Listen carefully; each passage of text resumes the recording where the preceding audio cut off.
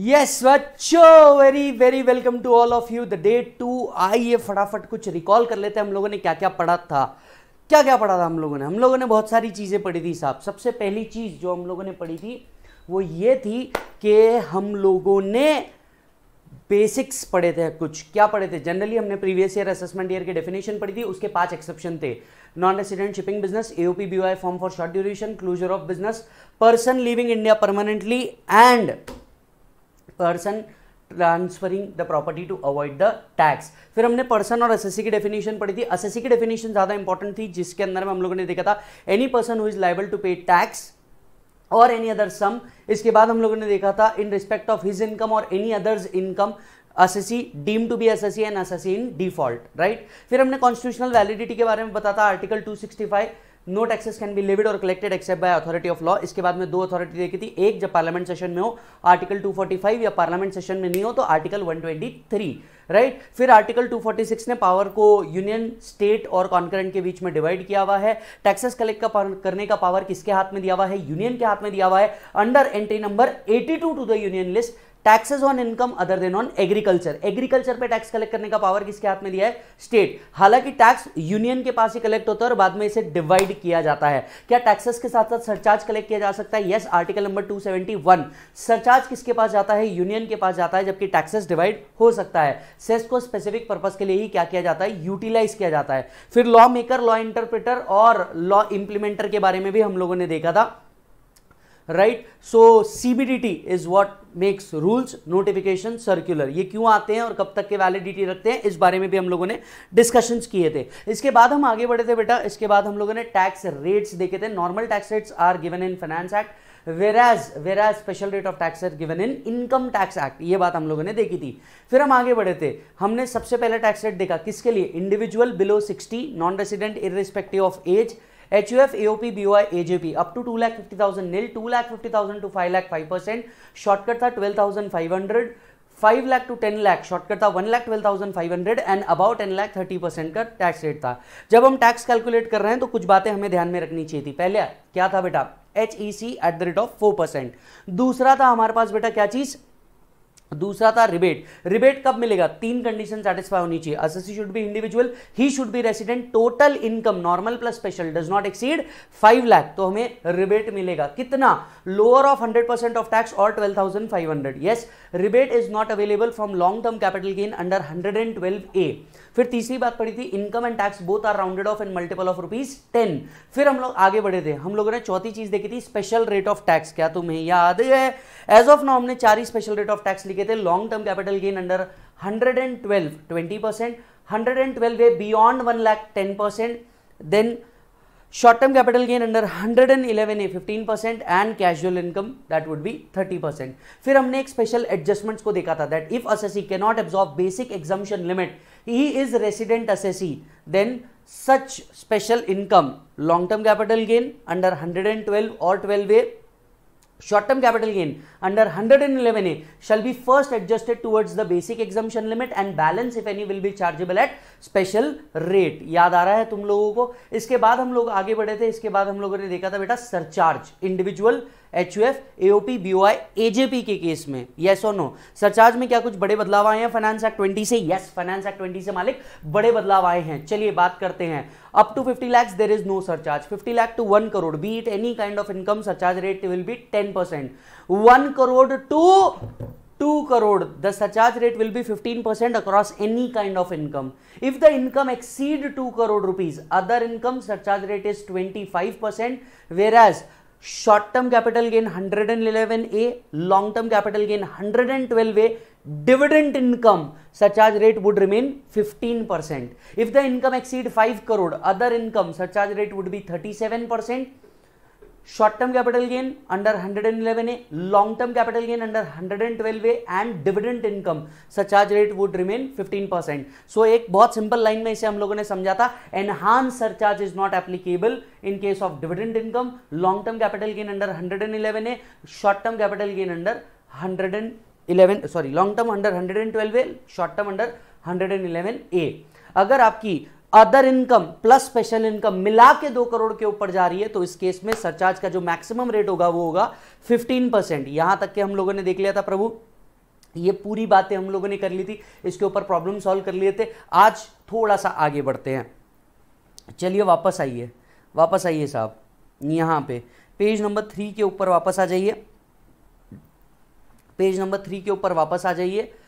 अब ज़रा एक इशू था इस इशू को समझना बड़ा ज़रूरी था। इशू ये था if a person became senior citizen on the first day of assessment year then he will be eligible for two lakh fifty thousand और three lakh as the basic exemption limit हुआ ये कि जो व्यक्ति एक अप्रैल के दिन फ़र्स्ट अप्रैल के दिन क्या बन रहा है? सीनियर बन रहा है। प्रीवियस ईयर में वो सीनियर नहीं था, लेकिन फ़र्स्ट अप्रैल के दिन उसका बर्थडे था और उसी दिन वो सीनियर सिटीजन बन रहा है।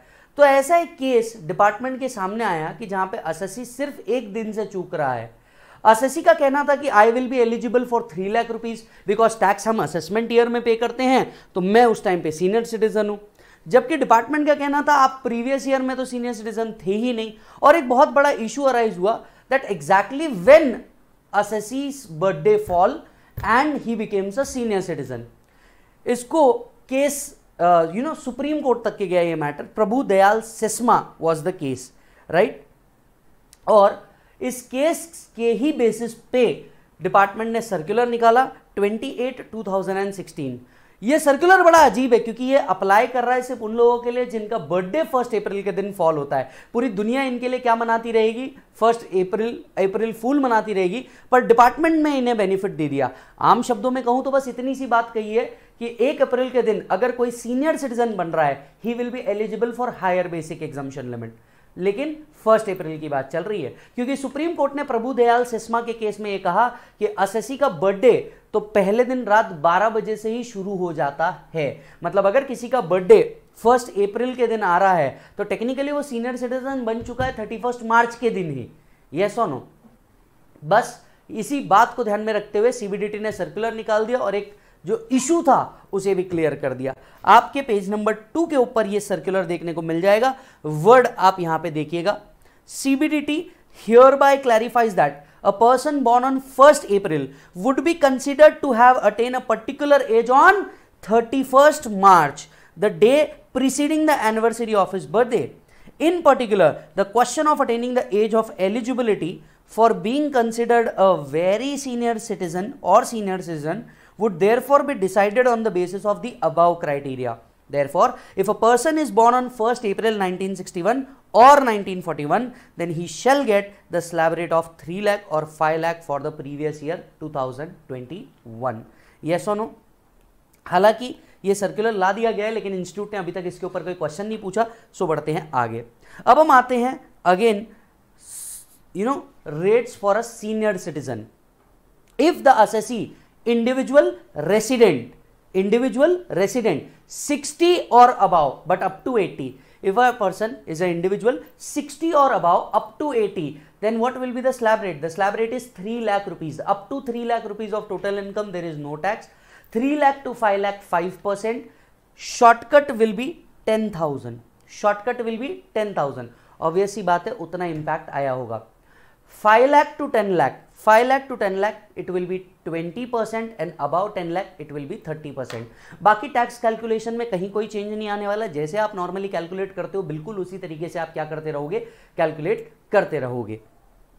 Yes so individual resident what we need to focus is resident sir मान लीजिए अगर नॉन रेसिडेंट सीनियर सिटीजन है will he get two lakh fifty thousand और he will get three lakh rupees two lakh fifty thousand because हमने यहीं पढ़ लिया non resident irrespective of age हम लोगों ने क्या कर लिया यहीं पढ़ लिया non resident irrespective of age then the third is super senior citizen. Third is super senior citizen. A person who is individual resident individual resident, age 60 और अबाव और 80 और अबाव सी सीनियर सिटीजन रहता 60 और अबाव इस category को law की भाषा में कहा जाता है सुपर सीनियर सिटीजन 80 और अबाव जनरली इस कैटेगरी के अंदर में वही लोग आते हैं जो ज़िंदा हैं इनकम कमा रहे हैं और 80 के ऊपर हैं.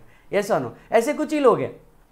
पर खैर, इस स्लैब को भी कंसिडर किया गया है. So if a person is individual resident 80 और अबाउ डॉट 80 और above then up to five lakh there is no tax 5 lakh to 10 lakh it will be 20 percent above 10 lakh it will be 30 percent rest all tax calculation will remain same rest all tax calculation will remain same so an individual who is resident age is 80 years or more 5 lakh nil 5 lakh to 10 lakh 20 percent and above 10 lakh it will be 30 percent yes or no अब मैं आपसे सबसे ज़्यादा और बड़ी बात कहना चाहूँगा सर फाइनेंस एक्ट 2020 ने फाइनेंस एक्ट 2020 ने एक बड़े बदलाव किए।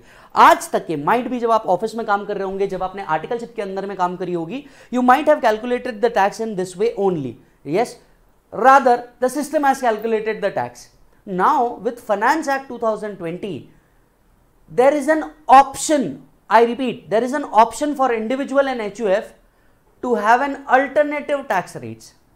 New tax rate लाए गए हैं the section is 115 B A C new section लाया गया है एक 115 बी ए सी जहाँ पे इंडिविजुअल एंड एच को अल्टरनेटिव टैक्सेशन रेट्स दिए गए हैं। सर, क्या है ये अल्टरनेटिव टैक्स रेट्स मैं इसे यहाँ नहीं पढ़ा रहा हूँ। अगर आप देखेंगे, मैंने इसे यहाँ पे क्लियर कट लिख दिया। Finance act 20 has inserted an alternative taxation scheme for individual and cooperative society as per section 115 BAC and BAD which are later discussed in chapter number 48 miscellaneous. Sir आपने इसे वहाँ क्यों डाल दिया? उसका एक बहुत बड़ा रीजन है बेटा। जब आप इस सेक्शन को पढ़ोगे you must be able to know what are the other deductions and benefit you should not take उसके पहले आपको बेनिफिट और डिडक्शन कौन कौन से नहीं लेना है, इसकी जानकारी होनी ज़रूरी है। जब मैं ये फास्ट ट्रैक पढ़ा रहा हूँ, मैं ये अज्यूम करता हूँ कि तुम पहली बार टैक्स पढ़ रहे हो, ठीक है? मैं इसी अजम्पन से तुम्हें लेकर के जा रहा हूँ। इसीलिए हम इसे बाद में देखेंगे। पर अभी इस पॉइंट पर डिस्कशन ज़रूरी है। ये क्यों लाया गया? मांग थी। पिछले दो सालों से तीन सालों से मांग थी कि बेसिक एग्जामेशन लिमिट को बढ़ाओ बेसिक एग्जामेशन लिमिट को बढ़ाओ। स्पेशली प्रेशर सैलरीड एम्प्लॉयड वालों का था जो कहते थे कि हमें तो मैक्सिमम बेनिफिट और डिडक्शन मिल ही नहीं रहे हैं। इसीलिए दो साल पहले उनके लिए स्टैंडर्ड डिडक्शन लेके आए थे। स्टैंडर्ड डिडक्शन को पिछले सालों में बढ़ाया भी 40,000 से 50,000 किया गया। लेकिन फिर भी उनकी डिमांड थी कि हमारे को क्या किया जाए? टैक्स रेट बढ़ाया जाए या तो बेसिक टैक्स रेट रिड्यूस किया जाए या बेसिक एग्जामेशन लिमिट बढ़ाई जाए या हमें कोई और तरीके का बेनिफिट दिया जाए। अब अगर आपको याद हो तो कंपनीज़ के लिए ऐसा एक alternative taxation scheme 2019 finance act के अंदर ही लेकर के आए थे, जो दो नए सेक्शन थे 115 B A and B A B ये कहाँ से आया और ये क्यों सूझा फाइनेंस मिनिस्टर को? ये उन्हें सूझा नहीं, ये एक्चुअली कहीं था। इंटरनेशनल टैक्स भी पढ़ाते हैं, इसी के लिए आपको बताता हूँ। यूएसए टैक्सेशन से अडॉप्ट की गई एक मैकेनिज्म है ये। जी हाँ यूएसए टैक्सेशन में ऐसी अल्टरनेटिव टैक्सेशन स्कीम कई सालों से है। इन शॉर्ट दो टैक्सेशन स्कीम है। एक, आप डिडक्शंस और एग्जामेशन लीजिए एंड हायर स्लैब रेट पे अमाउंट पे कीजिए। और एल्स डिडक्शन एग्जामेशन छोड़ दीजिए लोअर स्लैब रेट पे पे कीजिए। इंडिविजुअल्स के लिए कंपनीज़ के लिए ऐसे अल्टरनेटिव टैक्सेशन स्कीम यूएसए के अंदर में ऑलरेडी अवेलेबल है। कई सालों से वर्क कर रहे हैं। बस हुआ क्या? हमारे फाइनेंस मिनिस्टर ने भी यही काम किया कि जो लोग चिल्ला रहे हैं कि रेट कम करो रेट कम करो रेट कम करो उनके लिए सीधा सीधा एक अल्टरनेटिव लेके आ गए। एक आप भरपूर डिडक्शन एग्जामेशन जितने एक्ट के अंदर में दिए हैं सब लें। And pay the tax as per normal slab rate जो अभी आप पे कर रहे थे। सो so, आप पूरे डिडक्शन ले एग्जामेशन ले जितना एक्ट के अंदर में दिया हुआ है और हायर रेट के ऊपर पे कर दे। ऑल्टरनेटिवली ऑल्टरनेटिवली आप कुछ डिडक्शन एग्जामेशन छोड़ देंगे, हम आपको लोअर रेट ऑफ़ टैक्स देंगे। डिडक्शन एग्जामेशन आप छोड़ेंगे, हम आपको लोअर रेट देंगे। और ऐसे एक अल्टरनेटिव के साथ साथ 115 बी ए सी एक नया सेक्शन इंसर्ट किया गया है। इसीलिए आप देखेंगे, हमने यहाँ पे क्या लिख दिया as of now for assessment year 21 22 individual and HUF has an option to pay the tax as per 115 BAC जो क्वेश्चन है हम लोगों ने बनाया है, उस पर जगह जगह पे हम लोगों ने जो क्वेश्चन कंसिडर किए हैं, वो ऐसे ही कंसिडर किए हैं, if assessee opt for 115 BAC if assessee do not opt for 115 BAC जब मैं आपको क्वेश्चनर पढ़ाऊँगा तो आपको क्वेश्चनर भी दिखाऊँगा कि किस तरीके से उसको बताया गया है कि अगर वो टैक्स कैसे कैलकुलेट करेंगे। वो 115 BAC को ऑप्ट करता है तो क्या होगा? 115 BAC को ऑप्ट नहीं करता तो क्या होगा? करेंगे discuss but as of now हमें बस इतना पार्ट समझना है कि individual and H individual and H के पास एक ऑप्शन है। या तो ये डिडक्शन एग्जामेशन लेके नॉर्मल स्लैब रेट के ऊपर टैक्स पे करें, या तो फिर ऑल्टरनेटिवली ऑल्टरनेटिवली वो डिडक्शन एंड एग्जामेशन छोड़ दे और लोअर रेट के ऊपर टैक्स पे करें। किसके ऊपर? लोअर रेट के ऊपर टैक्स पे करें। गेटिंग इट मालिक? चलो तो इसे हम कहाँ डिस्कस करेंगे? 48 में डिस्कस करेंगे जब आपको सब्सटैंशियली डिडक्शन और एग्जामेशन के बारे में नॉलेज होगा। आइए सर, आगे बढ़ते हैं। अब तक हमने किसका टैक्स रेट देखा? अब तक हमने सर टैक्स रेट देख लिया individual H U F AOP BOI AJP के लिए। बराबर है? अब है टैक्स रेट अदर एसएससी के लिए देखने के लिए। Come on page number five अब हम टैक्स रेट देख रहे हैं अदर एसएससी का। अदर एसएससी में सबसे पहले कौन आता है? अदर एसएससी में सबसे पहले आता है firm LLP local authority firm LLP local authority things are sorted if it is a firm LLP और local authority the tax rates are thirty percent flat thirty percent irrespective of one rupees और any kind of rupees yes और no they don't get any basic exemption limit एक सवाल आपके मन में आना चाहिए कि क्यों, आखिर क्यों इन्हें बेसिक एग्जामेशन लिमिट का बेनिफिट नहीं मिलता? उसका रीजन ये है, जब गवर्नमेंट ने थॉट दिया बेसिक एग्जामेशन लिमिट के लिए तो लॉजिक ये था कि आज के तारीख में, आज के तारीख में एवरेजली भी एक परिवार को पर मंथ आप देख सकते हैं, आप अपना भी घर देखिए, बीस हज़ार रुपए लगते हैं उसके सारे डेली खर्चों को समझते हुए। बीस हज़ार रुपए तो एवरेजली उसको लगता ही लगता है। बीस हज़ार इंटू बारह, दो लाख चालीस हज़ार रुपए हो जाता है, टू लाख फोर्टी थाउज़ेंड हो जाता है and ten thousand in addition thereto दिया गया है यू नो त्योहारों एंड अदर चीज़ों को कंसिडर करते हुए। That's how somehow two fifty was the basic exemption limit but firm एक आर्टिफिशियल जुडिशियल पर्सन है इनके घर बार भी बच्चे तो है नहीं। इसीलिए एक रुपए से डायरेक्टली टैक्स किया गया है और इन्हें बेसिक एग्जामेशन लिमिट का बेनिफिट नहीं दिया गया है। Perhaps, what are the tax rate? In case of firm, LLP local authority, if income is up to 1 crore rupees, the tax rate is 30% plus applicable surcharge of 4% और cess cess 4% surcharge नहीं है एक करोड़ रुपए तक के। If the income exceed one crore rupees if the income exceed one crore rupees the tax rate is thirty percent surcharge rate is 12% HEC at the rate of 4%. So, check it out. In case of firm and LLP, in case of firm and LLP, it will be 30%. In case of firm and LLP, it will be 30%. In case of local authority, it will be 30%. अगर आप लोग लिखना चाहें तो कुछ ऐसा भी हो सकता है firm LLP local authority up to 1 crore rupees total income into 30 percent plus 4 percent beyond 1 crore rupees total income into 30 percent plus 12 percent plus 4 percent will be the surcharge rate. So, what is the surcharge rate? 12 percent in case of firm LLP and local authority. Is that done? Now, the next is companies. बड़े मज़ेदार है ये किस्सा, ज़रा ध्यान से सुनिएगा। Companies के केस में टैक्स रेट्स को क्या कंसिडर किया जाएगा? कंपनीज़ के केस में टैक्स रेट्स को क्या कंसिडर किया जाएगा? Let me divide this into two part first a domestic company second a foreign company ठीक है? डोमेस्टिक कंपनी के टैक्स रेट का किस्सा सुनना बड़ा मज़ेदार है। हुआ क्या था? 2014, बात थी गवर्नमेंट चेंज हो रही थी। कांग्रेस के जगह उस टाइम पे लहर चल रही थी, अब की बार मोदी सरकार। नाउ पॉइंट क्या हुआ? 2014 के अंदर में, वो इलेक्शन मेमोरेंडम के अंदर में उन्होंने कहा कि, सर, हम लोग टैक्स रेट रिड्यूस कर देंगे। आखिर किसने कहा? मोदी सरकार ने कहा कि, हम टैक्स रेट रिड्यूस कर देंगे कंपनीज़ के लिए। खैर, लहर तो चली रही थी, मोदी गवर्नमेंट जीत करके आते हैं। फाइनेंस मिनिस्टर बनते हैं अरुण जेटली साहब। उस टाइम पे उन्होंने क्या किया? उन्होंने सबसे पहले कंपनी का टैक्स रेट रिड्यूस किया 29 परसेंट पे और उस बजट स्पीच के अंदर में उन्होंने कहा कि अगले पाँच साल के अंदर में हम कंपनीज़ का tax rate one one percent से रिड्यूस करेंगे। मतलब 2014 से लेकर 2019 आते आते कंपनी का टैक्स रेट 30 परसेंट से कितना हो जाता? 25 परसेंट हो जाता। यह बात कही गई। अच्छा फिर क्या हुआ? 2014 के टाइम पे लाया गया 29 परसेंट पे। इससे क्या फ़ायदा हुआ? कंपनी खुश हो गई कि भैया जो तुमने इलेक्शन के अंदर में वादा किया था, वन परसेंट रिड्यूस कर दिया। कंपनी के लिए वन परसेंट भी उस टाइम पे बहुत था। क्यों? क्योंकि सोचिए, जिन companies like Wipro Patanjali you know Reliance Infosys TCS Mahindra and Mahindra Tech Mahindra so on and so forth जितनी कंपनीज़ के बारे में हम बात करें, इनके टर्नओवर्स बहुत यूज़ थे प्रॉफिट बड़े यूज़ थे और वन परसेंट से भी बहुत बड़ा फ़र्क पड़ना था। तो कंपनीज़ एक बार की खुश हो गई क्योंकि सारी कंपनीज़ के लिए tax rate twenty nine percent पर रिड्यूस कर दिया गया। सवाल था कि हम हर साल एक परसेंट रिड्यूस करेंगे, लेकिन इससे फाइनेंशियल स्ट्रक्चर बिगड़ जाता। हुआ ये कि अगले दो साल तक के टैक्स रेट को हिलाया ही नहीं गया। बात थी हर साल एक परसेंट रिड्यूस करने की बट ऐसा हुआ नहीं। वहाँ से दीदी चिल्लाई, उनने कहा, ए नो चल बे एटो चल बे, ना, तुमने बोला था हर साल एक परसेंट रिड्यूस करेंगे, किधर गया? ऊपर दिल्ली से मफलर वाले बाबा भी चिल्लाए, ये गलत है, इसकी सीबीआई जाँच होनी चाहिए। आपने कहा था टैक्स रेट रिड्यूस करेंगे, आपने रिड्यूस नहीं किया। सर महाराष्ट्र से भी कई लोक चिल्लाय काय झालं तुमचं टॅक्स रेटचा जर टैक्स रेट कमी केला नाही, मारल्याशिवाय राहणार नहीं. सब लोग चिल्लाने लग गए। दो साल बाद ध्यान में आया।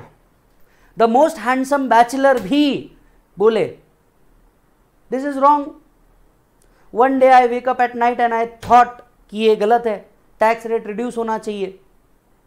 हमारी सरकार होती है, ऐसा टैक्स रेट निकालते यहाँ से थर्टी परसेंट वहाँ से zero percent the point is everybody was screaming कि भैया आपने बोला था, अब कहाँ गए आपके वादे? आप तो बड़े बड़े वादे कर रहे थे। दो साल बाद गवर्नमेंट को समझ में आया कि हाँ यार, हमने वादा किया और वादा किया वो निभाना तो पड़ेगा। उन्होंने क्या किया? उन्होंने कहा, दो साल बाद मतलब बात हो रही है 2017 की, उन्होंने कहा, ठीक है, हम इस बात को कंसिडर करते हैं। उन्होंने क्या किया?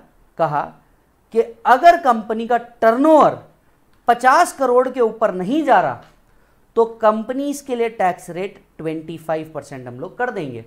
इन द प्रीवियस ईयर 16 17 अगर कंपनी का टर्नओवर 50 करोड़ के ऊपर नहीं जा रहा तो हम लोग कंपनी का टैक्स रेट 25 परसेंट करेंगे। अदर कंपनीज़ के लिए टैक्स रेट 30 परसेंट ही रहेगा। अदर कंपनीज़ के लिए टैक्स रेट 30 परसेंट ही रहेगा। सारी कंपनीज़ ने बोला, यार, ये तो हमारे साथ धोखा हुआ। आपने बेनिफिट देने की बात करी थी हर तरह की कंपनी को। लेकिन आज आप क्या बोल रहे हो? प्रीवियस ईयर 16-17 में जिसका टर्नओवर 50 करोड़ है, उसके लिए tax rate 25 percent rest all companies के लिए 30 परसेंट। ये 50 करोड़ का टर्नओवर बड़ा छोटा टर्नओवर था जिन, जो कंपनीज़ एक्सपेक्ट कर रही थी। फाइनेंस मिनिस्टर ने कहा, सबर रखो। हमने कहा है हम ज़रूर करेंगे। नेक्स्ट ईयर आता है. नेक्स्ट ईयर आता है. इस लिमिट को रिवाइज किया जाता है. 250 करोड़ पे लाया जाता है. और प्रीवियस ईयर कर दिया जाता है सत्रह अठारह. अब कहा जाता है कि प्रीवियस ईयर सत्रह अठारह के अंदर में if turnover does not exceed 250 crore of a company then the tax rate for that kind of company would be 25 percent rest all other company 30 percent फ़ायदा क्या हुआ? 250 करोड़ तक के टर्नओवर वाली कंपनीज़ को टैक्स रेट 25 परसेंट आ गया। कहीं ना कहीं वो वादा पूरा हो गया जो कहा निभाया गया, वो वादा पूरा हो गया जो कहा गया था कि हाँ हम इस वादे को निभाएँगे, ये वादा कंप्लीट कर दिया गया। लेकिन अभी भी बड़ी कंपनीज़ इससे बाहर थी, क्योंकि 250 करोड़ के ऊपर वाली कई कंपनीज़ थी इंडिया में। वो कह रही थी कि भैया, हम इतना बड़ा एम्प्लॉयमेंट जनरेट कर रहे हैं, हम इतना बड़ा टर्नओवर कर रहे हैं, इतना ह्यूज टैक्सेस पे कर रहे हैं, हमारे लिए क्या? फिर क्या हुआ? फिर आता है नेक्स्ट बजट। 1819 अब बजट के अंदर में क्या किया गया? इस टर्नओवर को कर दिया गया 400 करोड़ रुपीस। और निर्मला सीतारमन जी कहती हैं, अब इंडिया की 93 percent of the companies sorry 99.3 percent of the companies इसके अंदर में कवर हो जाती है। कुछ कंपनीज़ अभी भी इससे बाहर है, लेकिन हमें यह चीज़ करनी पड़ेगी। उनने कह दिया, अगर प्रीवियस ईयर 18-19 में, टर्नओवर, ध्यान से सुनिए, हम किस प्रीवियस ईयर में बैठे हैं? हम प्रीवियस ईयर में बैठे हैं, आप लोगों के लिए प्रीवियस ईयर है 2021 प्रीवियस ईयर 2021 के लिए टैक्स रेट क्या होगा? ये डिपेंड करता है 18-19 18-19 का टर्नओवर क्या होगा? अगर किसी डोमेस्टिक कंपनी का आज का टर्नओवर देखना है क्या? आंसर इज़ नो हमें कौन से प्रीवियस ईयर का टर्नओवर देखना है? 18-19 का टर्नओवर देखना है। अगर किसी डोमेस्टिक कंपनी का turnover in the previous year 18-19 आज का टर्नओवर 1000 करोड़ भी रहे तो इससे कोई लेन देन नहीं है। प्रीवियस ईयर 18-19 का टर्नओवर देखना है। अगर प्रीवियस ईयर 18-19 का टर्नओवर लेस देन 400 करोड़ है or it is not exceeding 400 crore, in that particular case, tax rate would be 25 percent. Rest all other companies, tax rate would be 30 percent. और इस तरीके से डोमेस्टिक कंपनी के लिए दो tax rate बन गए एक जिनका प्रीवियस ईयर 1819 सो लेट से आप मुझे फटाफट बताइए सबसे पहले मान लीजिए अगर कोई एक इंडियन डोमेस्टिक कंपनी है इनका टर्नओवर आज का देखना है क्या नहीं टर्नओवर कौन से प्रीवियस ईयर का देखना है टर्नओवर देखना है प्रीवियस ईयर 18-19 का।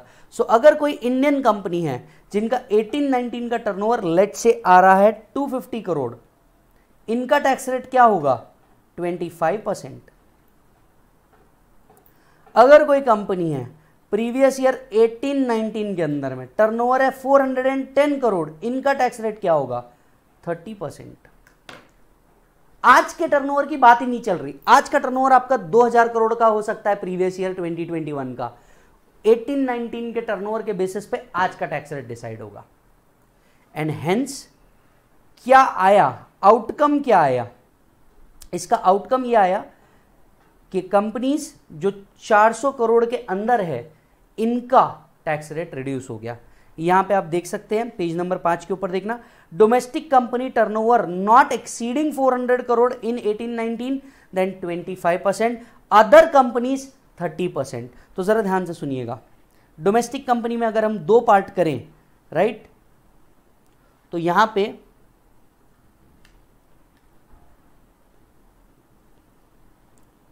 turnover in previous year 1819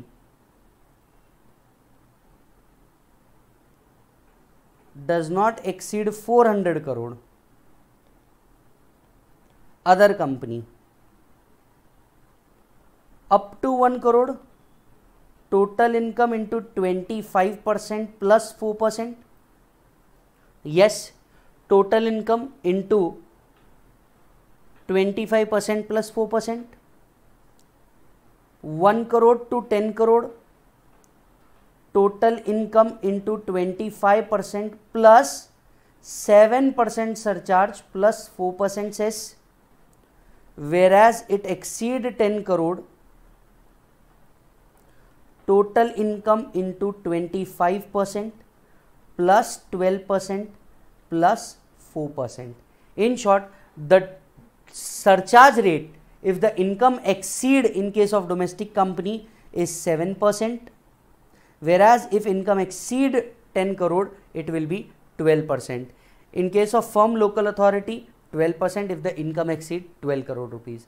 So, अगर डोमेस्टिक कंपनी का टर्नओवर इन 1819 प्रीवियस ईयर भले ही आपका 2021 है, लेकिन प्रॉब्लम इंस्टीट्यूट कैसे देगा मैं आपको बताऊँ? प्रॉब्लम क्या करेगा? इंस्टीट्यूट आपको घुमाएगा। आपको previous year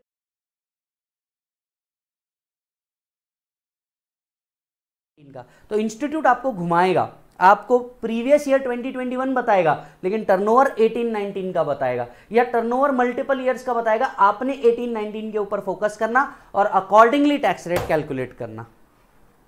Okay what about other companies other companies के लिए टैक्स रेट क्या हो जाएगा? Total income into thirty percent plus four percent if income exceed one crore total income into thirty plus 7% surcharge plus 4% cess and total income into 30% plus 12% plus 4% if the income exceed what? If the income exceed 10 crore.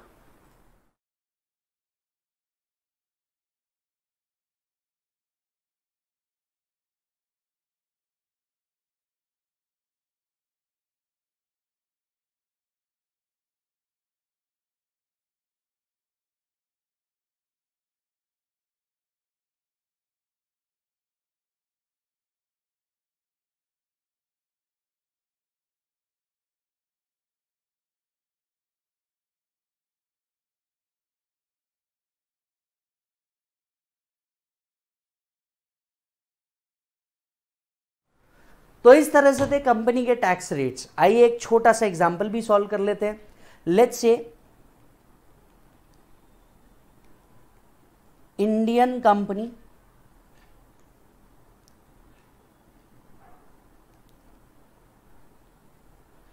turnover in past few years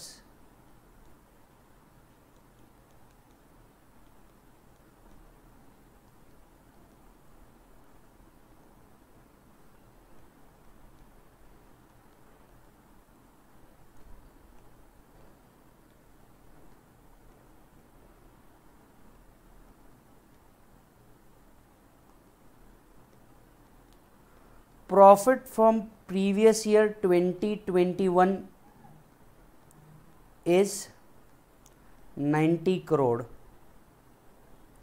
Calculate tax. Now focus. Now focus. When the turnover of past few years is given even though your previous year is 2021 you need to focus on previous year 18-19 turnover in order to get the tax rate for the current previous year whether turnover in 18-19 exceeding 400 crore answer is no so what would be the tax rate for a domestic company 25 percent yes or no in that particular case malik अब देखिए 90 crore is your total income into solve कैसे करेंगे अब आइए मैं आपको बताता हूँ, इसे सॉल्व कैसे किया जाएगा? सबसे पहले टोटल इनकम लिखिए। 90 करोड़। इस पे टैक्स रेट लगाइए। Twenty five percent. 25 percent why? Because turnover does not exceed 400 crore rupees. So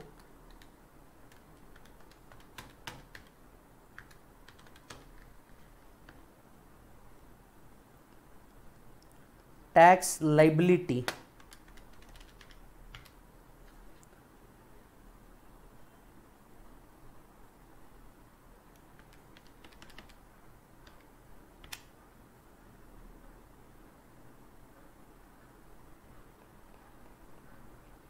बराबर?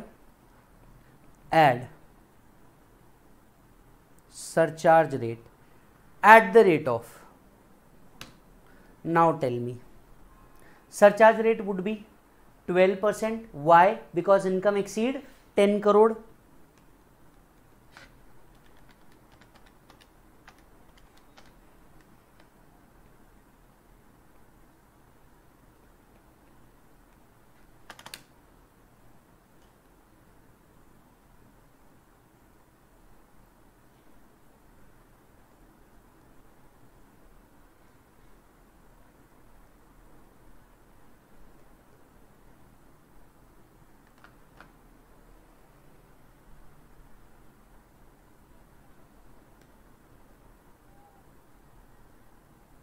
अब भी कुछ बाकी है तेरे मेरे बीच में?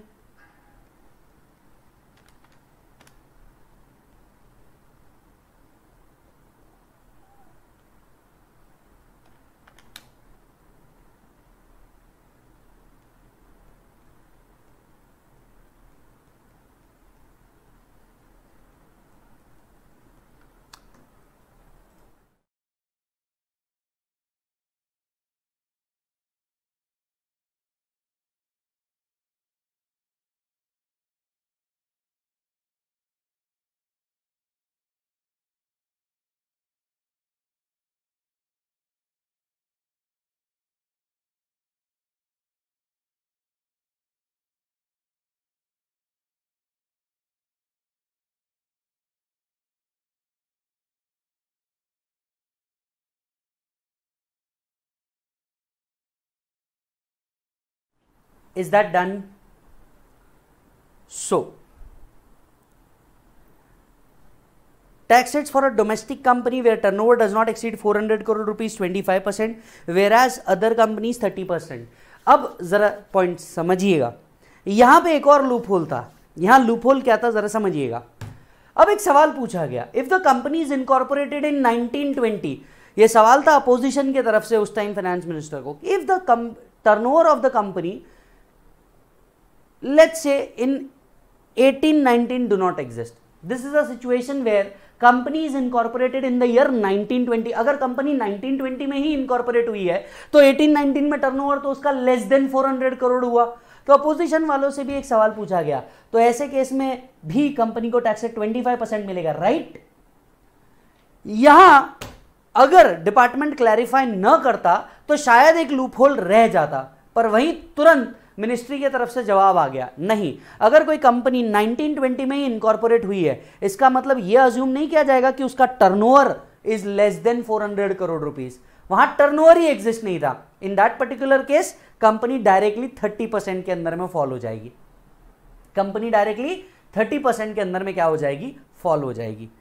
यस yes, सर फिर आते हैं कोऑपरेटिव सोसाइटी टैक्स रेट्स के ऊपर। लेकिन उससे पहले फॉरेन कंपनीज़ फॉरन कंपनीज़ के लिए टैक्स रेट्स में कोई बदलाव नहीं किया गया है। If the total income is up to one crore rupees then if total income is up to one crore rupees total income into forty percent plus four percent total income into forty percent plus four percent if the income is between one crore to ten crore total income into forty percent plus 2% as surcharge plus 4% as cess. If the income is above 10 crore rupees, then total income into 40% plus 5% as surcharge plus 4% as cess.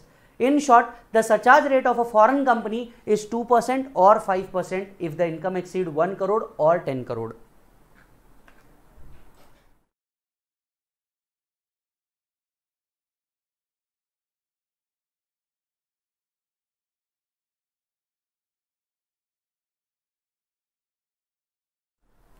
Done, sir. So here surcharge rate for a foreign company which is applicable up to 1 crore nil 1 crore to 10 crore 2% whereas above 10 crore 5% so here are the surcharge rate. Then we go to cooperative society cooperative society tax rates. Now cooperative society को अगर person में classify किया जाए तो या तो वो AOP BOI में कोई क्लासिफाई होगी डिपेंडिंग अपॉन ओनली इंडिविजुअल और अदर देन इंडिविजुअल या तो वो एजेपी में होगी, अगर वो रजिस्टर्ड कोऑपरेटिव सोसाइटी नहीं है तो। Now the point is cooperative society has got a very different tax rates क्यों? क्योंकि स्टेट कोऑपरेटिव सोसाइटीज भी थी, और कोऑपरेटिव सोसाइटी प्रमोट करने के लिए इन्हें टैक्स रेट्स डिफरेंट दिए गए थे। Even though they were classified into AOP BOI AJP but इनके लिए टैक्स रेट्स जो रखे गए थे, ये हमेशा से अलग रखे गए थे। What was the cooperative society tax rate up to first ten thousand it was ten percent next ten thousand twenty percent and the whole balance income thirty percent पहले दस हज़ार तक दस परसेंट नेक्स्ट दस हज़ार पे बीस परसेंट और बैलेंस के ऊपर तीस परसेंट रखा गया था। अगर इनकम एक करोड़ रुपए के ऊपर जा रही थी तो सरचार्ज ट्वेल्व परसेंट रखा गया था। Cess applicable four percent. अच्छा जी, क्या बदलाव हुआ? फाइनेंस एक्ट 2020 ने यहाँ पे भी बदलाव किया मालिक। क्या बदलाव किया और क्यों बदलाव किया? बदलाव इसलिए किया क्योंकि अगर पिछले 10 सालों में देखा जाए 10 साल की डेमोग्राफी निकाला जाए तो आपको पता चलेगा कि कोऑपरेटिव सोसाइटीज धीरे धीरे धीरे धीरे लुप्त होती जा रही है। अब इसके मल्टीपल फैक्टर थे। पहला फैक्टर था कि बैंकिंग ने बहुत ज़्यादा जल्दी तरीके से क्या किया? अपने आप को चेंज किया। Online banking mobile banking internet banking के ऊपर आए। पर कोऑपरेटिव उतने ज़्यादा नहीं हो पाए। दूसरा, अब बात था कोऑपरेटिव सोसाइटी के घोटाले पिछले दस सालों के अंदर में कोऑपरेटिव सोसाइटी बड़ी बड़ी cooperative society in fact multi state cooperative societies में भी घोटाले हुए। अब इसके कई रीजन थे। पॉलिटिशियंस का इन्वॉल्व होना या फिर पैसे को गलत तरीके से रूट करना। आरबीआई का उतना स्ट्रिक्ट नोटिफिकेशंस को फॉलो नहीं कर पाना या आरबीआई रेगुलेशंस कोऑपरेटिव सोसाइटी के ऊपर स्पेसिफिकली 100 परसेंट से वर्क नहीं कर पाना। बहरहाल कोऑपरेटिव सोसाइटी धीरे धीरे लुप्त होते जा रही थी, लेकिन कोऑपरेटिव सोसाइटीज ऐसी चीज़ है जो बहुत छोटे छोटे लेबर वर्कर या छोटे छोटे specific industries like cottage industries and all के ऊपर ध्यान रखती है। अब इन्हें मोटिवेट करने के लिए क्या किया गया? जैसे अल्टरनेटिव टैक्सेशन स्कीम कंपनीज़ के लिए लाई अल्टरनेटिव टैक्सेशन स्कीम्स किसके लिए लेके आई? इंडिविजुअल एच के लिए लेके आई। कोऑपरेटिव्स के लिए भी अल्टरनेटिव टैक्सेशन स्कीम्स लेकर के आए। Section 115 B A D section 115 B A D लेकर के आए। इसीलिए आपको नीचे देखने को मिलेगा, देखो 115 B A D a newly inserted section subject to condition 22 percent इसका भी डिटेल डिस्कशन होने वाला है आगे। मिसलेनियस चैप्टर में मैंने कंपनीज़ के इंडिविजुअल एच के और कोऑपरेटिव के अल्टरनेटिव टैक्सेशन दिए हुए हैं और वहाँ हम इसे बहुत डिटेल में डिस्कस करने वाले हैं। ऑब्जेक्टिव बिल्कुल सेम है। कई डिडक्शन और एग्जामेशन है। वही बात, जो अमेरिकन टैक्सेशन ने दी थी। या तो आप डिडक्शन एग्जामेशन ले लो और हायर रेट पे पे करो, या डिडक्शन एग्जामेशन छोड़ दो और लोअर रेट पे पे करो। बस, वही मैकेनिज्म यहाँ पे भी लाया गया है। तो इन शॉर्ट हो सकता है कि आपको 115 बीएसी बीएडी और बीएए यहाँ पे दिखाई दे मे बी मॉड्यूल में यहाँ पे दिखाई दे, हम उसे 48 चैप्टर के अंदर में डिस्कस करने वाले हैं। डन सर ओके तो चलिए, यहाँ तक के हम लोगों ने क्या पढ़े? टैक्स रेट्स पढ़े। देखिए अब हम लोगों ने किन किन के टैक्स पढ़ लिए। Individual H U F AOP BOI AJP firm के टैक्स रेट्स पढ़े हम लोगों ने लोकल अथॉरिटी के टैक्स रेट्स पढ़े कंपनी के टैक्स रेट्स पढ़े। कंपनी में भी दो part domestic company foreign company domestic company में भी दो पार्ट डिपेंडिंग अपॉन अगर turnover does not exceed 400 crore rupees 25 percent otherwise 30 percent yes no चलिए। अब आते हैं आगे। बढ़ते हैं मार्जिनल रिलीफ की ओर। ये एक और पॉइंट है जो टैक्स कैलकुलेशन के अंदर में आता है। कहने को तो वो रिलीफ है, लेकिन एक्चुअल रिलीफ नहीं है वो। ये सिर्फ़ नाम का रिलीफ है एक्चुअल रिलीफ नहीं है मार्जिनल रिलीफ क्या मार्जिनल रिलीफ वर्क करता है? देखिए, अगर मैं प्रैक्टिस की बात करूँ, मैं खुद प्रैक्टिस के अंदर में हूँ पिछले दस सालों से तो मैं आपको बता दूँ प्रैक्टिस के अंदर में मार्जिनल रिलीफ के कंसेप्ट को हम लोग बहुत ज़्यादा फॉलो ही नहीं करते क्यों नहीं करते? क्योंकि अगर इनकम स्लाइटली एक्सीड करता है, जिससे सरचार्ज का इफ़ेक्ट आता है, तब मार्जिनल रिलीफ वर्क करता है। मार्जिनल रिलीफ वर्क कब करता है? When the additional income earn is lower than the tax payable additional tax payable let's see मैं आपको शो करता हूँ। कहने को तो ये रिलीफ है बट ये एक्चुअली रिलीफ नहीं है।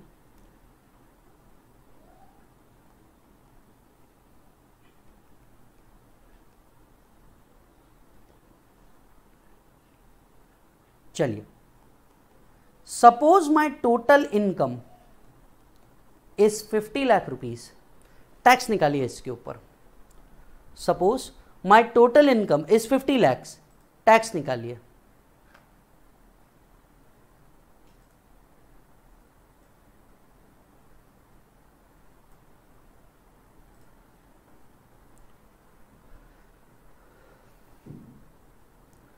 हम हमारे तरीके से भी निकाल सकते हैं।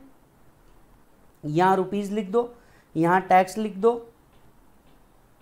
Income up to ten lakh rupees what will be the tax 1 lakh 12500 balance income 40 lakh tax rate 30 percent this will come to 12 lakh rupees total tax will come to 13 lakh 12500 isn't it check कर लो एक बार इसमें surcharge लगेगा क्या? No sir क्यों? Income does not exceed 50 lakhs हाँ H e लग सकता है at the rate of four percent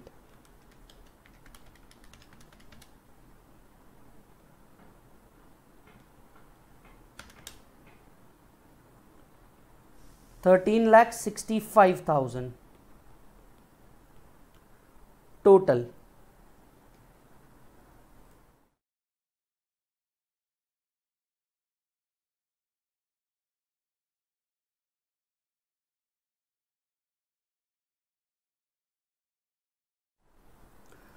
now understand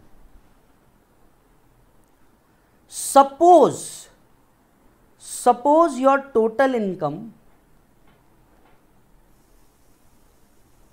now is 51 lakh अब जरा टैक्स कैलकुलेट कीजिए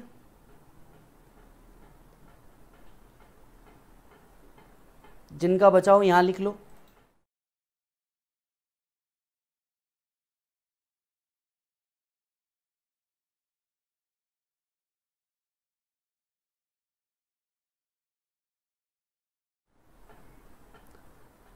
अब टैक्स निकालो, उनके लिए जिनका इनकम 51 लाख रुपीज़ है।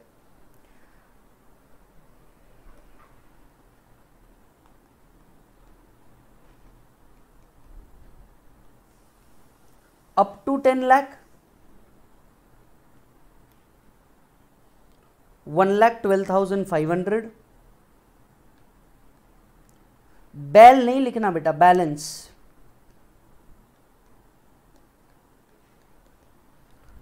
tax rate thirty percent.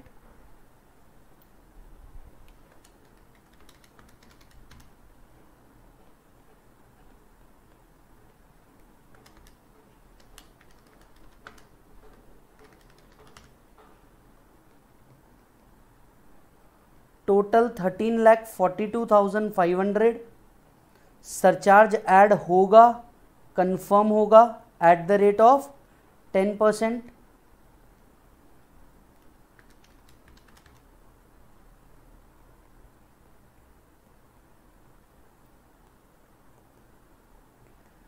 H E C भी ऐड होगा।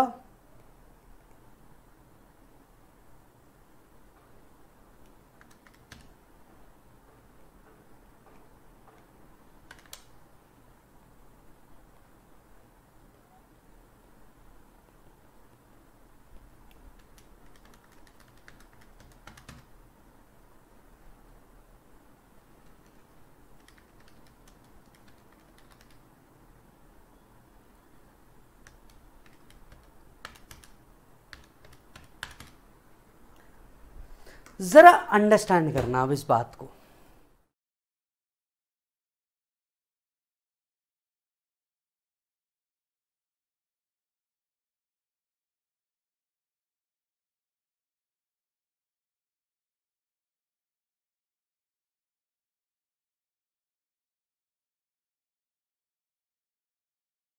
चलिए, जरा अंडरस्टैंड करना इस बात को। See when my income was up to 50 lakh rupees, my tax was 13 lakh 65000 rupees. मैंने एडिशनल इनकम कितना अर्न किया? एक लाख रुपए। एडिशनल इनकम कितना अर्न किया? एक लाख रुपए दैट इज़ 51 लाख रुपया मेरा टोटल मेरी एडिशनल टैक्स लाइबिलिटी कितनी आ गई?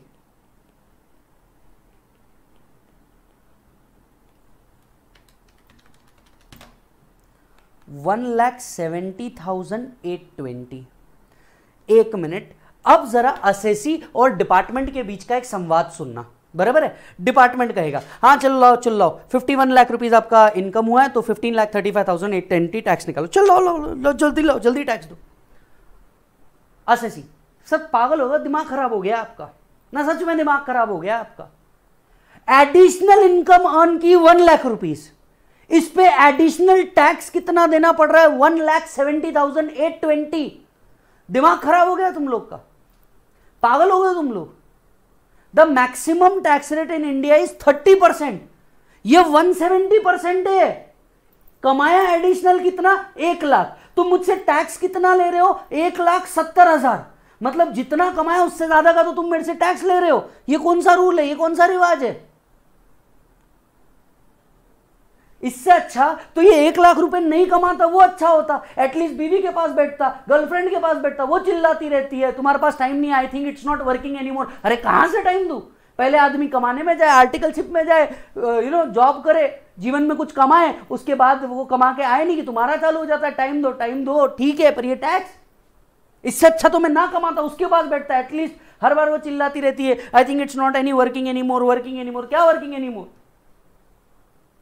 नहीं नहीं नहीं, सर, आप समझ नहीं रहे। Where income exceed fifty lakh rupees the effect is due to surcharge अरे, मोर उड़ाओ, मुझे क्या करना है? आप एक बात बताओ, अबे, ये कौन से कानून में लिखा है? मैंने सिर्फ़ एक लाख एडिशनल कमाया। तुम मुझसे टैक्स कितना लेना चाह रहे हो? One lakh seventy thousand eight twenty मतलब जो कमाया, वो तो दू ही दू। मेरे जेब से, मेरे जेब से seventy thousand eight twenty rupees additional दू। मस्त। क्या लॉ बनाया है? क्या लॉ बनाया? मस्त। सोच के देखिए। आप एसएससी होते तो आपके मन में भी यही बातें आती इनफैक्ट कुछ और बातें भी आती। एकदम सही है। एसएससी यहाँ पे बिल्कुल गलत नहीं है। एसएससी कह रहा है, यार मैंने एडिशनल कितने रुपए अर्न किया? वन लाख रुपीस बट इस वन लाख को अर्न करने के चक्कर में मेरी टैक्स लाइबिलिटी कितने से बढ़ गई? One lakh seventy thousand eight twenty देखा जाए तो ये एक लाख पे वन सेवेंटी परसेंट का टैक्स है। भारत सरकार को समझ में आया कि हाँ यार, ये तो गलत हो रहा है। इस सचाज के चक्कर में इस आदमी की टैक्स लाइबिलिटी बढ़ गई है। In in any case tax cannot exceed the income earned in any case tax cannot exceed the income earn सरकार ने बोला, चलो, हम एक आइडिया निकालते हैं। हम मार्जिनल रिलीफ देते हैं तुम्हें। आप इस मार्जिनल रिलीफ को देखोगे तो हंसोगे। आप इस मार्जिनल रिलीफ को देखोगे तो हंसोगे। सरकार ने कहा, चलो, अब हम क्या देते हैं? मार्जिनल रिलीफ देते हैं। ठीक है? सब लोग वेट करने लगे, ठीक है भाई, कुछ आ आ आ डिस्कस कर, बता, क्या है मार्जिनल रिलीफ उन्हें कहा, देखिए you calculate the tax up to a limit where no surcharge is applicable तुम टैक्स निकालो कहाँ तक के? 50 लाख तक के। In this particular case 50 lakh rupees तक के आप क्या निकालिए? टैक्स निकालिए। तो ठीक है। Tax on rupees fifty lakh thirteen lakh twelve thousand five hundred कहाँ से लिया? ये यहाँ पे था। पचास लाख तक का tax thirteen lakh twelve thousand five hundred हमने बोला ओके अब क्या करें? Tax up to fifty lakh इसमें ऐड कर लो। एडिशनल इनकम अर्नड हंसना मत, ध्यान से सुनना। उनने कहा, इसमें ऐड कर लो एडिशनल इनकम अर्न जो इनकम तुमने ऐड करी है, जो इनकम तुमने कमाई है बियॉन्ड फिफ्टी लाख रुपीज़ जिसपे सरचार्ज का इफ़ेक्ट आ रहा है, इसको पूरा का पूरा तुम ऐड कर लो। अब तुम्हारा टोटल कितना हो गया? Fourteen lakh twelve thousand five hundred अब सरचार्ज मत लगाओ, तुम डायरेक्टली इसके ऊपर एच e दे दो at the rate of four percent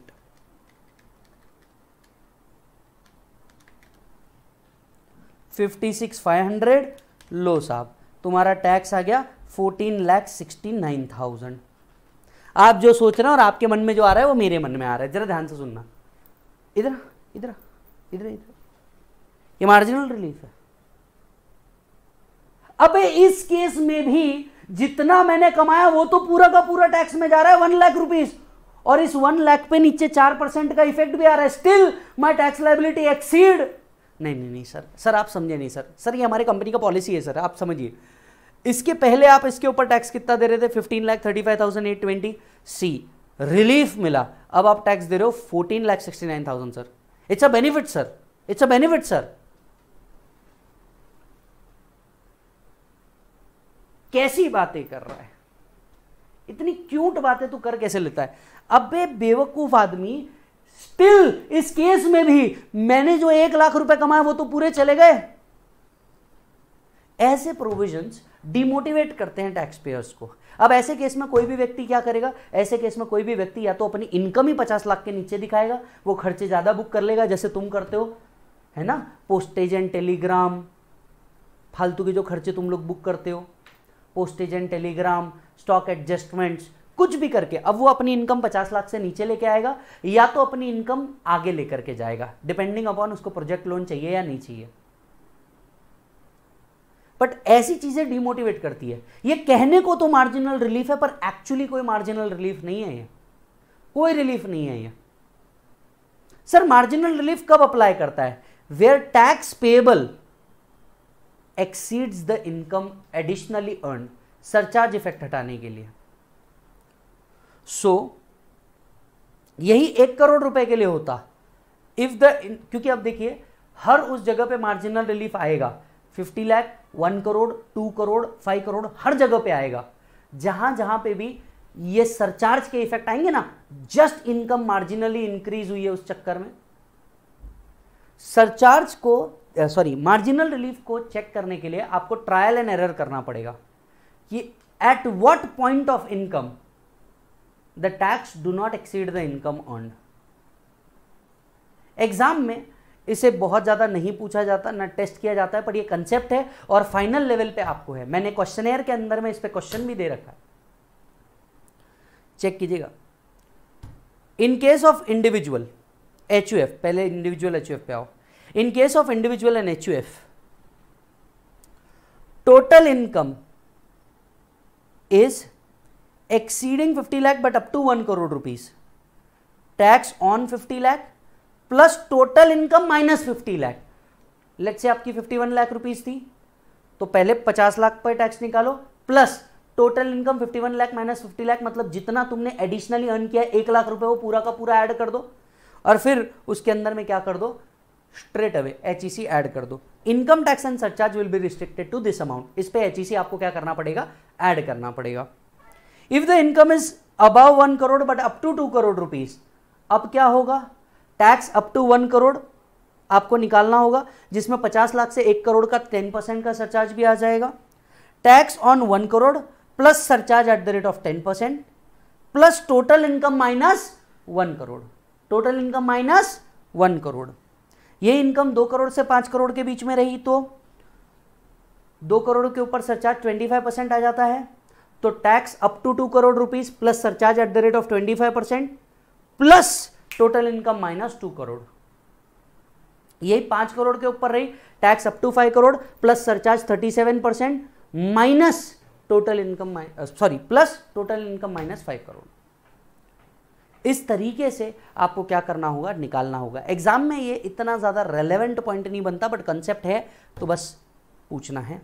यही लोकल अथॉरिटी फर्म इन पे सरचार्ज कब लगता है? The income exceeds one crore rupees तो क्या करेंगे ये लोग? टैक्स निकालेंगे कहाँ तक का? एक करोड़ रुपए तक का। प्लस क्या कर देंगे? Additional income earn so tax on one crore plus total income minus one crore ये अमाउंट आ जाएगी। इस पर आपने क्या कर देना? Straight away H E C apply कर देना। इन केस ऑफ़ डोमेस्टिक और फॉरेन कंपनी यहाँ पे इनकम एक करोड़ और दस करोड़ पे सरचार्ज लगता है total income up to one crore और ten crore plus applicable surcharge if any minus total income में से जितना अमाउंट तक के आपने टैक्स निकाला है, वो माइनस कर दीजिए।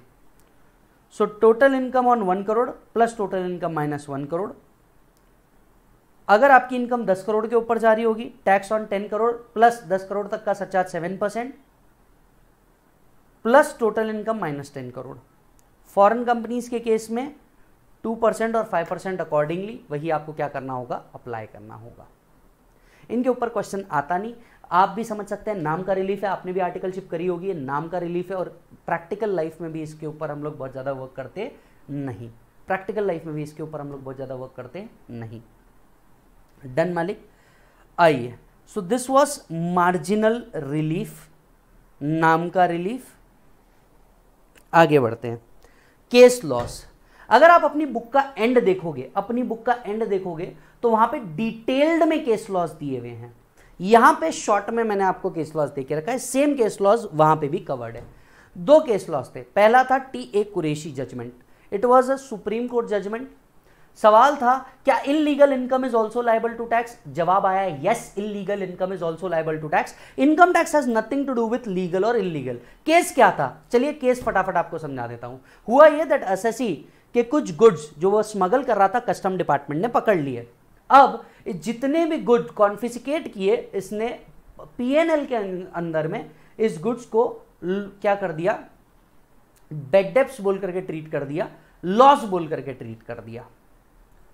डिपार्टमेंट ने ये लॉस को जब एनालाइज किया असेसमेंट किया तो डिपार्टमेंट ने इस लॉस को कंसिडर करने से मना कर दिया because it was an illegal smuggling assessee ने कहा कि आप मेरी इनकम तो कंसिडर कर रहे हो, लेकिन मेरे एक्सपेंसेस को कंसिडर नहीं कर रहे हो। मेरी इनकम भी तो फिर इलीगल इनकम ही हुई ना, क्योंकि मेरी इनकम तो पूरी की पूरी स्मगलिंग से है। जब आप मेरी इनकम को कंसिडर कर रहे हो तो आपको मेरे खर्चों को भी कंसिडर करना चाहिए। डिपार्टमेंट ने कहा, नहीं, ये तो इलीगल है, इसको हम अलाउ नहीं करेंगे। इसे हम अलाउ नहीं करेंगे। एसएससी ने कहा तो फिर मेरी इनकम को आप टैक्स क्यों कर रहे हैं? अगर आप मेरी इनकम को टैक्स कर रहे हैं, जो इलीगल एक्टिविटी से है तो इससे रिलेटेड खर्चे आपको मुझे अलाउ करके देने होंगे। जब मैटर कोर्ट के पास गया, कोर्ट ने एसएससी के फेवर में डिसीज़न दिया, दैट यस, अगर आपकी इलीगल इनकम कंसिडर हो रही है तो आपके एक्सपेंसेस भी अलाउड होंगे। और इनकम टैक्स में इलीगल एक्सपेंसेस को रोकने के लिए तब तक के कोई प्रोविज़न नहीं था। डिपार्टमेंट हारा था। और याद रखना, जब जब डिपार्टमेंट हारा है, तब तब क्या आता है मालिक? अमेंडमेंट उस दिन दो बातें क्लैरिफाई हो गई। एक that illegal income is also liable to income tax दूसरा इलीगल एक्सपेंसेस अलाउ है या नहीं है? इस बात में एक्ट में क्लैरिटी नहीं थी। इस केस लॉ के बाद सेक्शन 37 पीजीबीपी अमेंड हुआ और वहाँ पे लिखा गया it should not be prohibited by any law ये किसी भी तरीके से इलीगल एक्सपेंसेस या प्रोहिबिटेड बाय लॉ नहीं होना चाहिए। इससे अब हुआ क्या? इलीगल इनकम तो आपकी टैक्सेबल है, लेकिन इससे रिलेटेड खर्चे अब आपको अलाउ नहीं होंगे। जो एक्ट में पार्ट मिसिंग था, उसे इंक्लूड कर दिया गया। पर यह बात पूरी क्लियर हो गई illegal income are also liable to income tax T A Qureshi whether illegal income is also chargeable to tax held that yes income tax is all revenue receipts which are chargeable to tax Saurashtra cements limited supreme court judgment. ये करीब तीन साल तक RTP में sorry judicial judgments में continuous reflect होता है और आज भी रिफ्लेक्ट होता है। बहुत बड़ा केस था। केस क्या था? लिक्विडेटेड डैमेजेस से रिलेटेड केस था। असेसी ने कुछ मशीनरी आउट ऑफ़ इंडिया से क्या करी? इंपोर्ट करने की सोची। असेसी ने कुछ मशीनरी आउट ऑफ़ इंडिया से इंपोर्ट करने की सोची। इस मशीनरी को पहुँचाने में हो गया डिले क्या हो गया मालिक? डिले हो गया। अब इस डिले के लिए असेसी को मिले लिक्विडेटेड डैमेजेस। ये मशीन टाइम पे ना पहुँच पाई, इसीलिए लिक्विडेटेड डैमेजेस मिले। इस लिक्विडेटेड डैमेजेस को इनकम टैक्स में कंसिडर नहीं किया गया। Assuming it is a capital receipt department ने व्यू लिया कि ये कैपिटल रिसीट नहीं है, ये revenue receipt and revenue receipts are all chargeable to tax and hence ये लिक्विडेटेड डैमेजेस टैक्सेबल होने चाहिए। एसएससी कहता है, ये जो मुझे डैमेजेस मिले हैं this is not in case of a regular business the objective of this liquidated damages was not to earn profit the objective of this liquidated damages is not to earn profit and hence ये capital receipt हुआ, ये revenue receipt नहीं हुआ। Department कहता रहा कि ये revenue receipt है एसएससी कहता रहा, ये कैपिटल रिसीट है मैटर कोर्ट तक के पहुँच गया। कोर्ट ने देखा कि हाँ सच में ये जो लिक्विडेटेड डैमेजेस मिल रहे हैं, ये किसी इनकम को अर्न करने के लिए या प्रॉफिट ऑब्जेक्टिव से रिलेटेड नहीं है। एंड हेंस इसे कैपिटल रिसीट करार दिया गया। Delay in supply of machinery SSC receive liquidated damages is it a revenue receipt it was held that it is a capital receipt since it is not a receipt in a course of profit earning process. Is that done that's it यहाँ पे अपना basic tax calculation वाला part क्या होता है मालिक? खत्म होता है। Right right? क्या क्या किया हमने? इस चैप्टर के अंदर में अगर आप देखेंगे, कहाँ कहाँ अमेंडमेंट है? टैक्स रेट्स में अमेंडमेंट है। अल्टरनेटिव टैक्स रेट्स कंपनी के लिए फर्म के लिए सॉरी कंपनी के लिए इंडिविजुअल एच के लिए एज वेल एज कोऑपरेटिव के लिए आया है, लेकिन हम इसे मिसलिनियस में डिस्कस करेंगे, जब हम एक सीक्वेंस को कंप्लीट कर लेंगे, प्रभु। इसके बाद हमने constitutional validity basics notification circular annual amendments tax rates देखा मार्जिनल रिलीफ देखी और इससे रिलेटेड दो रिलेवेंट केस लॉज देखे। यस टैक्स रेट्स को आपको सर थोड़ा सा प्रैक्टिस करना पड़ेगा। कैसे प्रैक्टिस करोगे? क्वेश्चनर है आपके साथ साथ में। हम उसे भी डिस्कस करेंगे नो no डाउट आज ही डिस्कस करेंगे उसे भी। लेक्चर के एंड में क्वेश्चन एयर को, क्योंकि मैंने आपसे कहा था कि फास्टैग के अंदर में हम क्वेश्चंस को भी कंसिडर करेंगे। कुछ हमने एग्जाम्पल्स के तौर पे ले लिया, कुछ हम लोग क्वेश्चन एयर के साथ साथ क्या करेंगे डिस्कस करेंगे। राइट तो यहाँ पे देख लीजिए ईच एंड एवरी पॉइंट को हम लोगों ने क्या करके रखा है? कवर करके रखा हुआ है। साहब, आपको क्या करना है? आज जब आप जाओगे तो आज इस पूरा, जो भी आपका बुक होगा रेगुलर बुक अगर आप मेरे स्टूडेंट होंगे रेगुलर बुक होगा, उससे एक बार फटाफट फटाफट रिवाइज कर लीजिएगा। मॉड्यूल से अगर आप देख रहे होंगे, वैसे भी मे 21 नवंबर 21 के मॉड्यूल आ चुके हैं, उससे भी देख लीजिएगा, सारे पॉइंट इस फास्ट ट्रैक के अंदर में हमने क्या किए हुए कवर करके रखे हुए हैं। ये था आपका पहला चैप्टर और अब हम लोग क्या करेंगे? हम लोग अब नेक्स्ट चैप्टर के ऊपर जाएँगे। नेक्स्ट चैप्टर कौन से है? नेक्स्ट चैप्टर हम चालू करेंगे असेसमेंट की पूरी सीरीज़ हम लोग असेसमेंट प्रोसीजर चालू करने वाले हैं और असेसमेंट की पूरी सीरीज़ करेंगे। इसी लेक्चर के एंड में इससे रिलेटेड कुछ क्वेश्चंस भी होंगे, जो क्वेश्चन के होंगे, वो भी हम लोग देखेंगे। यस और नो चलिए सो अब चालू करते हैं चैप्टर नंबर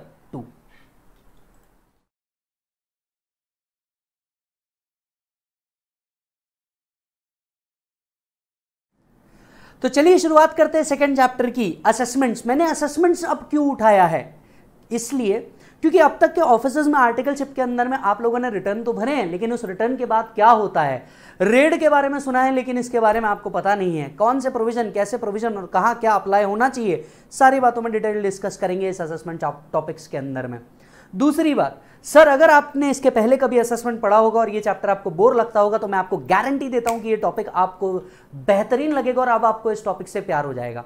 एक चार्ट बना करके रखा है इसे मैं कहता हूँ the assessment chart by me मैंने अपने पूरे आर्टिकलशिप और प्रैक्टिकल नॉलेज का पूरा निचोड़ करके यहाँ पे रख दिया कि कौन से सेक्शन के बाद क्या होता है और किस सेक्शन के बाद क्या अप्लाई करते हैं।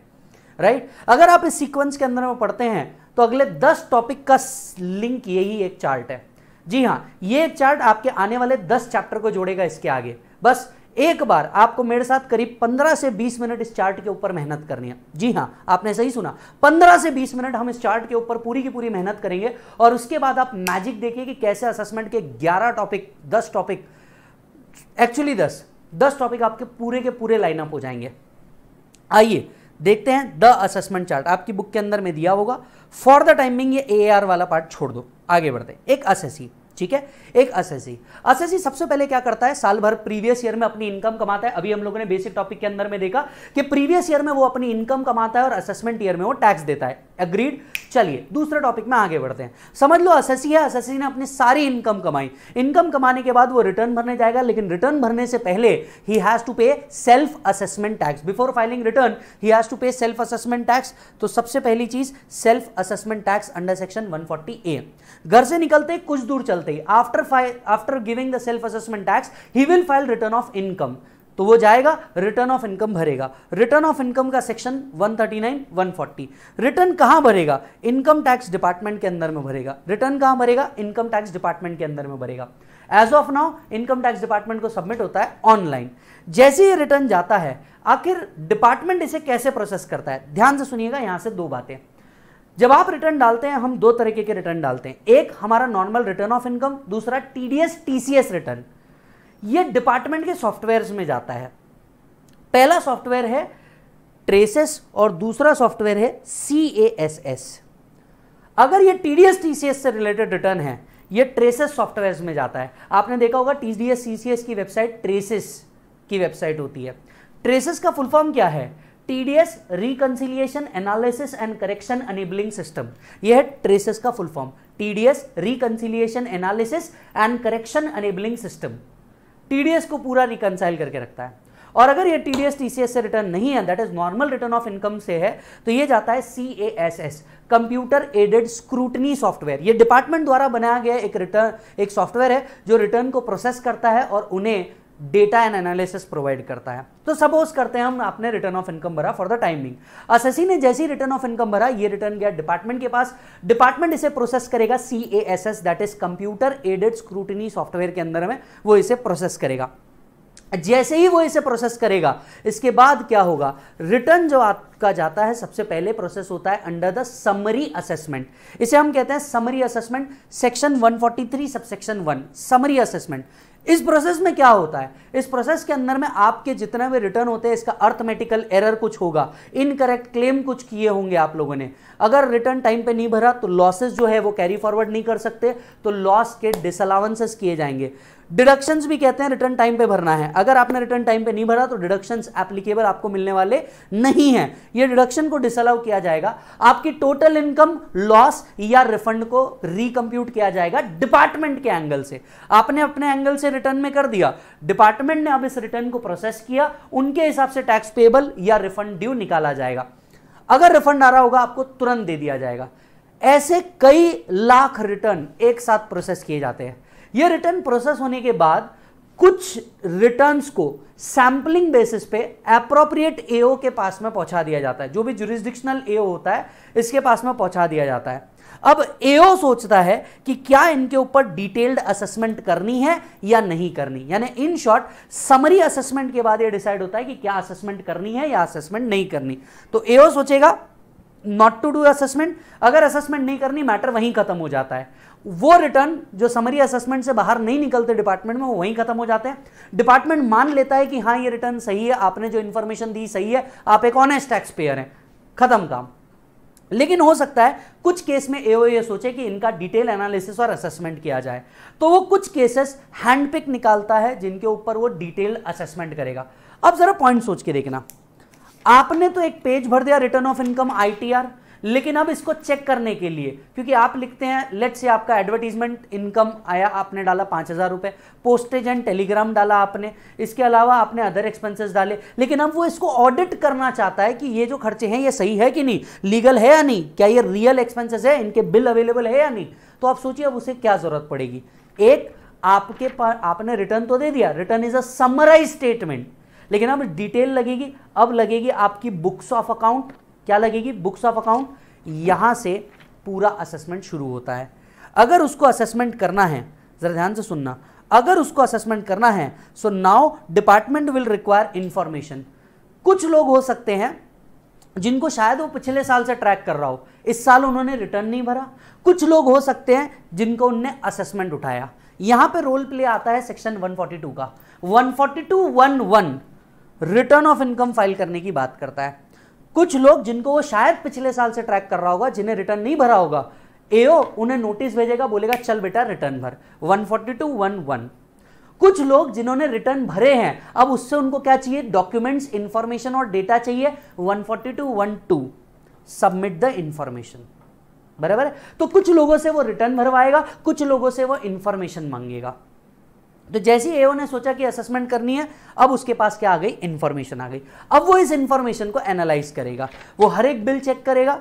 उसके हिसाब से एक पूरा का पूरा डिटेल निकालेगा कहाँ कहाँ उसको डिस्क्रिपेंसीज है। सोच के देखिए, आप ऑडिट में भी जाते हैं तो क्या करते हैं? आपके सामने एक profit and loss account balance sheet होता है। अब आप बोलते हो, मैं इन सब एक्सपेंडिचर को वाउच करूँगा आप एडवर्टीजमेंट्स के बिल मांगते हो और एक एक चीज़ों को वाउच करते हो। ठीक उसी तरीके से डिपार्टमेंट भी अब इसका ऑडिट करेगा। डिपार्टमेंट क्या करेगा? आपने बोला है कि ये मेरी इनकम हुई है तो वो उसको पूरा चेक करेगा कि क्या बिल सच में बिल है, क्या इन्वॉइसेस प्रॉपर है या नहीं है जीएसटी के क्रेडिट्स लिए गए हैं क्या, लेने चाहिए, नहीं लेने चाहिए, इन सारी चीज़ों को और वो अपना एक वर्किंग नोट बनाता है, जिसे हम लोग कहते हैं असेसमेंट नोट असेसमेंट नोट पूरा का पूरा प्रिपेयर करता है।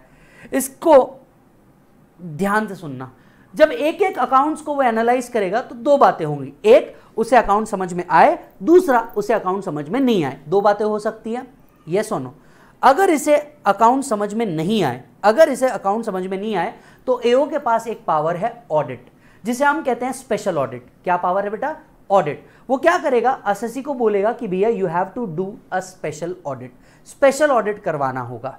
ये स्पेशल ऑडिट में क्या होता है? स्पेशल ऑडिट के अंदर में कभी भी डिपार्टमेंट के लिए बेनिफिट हो जाता है। कैसे? मान लीजिए अगर वॉल्यूम बहुत बड़ा है वॉल्यूम बहुत बड़ा है, या अकाउंट्स एरोनियस है, या एक ही ट्रांजैक्शन मल्टीपल टाइम आ रहा है, ऐसे केस में डिपार्टमेंट का तो रिसोर्सेज लिमिटेड है, वो स्पेशल ऑडिट का ऑर्डर दे देता है और स्पेशल ऑडिट करवाना होता है। यहाँ एक चार्टर्ड अकाउंटेंट अपनी रिपोर्ट देता है और इस रिपोर्ट के बेसिस पे वो असेसमेंट आगे बढ़ाता है। कई बार ऐसा होता है असेसमेंट करते वक्त अकाउंट्स वगैरह सारी चीज़ें सही है, पर वैल्यूएशन रिलेटेड कुछ प्रॉब्लम है। उसको लगता है स्टॉक का इतना वैल्यू हो ही नहीं सकता। एसएससी ने अपने बैलेंस शीट के अंदर में एक बिल्डिंग बताई हुई है, उस बिल्डिंग का वैल्यू बहुत कम बताया हुआ है। डिपार्टमेंट कहता है इस बिल्डिंग का वैल्यू इतना कम हो ही नहीं सकता। तो कई बार इसको वैल्यूएशन रिलेटेड इशू होते हैं। वो क्या करवाएगा? वैल्यूएशन करवाएगा वैल्यूएशन ऑफिसर से। तो ये दो पावर है। तब एक्सरसाइज किए जाते हैं जब वो अकाउंट्स के बारे में कॉन्फिडेंट ना हो या इसके वैल्यूएशन के बारे में कॉन्फिडेंट ना हो। अगर उसे अकाउंट समझ में आ गए तो वो पूरा का पूरा अपने ऑडिट नोट बाजू लिखेगा और असेसमेंट चलाएगा 143.3 जिसे हम कहते हैं स्क्रूटनी असेसमेंट अदर शब्दों में कहा जाता है रेगुलर असेसमेंट भी। हम इसे क्या कहते हैं? स्क्रूटनी असेसमेंट और अदर शब्दों में इसे कहा जाता है रेगुलर असेसमेंट क्या होता है इस असेसमेंट में? इस असेसमेंट में ऑडिट के बाद का जो मैनेजमेंट डिस्कशन पार्ट होता है ना, बिल्कुल वही होता है। यहाँ पे एसएससी को ऑफिशियली डिपार्टमेंट के अंदर में बुलाया जाता है, बैठाया जाता है और जितनी भी ऑडिट क्वेरीज हमने निकाली है, इन सब चीज़ों को उससे एक एक करके एक्सप्लेनेशन मांगा जाता है। फॉर एग्ज़ाम्पल कुछ सेल्स हमें कैश में दिख रही होगी। हम उससे पूछते हैं कैश सेल्स है? आपने कैश रिसीव किया है? ये कैश अगर दो लाख से ऊपर जा रहा होगा, याद है आपको 269 एस एस एन टी अगर इसके पहले किसी ने पढ़ा होगा तो। कुछ पेमेंट्स दस हज़ार से ऊपर के कैश में दिख रहे होंगे। फोर्टी ए थ्री पीजीबीपी का अट्रैक्ट होता है, जो कहता है, दस हज़ार से ऊपर का कैश पेमेंट अलाउड नहीं है। ये सारी बातों को वो मेंशन करके रखता है और एक एक चीज़ के ऊपर उससे पूछता है। स्क्रूटनी असेसमेंट एक ऐसा असेसमेंट है जहाँ पे असेसी को इन पर्सन या किसी रिप्रेजेंटेटिव को भेजना होता है। ये रिप्रेजेंटेटिव कौन है? वही चार्टर्ड अकाउंटेंट जिसके लिए आपने ऑफ़िस में देखा होगा ना क्लाइंट के लिए हम लोग क्या बनाते हैं? नो ऑब्जेक्शन सर्टिफिकेट बनाया जाता है एक। रिप्रेजेंटेशन के लिए कि आपके बिहाफ पे रिप्रेजेंटेटिव एसएससी जाएगा कि उसके लिए आप क्या करते हो, एक फॉर्म भर के देते हो, ये वही पार्ट है। उसके बिहाफ पे आप जाते हो और डिपार्टमेंट के सामने बैठते हो डिपार्टमेंट की सारी क्वेरीज को रिप्लाई करते हो। इन सारी क्वेरीज के रिप्लाई के सेटिस्फैक्शन और नॉन सेटिस्फैक्शन के बेसिस पे एओ क्या करेगा? जैसे ऑडिट में आप करते हो ना कि भैया कुछ क्वेरीज आपको लगता है सॉल्व हो गई हाँ ठीक है। डेट नहीं थी किसी पर्टिकुलर वाउचर पर उनने डेट डाल दिया मैटर खत्म हो गया, आप क्वेरीज को खट कर देते हो। अदरवाइज़ उसे ऑडिट रिपोर्ट के अंदर लिख देते हो। ठीक उसी तरीके से। जिन जिन क्वेरीज को आपने प्रॉपर रिप्लाई कर दिया, जिन जिन क्वेरीज का आपने प्रॉपर रिप्लाई कर दिया, वो उसे हटा देगा। और बचे हुए जिस पे उसको सेटिस्फैक्शन नहीं मिला, वो आपकी इनकम में ऐड करके आपकी टोटल टैक्स लाइबिलिटी या रिफंड ड्यू कैलकुलेट करेगा। आपकी टोटल टैक्स लाइबिलिटी या रिफंड ड्यू कैलकुलेट करेगा। यहाँ तक के पार्ट को फिर से एक बार देखते हैं। घर से निकलते ही कुछ दूर चलते ही। सबसे पहले assessee will file self assessment tax then he file return of income the return of income will be processed under C A S S computer aided scrutiny software और if it is a TDS TCS return it will be processed under TRACES this process is called as summary assessment. After that, the assessing officer will decide whether he will do the assessment or he will not, or do the if he was if wish to do the assessment then he will require information on the basis of which this return is filed further it may be possible that he is tracking some of the people who has not filed the return he will expressly give a notice to those person who has not filed the return of income and will ask them to file the return on a particular date. The section is called as 142.1.1 for asking return of income, 142.1.2 for asking the information. Now on the basis of information, there will be two possibility. First, he understood the information. Second, he is not able to understood the information. अगर उसको information समझ में नहीं आई, if he is not able to recollect the information or he is satisfied with the information provided, he can order the special audit 142.2a or if he has valuation related doubt, he may refers to the valuation officer. If he understood the whole process, he will go for the scrutiny or regular assessment 143.3 wherein he will ask a assessee or his representative to come before him and ask his audit queries. If he is satisfied with the audit queries, he will cut it off. Otherwise, he will recompute the total income and tax payable. अब यहाँ तो हम उनकी बात कर रहे हैं जब असेसी रिटर्न भर रहा है दिन सुहाने चल रहे हैं वो कोऑपरेट कर रहा है इंफॉर्मेशन आ रही है उसे जब बुलाया तब वो आ रहा है सारी चीज़ें पर ऐसा भी सो हो सकता है दैट असेसी ने रिटर्न ही फ़ाइल नहीं किया हो। अब तक तो हम किस बारे में बात कर रहे थे कि अगर उसने रिटर्न फ़ाइल किया तो क्या? पर ऐसा भी तो हो सकता है उसने रिटर्न ही फ़ाइल नहीं किया हो। अगर एसएससी ने रिटर्न फ़ाइल नहीं किया एओ के पास दो ऑप्शन है। अगर एसएससी ने रिटर्न फ़ाइल नहीं किया एओ के पास दो ऑप्शन है। एक ऑप्शन या तो उसे नोटिस भेज करके बोले 14211 के अंदर में चल बेटा रिटर्न भर ले रे। या तो फिर डायरेक्टली उसके ऊपर बजा सकता है उसकी बजा सकता है that is best judgment assessment 144 कर सकता है। तो एओ अगर रिटर्न उसको नहीं मिला दो बातें हो सकती है। एक या तो एसएससी को एक्सप्रेसली नोटिस भेज दे और कह दे कि चल बेटा रिटर्न भर ले। या दूसरा डायरेक्टली उसके ऊपर बेस्ट जजमेंट असेसमेंट करे। दो तरह के असेसमेंट होते हैं।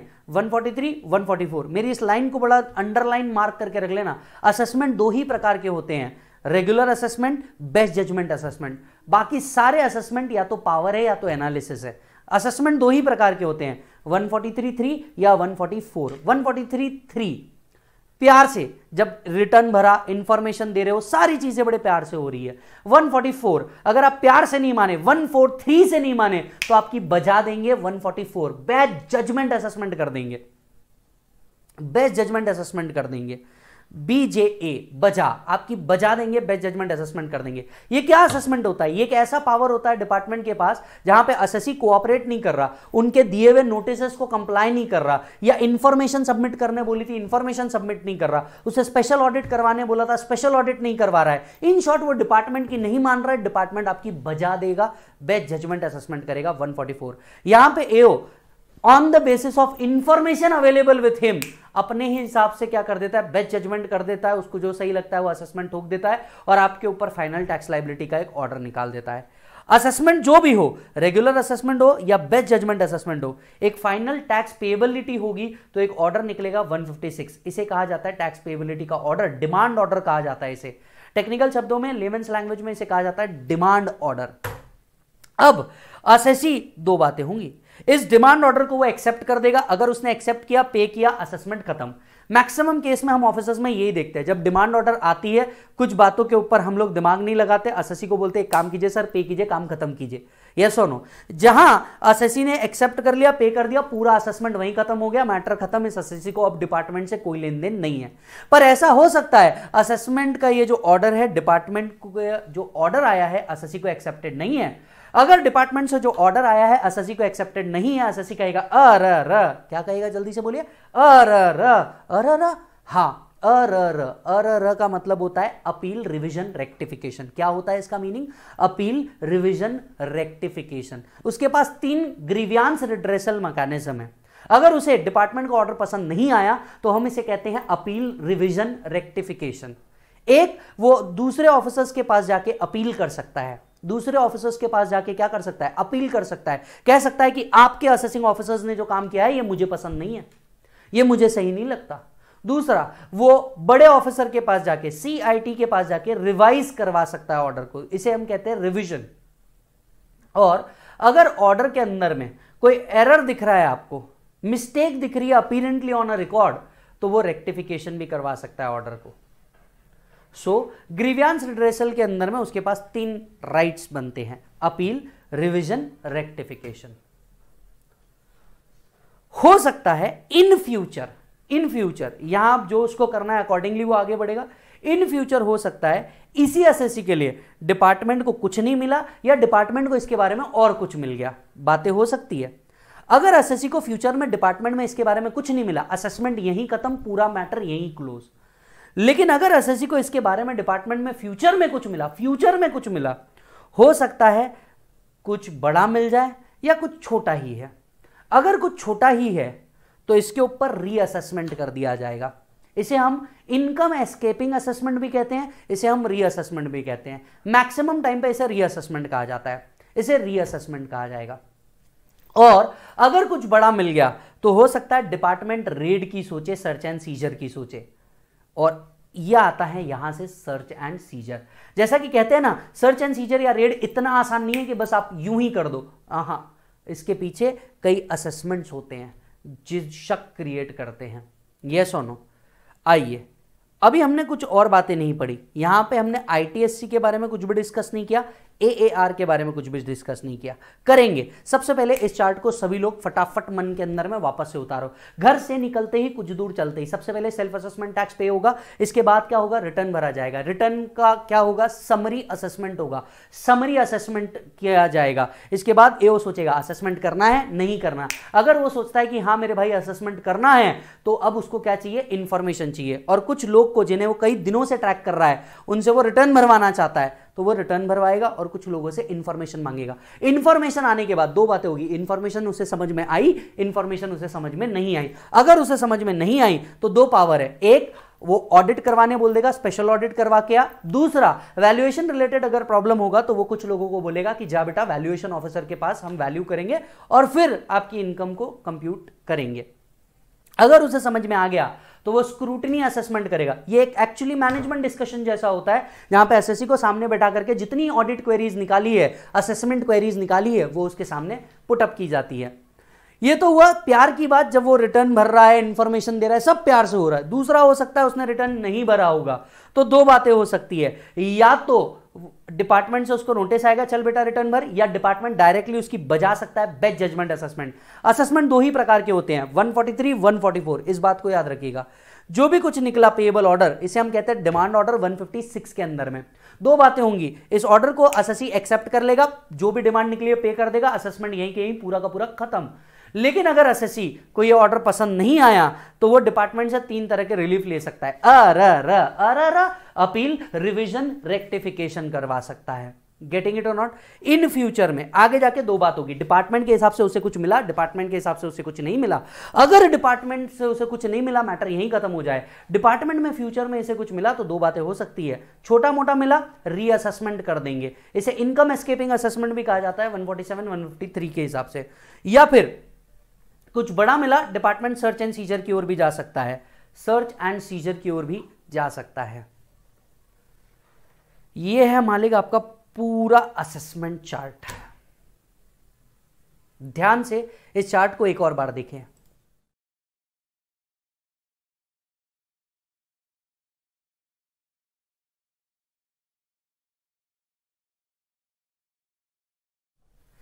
चलिए अब असेसमेंट में आगे बढ़ने से पहले कुछ चीज़ें आपको बता दूँ। पहले यह समझना होगा कि आप लड़ किससे रहे डिपार्टमेंट से। अगर जिससे लड़ना है उसके बारे में पहले पता होना ज़रूरी है। इसीलिए हमें सबसे पहले डिपार्टमेंट डिपार्टमेंट के स्ट्रक्चर और डिपार्टमेंट वर्क कैसे करता है यह जानना होगा। सर, क्या ये हमारे सिलेबस में है? जी हाँ ये आपके सिलेबस में है। इस टॉपिक को कहा जाता है इनकम टैक्स अथॉरिटीज टॉपिक को क्या कहा जाता है? जल्दी से बोलो। इनकम टैक्स अथॉरिटीज इस टॉपिक का नाम है। सेक्शन डील करता है 116 से लेकर के 129 116 से लेकर 129 तक के टॉपिक डील करता है। क्या कहीं फाइनेंस एक्ट 2020 से अमेंडमेंट है? जी हाँ दो सेक्शन के अंदर में अमेंडमेंट है। एक है सेक्शन 119 और दूसरा एक नया सेक्शन आया है सेक्शन 130 राइट टॉपिक चालू करने से पहले मैं आप लोगों को एक छोटा सा पार्ट दे दूँ। Never settle for less than what you deserve देखिए, कई बार ऐसा लाइफ के अंदर में आएगा कि आपको एक यू नो मूवमेंट लगेगा कि यार चल ठीक है ना एडजस्ट कर लेते हैं। लेकिन मैं आपसे हमेशा कहना चाहूँगा, बेटा, अपने ड्रीम के साथ कभी एडजस्ट मत करना। क्यों? क्योंकि जब आप उस ड्रीम को अचीव करते हो ना, उसका फिर फील ही अलग होता है। उसका मज़े लेने का फील ही अलग होता है।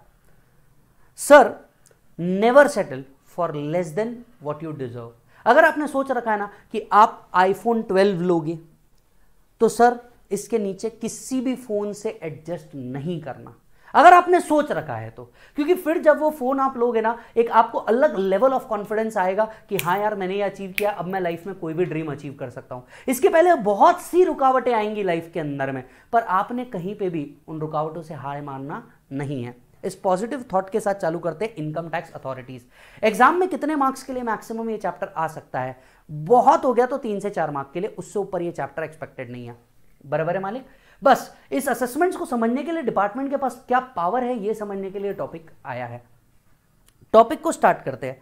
सबसे पहले इनकम टैक्स अथॉरिटीज सेक्शन 116 कई जगह पे ये वर्ड आएगा इनकम टैक्स अथॉरिटीज पूरे असेसमेंट में। यहाँ समझते हैं इनकम टैक्स अथॉरिटीज मतलब क्या? यहाँ पूरा का पूरा डिपार्टमेंट बताया हुआ है। यह सेक्शन बताता है कि what is the department what is the hierarchy in the department who is below whom so that you can understand what are the power with whom ये सुनो इसीलिए ये सेक्शन को पढ़ाया जाता है। ध्यान से सुनिएगा। मैं यहाँ पे एक सबसे पहले कुछ ड्रॉ कर रहा हूँ। ये ड्रॉ करने की आपको ऐसे तो ज़रूरत नहीं है, सिर्फ़ समझने की ज़रूरत है। ध्यान से सुनना बेटा।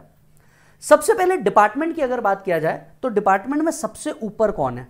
डिपार्टमेंट में बेटा सबसे ऊपर है सीबीडीटी जिसका फुल फॉर्म है central board of direct taxes CBDT को मालिक दो पार्ट में डिवाइड किया जाता है। एक होता है एनालिसिस विंग और एक होता है इन्वेस्टिगेशन विंग ध्यान से सुनना।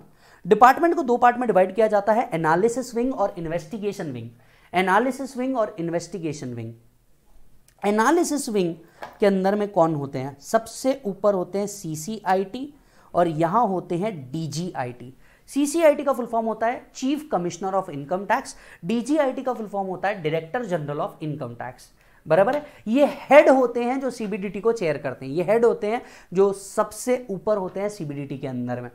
एनालिसिस विंग और इन्वेस्टिगेशन विंग एनालिसिस विंग आपके इनकम कंप्लायंस अप्रूवल से डील करते हैं। जबकि इन्वेस्टिगेशन विंग सर्च सीजर और इनसे रिलेटेड असेसमेंट्स में डील करते हैं। अब कई बड़ी सिटीज़ के अंदर में सीसीआईटी एक से ज़्यादा हो सकते हैं। जैसे दिल्ली, मुंबई, कोलकाता, चेन्नई, बैंगलोर, पुणे। ये ऐसी बड़ी सिटीज़ हैं इंडिया की जिनके अंदर में एक से ज़्यादा सीसीआईटीज होते हैं। जब एक से ज़्यादा सीसीआईटी चीफ कमिश्नर रखे गए हो सकते हैं किसी सिटी के अंदर में तो इनके ऊपर एक हेड बैठाया जाता है जिसे हम कहते हैं प्रिंसिपल सीसीआईटी प्रिंसिपल सीसीआईटी या प्रिंसिपल डीजीआईटी इसे शॉर्ट फॉर्म में पीडीजीआईटी कहा जा सकता है। सो so, प्रिंसिपल, अगर एक से ज़्यादा लोग हो इनका एक हेड बैठा दिया जाता है इन्हें कोऑर्डिनेट करने के लिए, जिसे कहा जाता है principal CCIT principal DGIT CCIT के नीचे कौन होता है?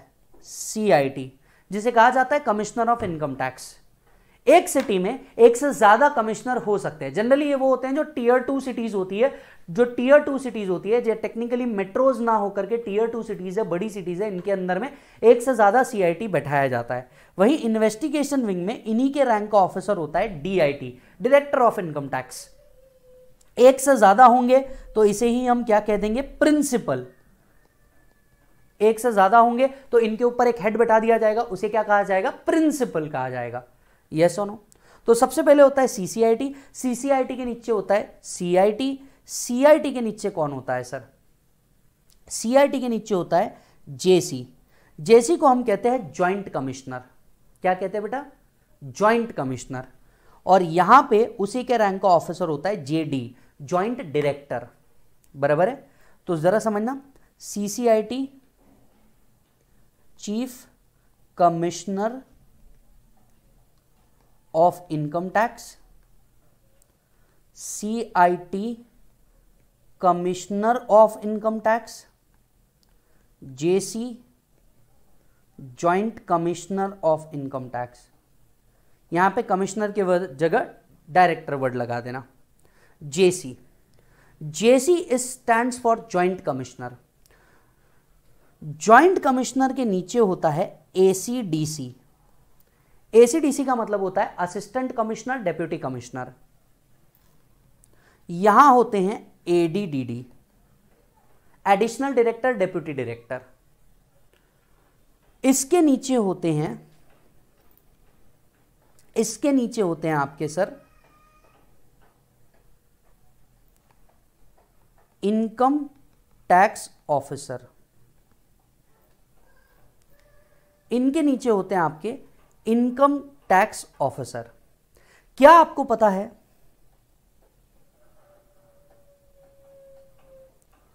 Only this can be AO जब आप रिटर्न भरते हैं और आपका असेसमेंट होता है, यही वो ऑफिसर्स होते हैं जो आपके असेसमेंट कर सकते हैं। Only these officers can be assessing officers यानी the head of assessing officers can be called as a JC joint commissioner और ये तीन लोग ही आपके रिटर्न तो क्या आपका return commissioner of income tax हाथ लगा सकता है? आंसर इज़ नो आपके रिटर्न को वो एनालाइज कर सकता है, लेकिन असेस करने का पावर उनके हाथ में नहीं है। साथ ही साथ में, साथ ही साथ में बेटा डिपार्टमेंट में एक और अथॉरिटी होती है इस लेवल पे, जिसे कहा जाता है C I T appeals commissioner of income tax appeals क्या कहा जाता है इसे? Commissioner of income tax appeals जब भी एओ का ऑर्डर आया कोई, और आप एओ के ऑर्डर से खुश नहीं हैं तो आप इनके पास जाते हो अपनी अपील लेकर के, जिसे हम कहते हैं commissioner of income tax appeals department को ध्यान से सुनिए। सबसे पहले होता है, एक मिनट, मैंने गलत जगह बनाया। यहाँ होना चाहिए वो। यहाँ, इस लेवल पे। डिपार्टमेंट में जब सबसे ऊपर होता है सीबीडीटी सीबीडीटी के नीचे कौन? सीसीआईटी डीजीआईटी सीसीआईटी के नीचे कौन? सीआईटी सीआईटी का भाई इधर कौन? डीजीआईटी सॉरी डीआईटी डीआईटी के बाजू आपको एक और इस लेवल पे मिलता है सीआईटी अपील जब भी एओ के ऑर्डर से आप खुश नहीं हैं, आप कहाँ जाते हो? Commissioner of income tax appeals के अंदर में।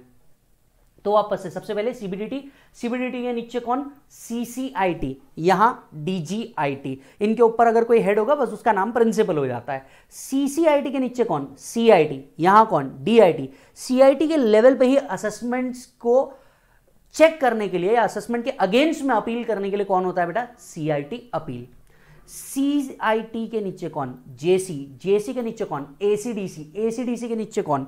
Inspector of income tax inspector of income tax के नीचे होता है टी आर ओ जिसे कहा जाता है tax recovery officer. Tax recovery officer. ये वो होता है जो टैक्स रिकवरी के काम करता है। टैक्स रिकवरी मतलब वो भाईगिरी वाला टैक्स रिकवरी नहीं होता। ये टैक्स रिकवरी मतलब जो कोई असेट्स का यू नो सेल करना होगा या किसी से रिकवरी के लिए आपको नोटिस देना होगा, टैक्स रिकवरी ऑफिसर। और इसके नीचे होता है इंस्पेक्टर ऑफ़ इनकम टैक्स। बराबर है? एओस कौन हो सकते हैं? यही एओस हो सकते हैं और ये पहली चीज़ आपको समझनी है। हु कैन बी एओ आपका असेसमेंट कौन कर सकता है? जेसी जेडी एसीडीसी एडीडीडी या इंस्पेक्ट इनकम टैक्स ऑफिसर यही आपके एओज हो सकते हैं। सो so एवरीबडी फटाफट, सबसे पहले, आप इन्वेस्टिगेशन विंग वाले याद नहीं रखोगे तो भी चलेगा। एक साइड याद रख लो, दूसरा साइड ऑटोमेटिक याद हो जाएगा।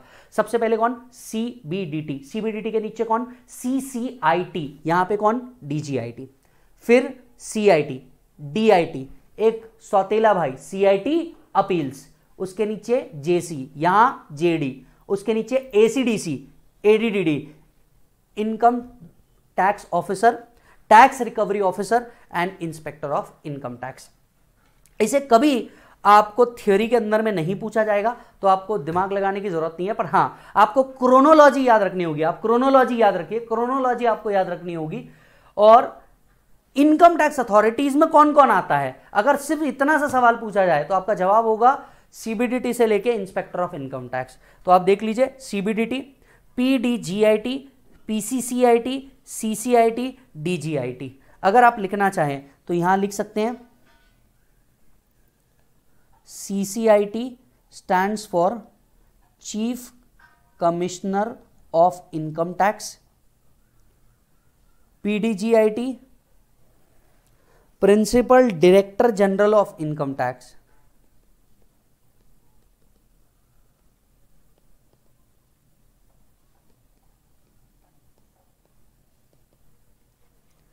Done then CCIT DGIT CCIT DGIT CCIT के नीचे कौन होता है बेटा? Commissioner of income tax DIT director of income tax और इन्हीं का एक भाई सीआईटी अपील। इस पॉइंट को याद रखना CIT appeal is a income tax authority इस बात को याद रखना CIT appeal is a income tax authority फिर है एसीडीसी एडीडीडी फिर आता है income tax officer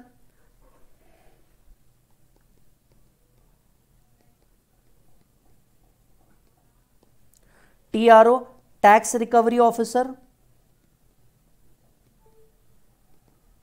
और फिर आता है इंस्पेक्टर ऑफ़ इनकम टैक्स। ये है इनकम टैक्स अथॉरिटी। थीरी में पूछने नहीं वाला तो टेंशन लेने की ज़रूरत नहीं है। फिर आते हैं हम लोग नेक्स्ट सेक्शन के ऊपर, सेक्शन 117 एंड 118 क्या कहते हैं ये? सबसे पहले 117 बात करता है इन अथॉरिटीज को अपॉइंट कौन करेगा? इन अथॉरिटीज को अपॉइंट करता है कौन? साहब, सेंट्रल गवर्नमेंट। सेंट्रल गवर्नमेंट, आपको पता होगा, एक एग्ज़ाम लेती है। एग्ज़ाम का नाम है यूपीएससी। इनके हायर अथॉरिटीज को ये अपॉइंट करती है। हायर अथॉरिटीज मतलब कौन? एओ के ऊपर के जितने हायर अथॉरिटी है सीसीआईटी डीजीआईटी जेसी जेडी यहाँ तक के जो ऑफिसर्स होते हैं जनरली वो कौन अपॉइंट करते हैं? सेंट्रल गवर्नमेंट अपॉइंट करते हैं। पिछले कई सालों से सीसीआईटी डीजीआईटी या प्रिंसिपल्स ऑफिसर्स को ये अपॉइंट कर लेते हैं जेसी और उसके नीचे के ऑफिसर्स को ये ऑफिसर्स फिर अपॉइंट करते हैं। Yes or no? Through an internal तो central government shall appoint CG central government shall appoint PDGIT CCIT principal CCIT principal commissioner commissioner DIT CIT appeals AO के ऊपर के जितने अथॉरिटीज होते हैं, इन सबको कौन अपॉइंट करेगा? सेंट्रल गवर्नमेंट अपॉइंट करेगी और उसके नीचे के ये अथॉरिटीज क्या कर सकते हैं? अपॉइंट कर सकते हैं। अच्छा सेंट्रल गवर्नमेंट में to appoint authorities below the rank of AC और डीसी क्या किया जाएगा? फिर इन्हीं के हाथ में क्या कर देता है? सीबीडीटी सौंप देता है कि इनके नीचे के जो ऑफिसर्स होंगे, ये आप अपॉइंट करोगे। इनके नीचे के जो ऑफिसर्स होंगे, ये कौन अपॉइंट करेंगे? आप अपॉइंट करोगे। सेक्शन 118 कई बार क्या होता है? न्यू अथॉरिटीज क्रिएशन की बात आती है। जैसे, अगर सिटी बढ़ रहा होगा और एक ऑफिसर वहाँ पे काफ़ी नहीं होगा तो क्या किया जाता है? कई बार सीबीडीटी इंटरनल ऑर्डर इशू करती है that one particular officer will be subordinate to another will be subordinate to another अब जैसे कई सालों पहले तक के, जब तक शहर इतने बड़े नहीं थे, ये जो प्रिंसिपल वाले पार्ट थे, ये कभी अराइज नहीं होते थे. प्रिंसिपल सीसीआईटी प्रिंसिपल सीआईटी ये अराइज नहीं होते थे. जैसे जैसे सिटी बढ़ती गई जैसे जैसे टैक्स बेस बढ़ता गया तो ये नई अथॉरिटी क्रिएट होने लग गई. अब ऐसे केस में एक ऑर्डर इशू होता है इंटरनल ऑर्डर इशू होता है that a particular authority will be subordinate to another authority at the same time कई बार ऐसा होता है कि जो रेड मारने जाते हैं, ये दूसरे सिटी के अंदर में जाते हैं. इधर के ऑफिसर्स दूसरे सिटी में जाते हैं या दूसरे एरिया में जाते हैं रेड करने के लिए बाय अ पावर अब ऐसे केसेस में वहाँ पे उनको क्या लगता है? दूसरे ऑफिसर्स की ज़रूरत लगती है सबॉर्डिनेशन की ज़रूरत लगती है. एक इंटरनल ऑर्डर इशू होता है that you will be subordinate to them ये कहाँ से होता है? सेक्शन 118 से। चेक कीजिएगा। CBDT shall notify that income tax authority shall be subordinate to such authority as may be prescribe तो ऐसा एक पावर है क्या? हाँ ऐसा एक पावर है। एग्ज़ाम पॉइंट ऑफ़ व्यू से 116, 17, 18 तीनों भी याद करने की ज़रूरत नहीं है। तीनों भी याद रखने की ज़रूरत नहीं है। जो याद रखना है मैं खुद क्लियर कट बोल दूँगा। सो so, 116 बताता है income tax authority section number याद रखना 116 इनकम टैक्स अथॉरिटी 17 अठारह बिल्कुल मत याद रखना। सेक्शन 117 क्या बोलता है? कौन अपॉइंट करेगा? सेंट्रल गवर्नमेंट अपॉइंट करेगा। किसको अपॉइंट करेगा? एओ के ऊपर जितने दिख रहे हैं सबको अपॉइंट करने का पावर किसके हाथ में? सेंट्रल गवर्नमेंट के हाथ में। एओ मतलब जेसी के ऊपर वाले। जेसी के ऊपर वालों को अपॉइंट करने का पावर किसके पास है मालिक? सेंट्रल गवर्नमेंट सेक्शन 118 कहता है ज़रूरत पड़ने पे कोई भी किसी के नीचे सबॉर्डिनेट लगा सकता है। ये सीबीडीटी के हाथ में पावर है सीबीडीटी ये कर सकता है। अब आते हैं सेक्शन 119 काम का सेक्शन याद रखने वाला सेक्शन काम का सेक्शन याद रखने वाला सेक्शन बोर्ड क्या कर सकता है?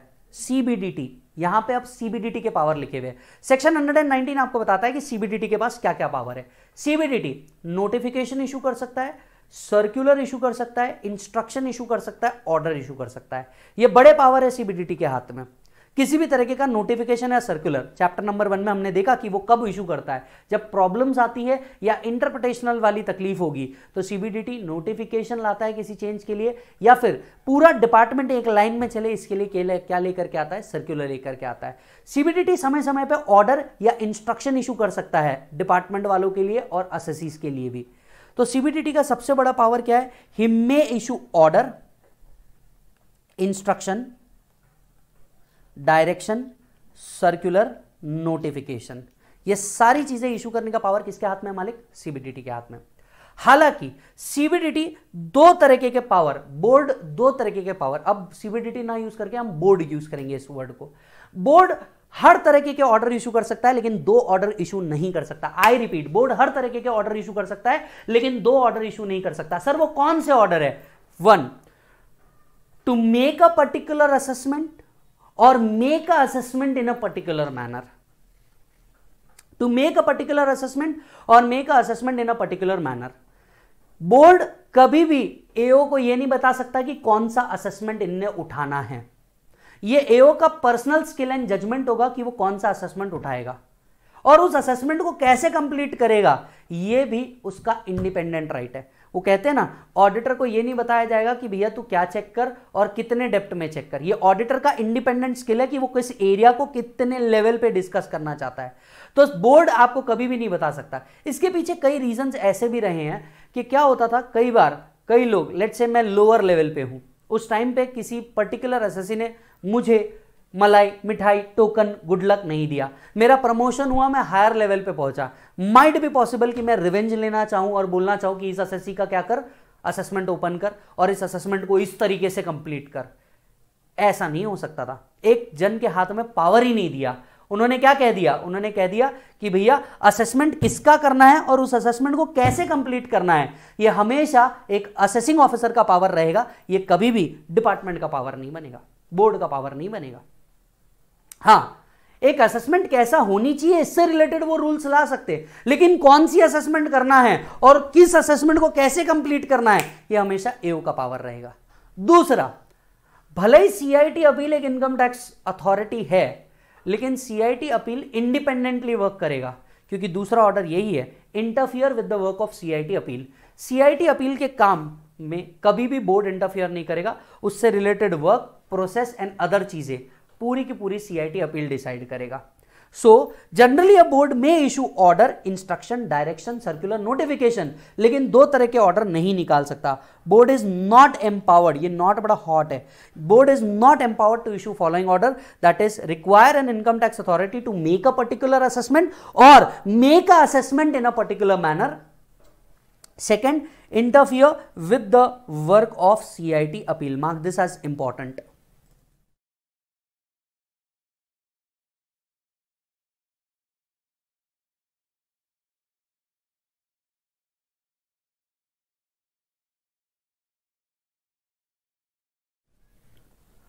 done sir okay further second part sub second subsection ये कहता है कि सीबीडीटी दयालु भी हो सकता है, और ऐसा होता है। सीबीडीटी दयालु भी हो सकता है।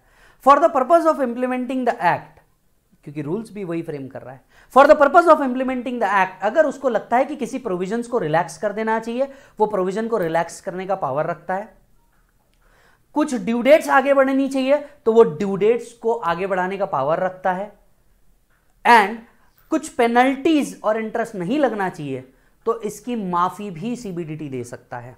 इस लाइन को जरा याद रखिएगा, जब पेनल्टी टॉपिक में जाएँगे तो इस बात को रिकॉल करेंगे कि अगर पेनल्टी है तो पेनल्टी की माफ़ी सीबीडीटी दे सकता है। इस लाइन को याद रखिएगा पेनल्टीज अगर लगी तो पेनल्टीज की माफ़ी सीबीडीटी दे सकता है। तो सीबीडीटी में relax the provision of various section ये सेक्शन नंबर आपको याद नहीं रखने हैं। The CBDT can exercise its power to remove the difficulty in the matter provided in 201 100 and 210 211 234 C ये interest and penalty related topic है। CBDT क्या कर सकता है? सीबीडीटी कुछ डेट एडजर्न कर सकता है। फॉर एग्जांपल रिटर्न भरने की डेट सितंबर इसे आगे बढ़ाता है। कौन? CBDT by way of a notification क्या कर दिया उनने? रिलैक्स कर दिया किसी प्रोविज़न को। कई बार इंटरेस्ट और पेनल्टी वेव ऑफ़ करते हैं कई केसेस के अंदर में। ये सीबीडीटी का one of the inherent power है जो उसे 119 देता है। तो चलिए, क्या कहते हैं हम? फ़र्स्ट पॉइंट सबसेक्शन वन 119 का सबसेक्शन वन सीबीडीटी क्या कर सकता है? एनओसी इशू कर सकता है। देखो याद कैसे रखते हो? सीबीडीटी क्या कर सकता है? एनओसी इशू कर सकता है। एनओसी हाँ नोटिफिकेशन ऑर्डर सर्कुलर ये इशू कर सकता है। लेकिन दो तरह के ऑर्डर सीबीडीटी नहीं दे सकता। बोर्ड दो तरह के ऑर्डर नहीं दे सकता। To make a particular assessment और make a assessment in a particular manner second interfere with the work of CIT appeal CIT appeal के केस में ये बीच में नहीं आएँगे। इसके बाद सीबीडीटी रिलैक्स कर सकता है certain provision with respect to due dates penalties interest etcetera CBDT दयालु हो सकता है। ये बात आपको लिखी हुई है सेक्शन 119 कुछ इंपॉर्टेंट नोट इससे रिलेटेड जब भी कोई यू नो बोर्ड का डिसीज़न आता है, क्या ये बोर्ड का डिसीज़न बाइंडिंग है? किसके ऊपर? कोर्ट्स के ऊपर? Answer is no court is an independent interpretative authority तो बोर्ड के डिसीज़न अगर उन पे बाइंडिंग कर दिया तो एक अनबायस्ड ओपिनियन कभी निकल ही नहीं पाएगा। दिल्ली फ्लोर मिल का केस है। Decision of boards are not binding on court second एक सवाल उठा paper product limited versus CCE के ऊपर कि क्या सर्कुलर डिपार्टमेंट पे बाइंडिंग है असेसी पे बाइंडिंग है? यही वो केस था जिसने कहा कि हाँ सर्कुलर डिपार्टमेंट पे बाइंडिंग है असेसी पे बाइंडिंग नहीं है। So circular CIR circular by the boards are binding on department where circular is issued after the date on which order is passed later issued circular have no application to the earlier passed order unless retrospective. Case समझिए। Rajeshwari mills का एक case था। हुआ यह कि assessment पूरा complete हो गया और असेसमेंट कंप्लीट होने के बाद एक ऑर्डर निकाला। एक सर्कुलर निकाला नॉट ऑर्डर सर्कुलर निकाला। अब एओ ने क्या किया? असेसमेंट कंप्लीट होने के बाद जो सर्कुलर आया, उसको भी इफ़ेक्ट देने के लिए केस ओपन कर दिया। असेसी ऑब्जेक्ट करता है, कहता है, जब मेरा ऑलरेडी असेसमेंट हो चुका है, इसके बाद अगर कोई सर्कुलर आता है, आप इसे मेरे पे अप्लाई नहीं कर सकते एओ कहता है, ऐसा कहीं रोक ही नहीं है मैटर कोर्ट तक के गया. इंटरप्रिटेटिव अथॉरिटी ने कहा कि एक बार असेसमेंट पूरा का पूरा कंप्लीट हो गया, इसके बाद कोई सर्कुलर आता है, वो सर्कुलर आप इसके ऊपर अप्लाई नहीं करेंगे अनलेस सर्कुलर को ही रेट्रोस्पेक्टिव इफ़ेक्ट दिया गया हो। So where a circular is issued after the date on which order was passed, the later issued circular have no application to the earlier passed order unless retrospective. समझ में आई बात कुछ बातें आपसे आज ही क्लियर कर लू सेक्शन नंबर ध्यान रखना ज़रूरी नहीं है आप रख ही नहीं सकते कुछ सेक्शन बाय डिफ़ॉल्ट में इतने रिपीटेटिव होते हैं कि आपको याद हो जाते हैं राइट पर अदरवाइज़ ये टोटली एक वर्थलेस एक्टिविटी होगी जो आप करोगे दूसरा केस लॉ के नाम याद रखना नहीं पॉसिबल है। इतने थाउजेंड्स ऑफ़ केस लॉज है, आप पॉसिबल ही नहीं की है, याद रख सकते तो ऐसी जगह बिल्कुल मेहनत मत करो। कुछ केसेस जो मैं बोलूँगा कि ये आपको याद रखने हैं, कुछ सेक्शन जो मैं बोलूँगा आपको याद रखने हैं, ये याद कर लेना, इसके अलावा कुछ याद मत रखना, सिर्फ़ कंसेप्ट को ध्यान में रखना। ठीक है मालिक? Where where circular is issued after the date of completion of assessment, it cannot be used in the reassessment. Periya Karamalai tea versus CIT same judgments है, दो अलग अलग केसेस थे, सामने रख दिया। सो so, बोर्ड क्या कर सकता है? अगर इसी सेक्शन को बड़े शॉर्ट में समझना है बोर्ड क्या कर सकता है? एक बी लेटेड एप्लीकेशन एडमिट कर सकता है अलाउ कर सकता है कोई पर्टिकुलर डिडक्शन अलाउ कर सकता है रिफंड को किसी भी अदर तरीके का रिलीफ दे सकता है but such order can't be issue to CIT appeal CIT appeal को ऐसे कोई ऑर्डर इशू नहीं कर सकते अदरवाइज़ जनरली बोर्ड इतने काम कर सकता है. सेक्शन 116 का नंबर याद रखना है that it is income tax authority 119 CBDT के क्या पावर है? एक बार 119 को क्विक रिकैप में पढ़ो।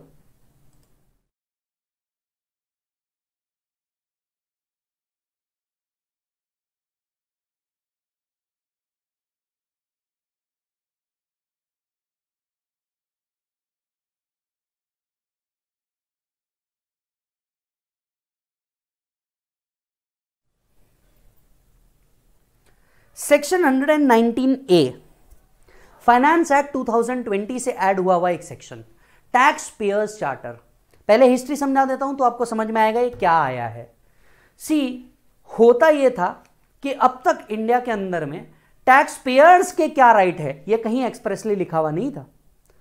कई बार टैक्स पेयर्स को समझ में ही नहीं आता था कि ये मेरा राइट है या नहीं है। क्या ये चीज़ें मुझे मिलनी चाहिए या नहीं मिलनी चाहिए? या पर्टिकुलर मेरा कोई असेसमेंट है, कोई काम है या मैंने कोई एप्लीकेशन दिया है तो वो कितने दिन में कंप्लीट हो जाना चाहिए था? इन शॉर्ट भारत में आज तक के कभी भी इनकम टैक्स तो लिखा था, लेकिन टैक्स पेयर्स के क्या राइट है, ये कहीं नहीं लिखे थे। जबकि New Zealand China Australia Iraq Kuwait, UAE और ऐसे कई जगह पे जहाँ पे टैक्स है स्पेसिफिकली यूके आप ले लीजिए यूएसए ले लीजिए, यहाँ पे एक्सप्रेसली लिखा था कि टैक्स पेयर्स के राइट क्या है। तो एक नया इनिशिएटिव बोल करके कि टैक्स पेयर्स के भारत में क्या क्या राइट है, उनके लिए एक यू नो डॉक्यूमेंट निकाला गया, जिसे कहा गया tax payers charter Nirmala Sitharaman ji ने फाइनेंस एक्ट 2020 में यह कहा कि हम टैक्स पेयर्स चार्टर्स लेकर के आ रहे हैं।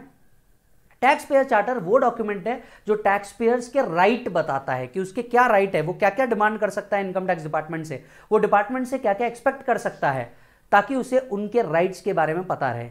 ये एक अच्छा इनिशिएटिव था। बस उम्मीद इतनी है कि ये फॉलो भी हो जाए। और इसी के लिए एक नया सेक्शन ऐड किया गया 119 A tax payers charter check कीजिएगा। The board shall adopt and declare ये ज़िम्मेदारी भी किसके ऊपर डाली? सीबीडीटी के ऊपर कि सीबीडीटी लेकर के आएगा टैक्स पेयर्स चार्टर क्या है? क्या उसके अधिकार है? क्या उसे मिलना चाहिए? The board shall adopt and declare a tax payers charter and issue such order, instruction, direction, guideline or the other income tax authority as it deemed fit for the administration of such charter. CBDT के पास power दे दिया कि वो इस charter को लेकर के आए और साथ साथ में नोटिफिकेशन सर्कुलर या गाइडलाइंस लेके आए ताकि ये टैक्स पेयर्स चार्टर क्या हो इंप्लीमेंट हो। और इसी के लिए एक नया सेक्शन आ गया 119 ए तो अब टैक्स पेयर्स चार्टर आएगा आ चुका है आ चुका है और इसको इंप्लीमेंट भी किया जाएगा। डन सर आते हैं 120 के ऊपर। Jurisdiction of an income tax authority एक मिनट। हम इनकम टैक्स अथॉरिटी का जुरिस्डिक्शन देखने जा रहे हैं। इनकम टैक्स अथॉरिटी का जुरिस्डिक्शन इनकम टैक्स अथॉरिटी मतलब यह कैसे डिसाइड होता है? यह कैसे डिसाइड होता है कि कौन कौन से एरिया को कवर करेगा? देखिए, अगर एक सिटी को डिवाइड किया जाए, आपने कभी रिटर्न भरते वक्त वो देखा है? हमें वार्ड डालना होता है। ये वार्ड पता है क्या होता है? पहले ऐसा होता था, बहुत पहले की बात करो, पहले ऐसा होता था कि सारे रिटर्न एक तरफ़ आ जाते थे। अब ऑफिसर्स में भी अलग अलग क्वालिटीज होती है। कुछ असेसिंग ऑफिसर्स होते हैं जो कंपनी असेसमेंट्स में माहिर होते हैं। कुछ ऑफिसर्स होते हैं जो बिल्डर्स असेसमेंट्स में बहुत ज़्यादा माहिर होते हैं। वो रहता है ना, अपने हमारे यहाँ ऑफिसर्स में भी होता है। कोई एक हमारे सीनियर होंगे जो जीएसटी के अंदर में बहुत ज़्यादा काम कर रहे हैं, वो जीएसटी से रिलेटेड थोड़े से एक्सपर्ट हो जाते हैं। कोई डीटी से रिलेटेड एक्सपर्ट हो जाता है, कोई बैंक ऑडिट में एक्सपर्ट हो जाता है। ठीक उसी तरीके से यू नो डिपार्टमेंट में भी ऐसे हैं कि कुछ लोग होटल इंडस्ट्रीज़ के असेसमेंट्स करने में बहुत अच्छे हैं। कुछ बैंक असेसमेंट्स करने में बहुत अच्छे हैं। जनरली सिटी को डिवाइड किया गया उस टाइम पे राइट इसे क्या बनाया गया? रेंज बनाया गया इसे कहा जाता है रेंज कौन से रेंज के अंदर में आते हैं? आप अगर डिपार्टमेंट गए होंगे, इसलिए आपको दिखता होगा रेंज बराबर है? इसके बाद लेट से पुणे को डिवाइड किया ईस्ट वेस्ट नॉर्थ साउथ के अंदर में। ये एक रेंज हो गया कि भैया ईस्ट रेंज वेस्ट रेंज ये एक रेंज हो गया। अब इसके अंदर में भी वर्ड जैसे ईस्ट पुणे के अंदर में बहुत बड़ा एरिया आ रहा होगा। यस ईस्ट दिल्ली के अंदर में बहुत बड़ा एरिया आ रहा होगा। तो उसे फिर फर्दर डिवाइड किए गए। उसे फिर फर्दर डिवाइड किए गए। अब ये सेक्शन आपको ये बताना चाह रहा है कि जनरली जब ये डिवाइड किया जाता है किसी सिटी के अंदर में तो वो किस बेसिस पे डिवाइड किया जाता है? ऑफिसर्स को जो यू नो एक एरिया दिया जाता है, उसका एक जुरिस्डिक्शन दिया जाता है, ये किस बेसिस पर डिवाइड होता है और ये कौन देता है? ये बातें सेक्शन 120 में लिखी है। सेक्शन को याद रखने की बिल्कुल ज़रूरत नहीं है। चेक करिएगा। सबसेक्शन वन कहता है directions by CBDT income tax authority shall exercise their power and perform their function in accordance with the direction given by CBDT authority ITA income tax authority, higher in rank, if directed by CBDT may exercise the power and perform the function of income tax authority lower in rank. सबसे पहली बात jurisdiction कौन decide करेगा? CBDT subsection one कहता है CBDT बताएगा किसका jurisdiction क्या होगा। सीबीडीटी कोई ऑर्डर इशू कर सकता है कि कौन सा ऑफिसर किसके लिए काम भी करेगा। यह डायरेक्शन को मानना उनकी ज़िम्मेदारी हो जाएगी। सब सेक्शन टू डेलीगेट कर सकता है। सीबीडीटी क्या करता है पता है? सीबीडीटी बड़े ऑफिसर्स जो होते हैं ना सीसीआईटी डीजीआईटी सीआईटी डीआईटी या सीआईटी अपील इनके क्या कर देते हैं? जुरिस्डिक्शन डिसाइड कर देते हैं। और इन्हें फिर पावर डेलीगेट कर देते कि तुम्हारे नीचे के जो ऑफिसर्स होंगे, इनका जुरिस्डिक्शन आप डिसाइड करो। तो कमिश्नर डिसाइड करता है असेसिंग ऑफिसर का एक पर्टिकुलर एरिया कितने एरिया वो कवर करेगा। ये हो गया उसका जुरिस्डिक्शन एक रेंज रेंज के अंदर जुरिस्डिक्शन फिर उसमें वो वार्डिंग करते हैं। वार्डिंग का मतलब क्या होता है? जैसे आपने वार्ड देखा होगा six one six two six three ये सिक्स वन क्या होता है? इंडिविजुअल अपने सारे रिटर्न सिक्स वन में डालेंगे।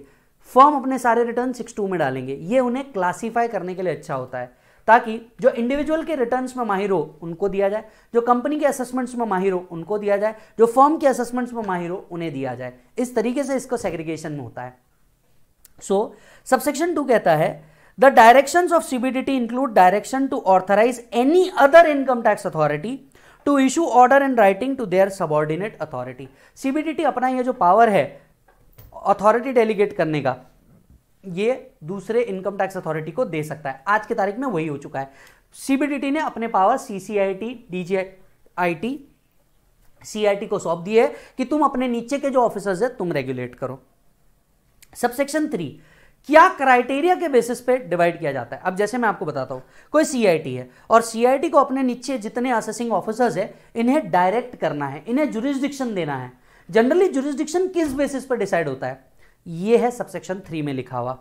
Order shall be based on following territorial area हो सकता है ये जो जुरिस्डिक्शन दिया जाए, ये एरिया के बेसिस पे दिया जाए। लेट से यहाँ से यहाँ तक के जितने भी एरिया आ रहे होंगे, आप कंसिडर करोगे। तो one of the criteria for division is territorial area second person और classes of person territorial area के अंदर में भी हो सकता है बिल्डर लॉबी को लेट से आप संभालोगे होटल लॉबी को लेट से आप संभालोगे। क्लासेस एंड अदर को आप संभालोगे रिटेल बिज़नेस वालों को आप संभालोगे पर्सन और क्लासेस ऑफ़ पर्सन इनकम और क्लासेस ऑफ़ इनकम के बेसिस पे भी डिवाइड किया जा सकता है। इंडिविजुअल्स को आप संभालोगे कंपनीज़ को आप संभालोगे फर्म को आप संभालोगे, इन बेसिस पे भी डिवाइड हो सकता है। केसेस और क्लासेस ऑफ़ द केसेस के।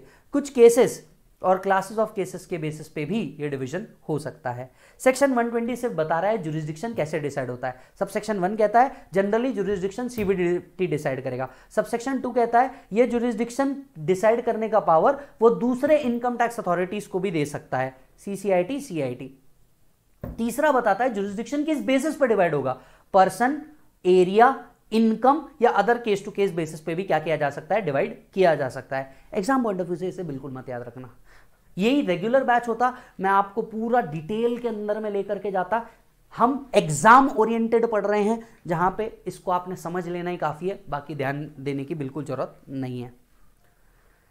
सेक्शन 124 इस पूरे चैप्टर में इंपॉर्टेंस अगर कोई रखता है तो 119 रखता है 116 रखता है, जिनके नंबर भी याद रखना है और इनके कंटेंट को भी याद रखना है आपको।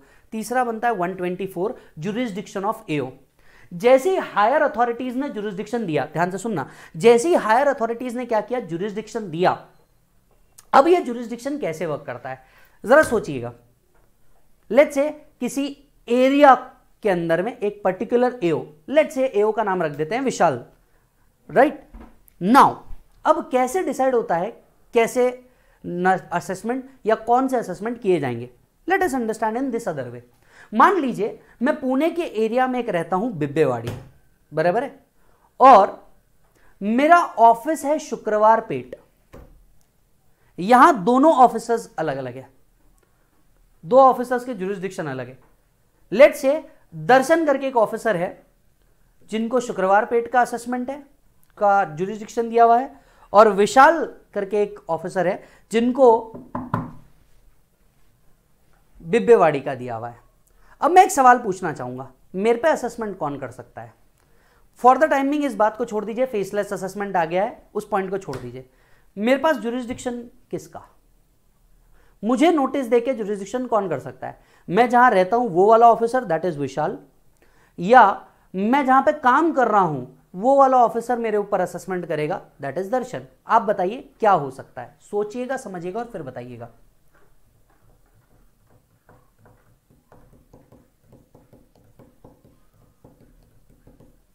सोचो सोचो सोचो। कैसे डिसाइड होता होगा? मैं जहाँ रह रहा हूँ, वो वाला ऑफिसर मेरा असेसमेंट करेगा। मैं उसके जुरिस्डिक्शन में जाऊँगा, या जहाँ मेरा बिज़नेस है, जहाँ मैं काम कर रहा हूँ, उसके जुरिस्डिक्शन में जाऊँगा। इस बात को क्लियर किया सेक्शन 124 ने कि जुरिस्डिक्शन कैसे डिसाइड होता है। मैं आपको बताऊँ, ये क्यों ज़रूरी था? अब तक के ये, आप समझ लीजिए 2019 तक के सेक्शन का इंपॉर्टेंस था। 2019 के बाद इस सेक्शन का इंपॉर्टेंस कम हो गया। आप ऐसा समझ लीजिए, खत्म ही हो गया। क्यों? क्योंकि अब जो असेसमेंट हो गए वो जुरिस्डिक्शन लेस असेसमेंट हो गए फेसलेस जुरिस्डिक्शन आ गया। ये आ गया नया सेक्शन एक ग्यारह दो हज़ार बीस से। पर खैर, हमें दोनों पढ़ने होंगे। ध्यान से सुनिएगा। ध्यान से सुनिएगा। सेक्शन 124 सेक्शन 124 पॉइंट समझिए। अगर मेरा बिज़नेस या प्रोफेशन है तो मैं उस एओ के जुरिस्डिक्शन में आऊँगा, जिस एरिया में मेरा बिज़नेस या प्रोफेशन है। अगर मेरा बिज़नेस या प्रोफेशन नहीं है तो place of residence will be my jurisdiction for example if I am a salaried employed my jurisdiction will be place of residence. If i am a businessman और a practicing professional independent, जहाँ मेरा office है, ये मेरा jurisdiction बनता है। Yes ये आपने कभी फोकस किया होगा या नहीं किया होगा? जब आपका पैन कार्ड निकलता है ना पैन कार्ड को पलट के देखना, वहाँ पे आपका जुरिस्डिक्शन लिखा हुआ होता है। आप इनकम टैक्स की वेबसाइट पे जाएँगे, वहाँ पे लिखा होता है नो योर जुरिस्डिक्शन ये कब काम आता है और क्यों काम आता है? आइए सिखाता हूँ, क्यों काम आता है? प्रैक्टिस का थोड़ा सा मज़ा आप भी लीजिए। क्यों काम आता है? सर जब एओ के तरफ़ से पहले नोटिस आता था ना सबसे पहले कोई भी प्रोफेशनल ये ओपन करके देखता था कि क्या मैं इसके जुरिस्डिक्शन में हूँ या नहीं हूँ। वो नोटिस को ही सीधा सीधा खारिज कर देता था। जैसे नोटिस आता था, वो देखता था कौन सा ऑफिसर है। इनकम टैक्स की वेबसाइट पे जाता था। नो योर जुरिस्डिक्शन गूगल पे डालिएगा नो योर जुरिस्डिक्शन वो नो योर जुरिस्डिक्शन पे क्लिक करता था। एसएससी का पैन कार्ड डालता था। पैन कार्ड की डिटेल्स डालता था। स्पेशल कैप्चा कोड डालता था। एंटर करता था। वो देखता था कि मेरा जुरिस्डिक्शन आता है लेट्स से वार्ड सिक्स सिक्स के अंदर में, और मेरे को नोटिस दिया है फाइव सिक्स वाले वार्ड ने। क्या ये सही है? आंसर इज़ नो ये जुरिस्डिक्शन ही सही नहीं है। वो ऑफिसर के अंदर में आता ही नहीं, वो मेरा असेसमेंट ही नहीं कर सकता। वो ऑफिसर के अंदर में आता ही नहीं, वो मेरा असेसमेंट ही नहीं कर सकता। और वो क्या करता था? वो डिपार्टमेंट को लिख करके देता था it is a wrong jurisdiction the case has been adopted by a wrong jurisdiction I request you to kindly consider this and this notice will not be replied और इसे बहुत प्रोफेशनल लैंग्वेज के अंदर में लिखता था sir this notice has been sent by a wrong jurisdiction, officer, and hence we will not be obliged to provide any kind of information or anything. इस तरीके से इस चीज़ को डील किया जाता था। अब इससे क्या प्रॉब्लम हुई, जिसके कारण एक नया सेक्शन सेक्शन 130 ने जन्म ले लिया। ऐसी क्या प्रॉब्लम हुई, जिसके कारण यह होने लग गया? ध्यान से सुनना। होता यह था कि जुरिस्डिक्शन एक प्रॉब्लम भी क्रिएट करता था इनकम टैक्स डिपार्टमेंट के लिए। This is this section was actually a problem for department how देखिए जनरली कभी भी कोई नॉर्मल एम्प्लॉय होता है ना, वो सोचता है, मैं बड़े शहर में जाऊँ। लेकिन इनकम टैक्स डिपार्टमेंट के ऑफिसर्स ऐसा नहीं सोचते कि वो बड़े बड़े सिटी में जाए। रीजन क्या है? बड़े सिटी के अंदर में लोग थोड़े से पढ़े लिखे होते हैं और वो इनकम टैक्स के कंप्लायंसेस बहुत अच्छे से करते हैं। यही अगर हम tier two tier three cities की बात करें गाँव की बात करें तो आपको भी पता है, वहाँ इनकम तो है, लेकिन लोग रिटर्न ही नहीं भरते।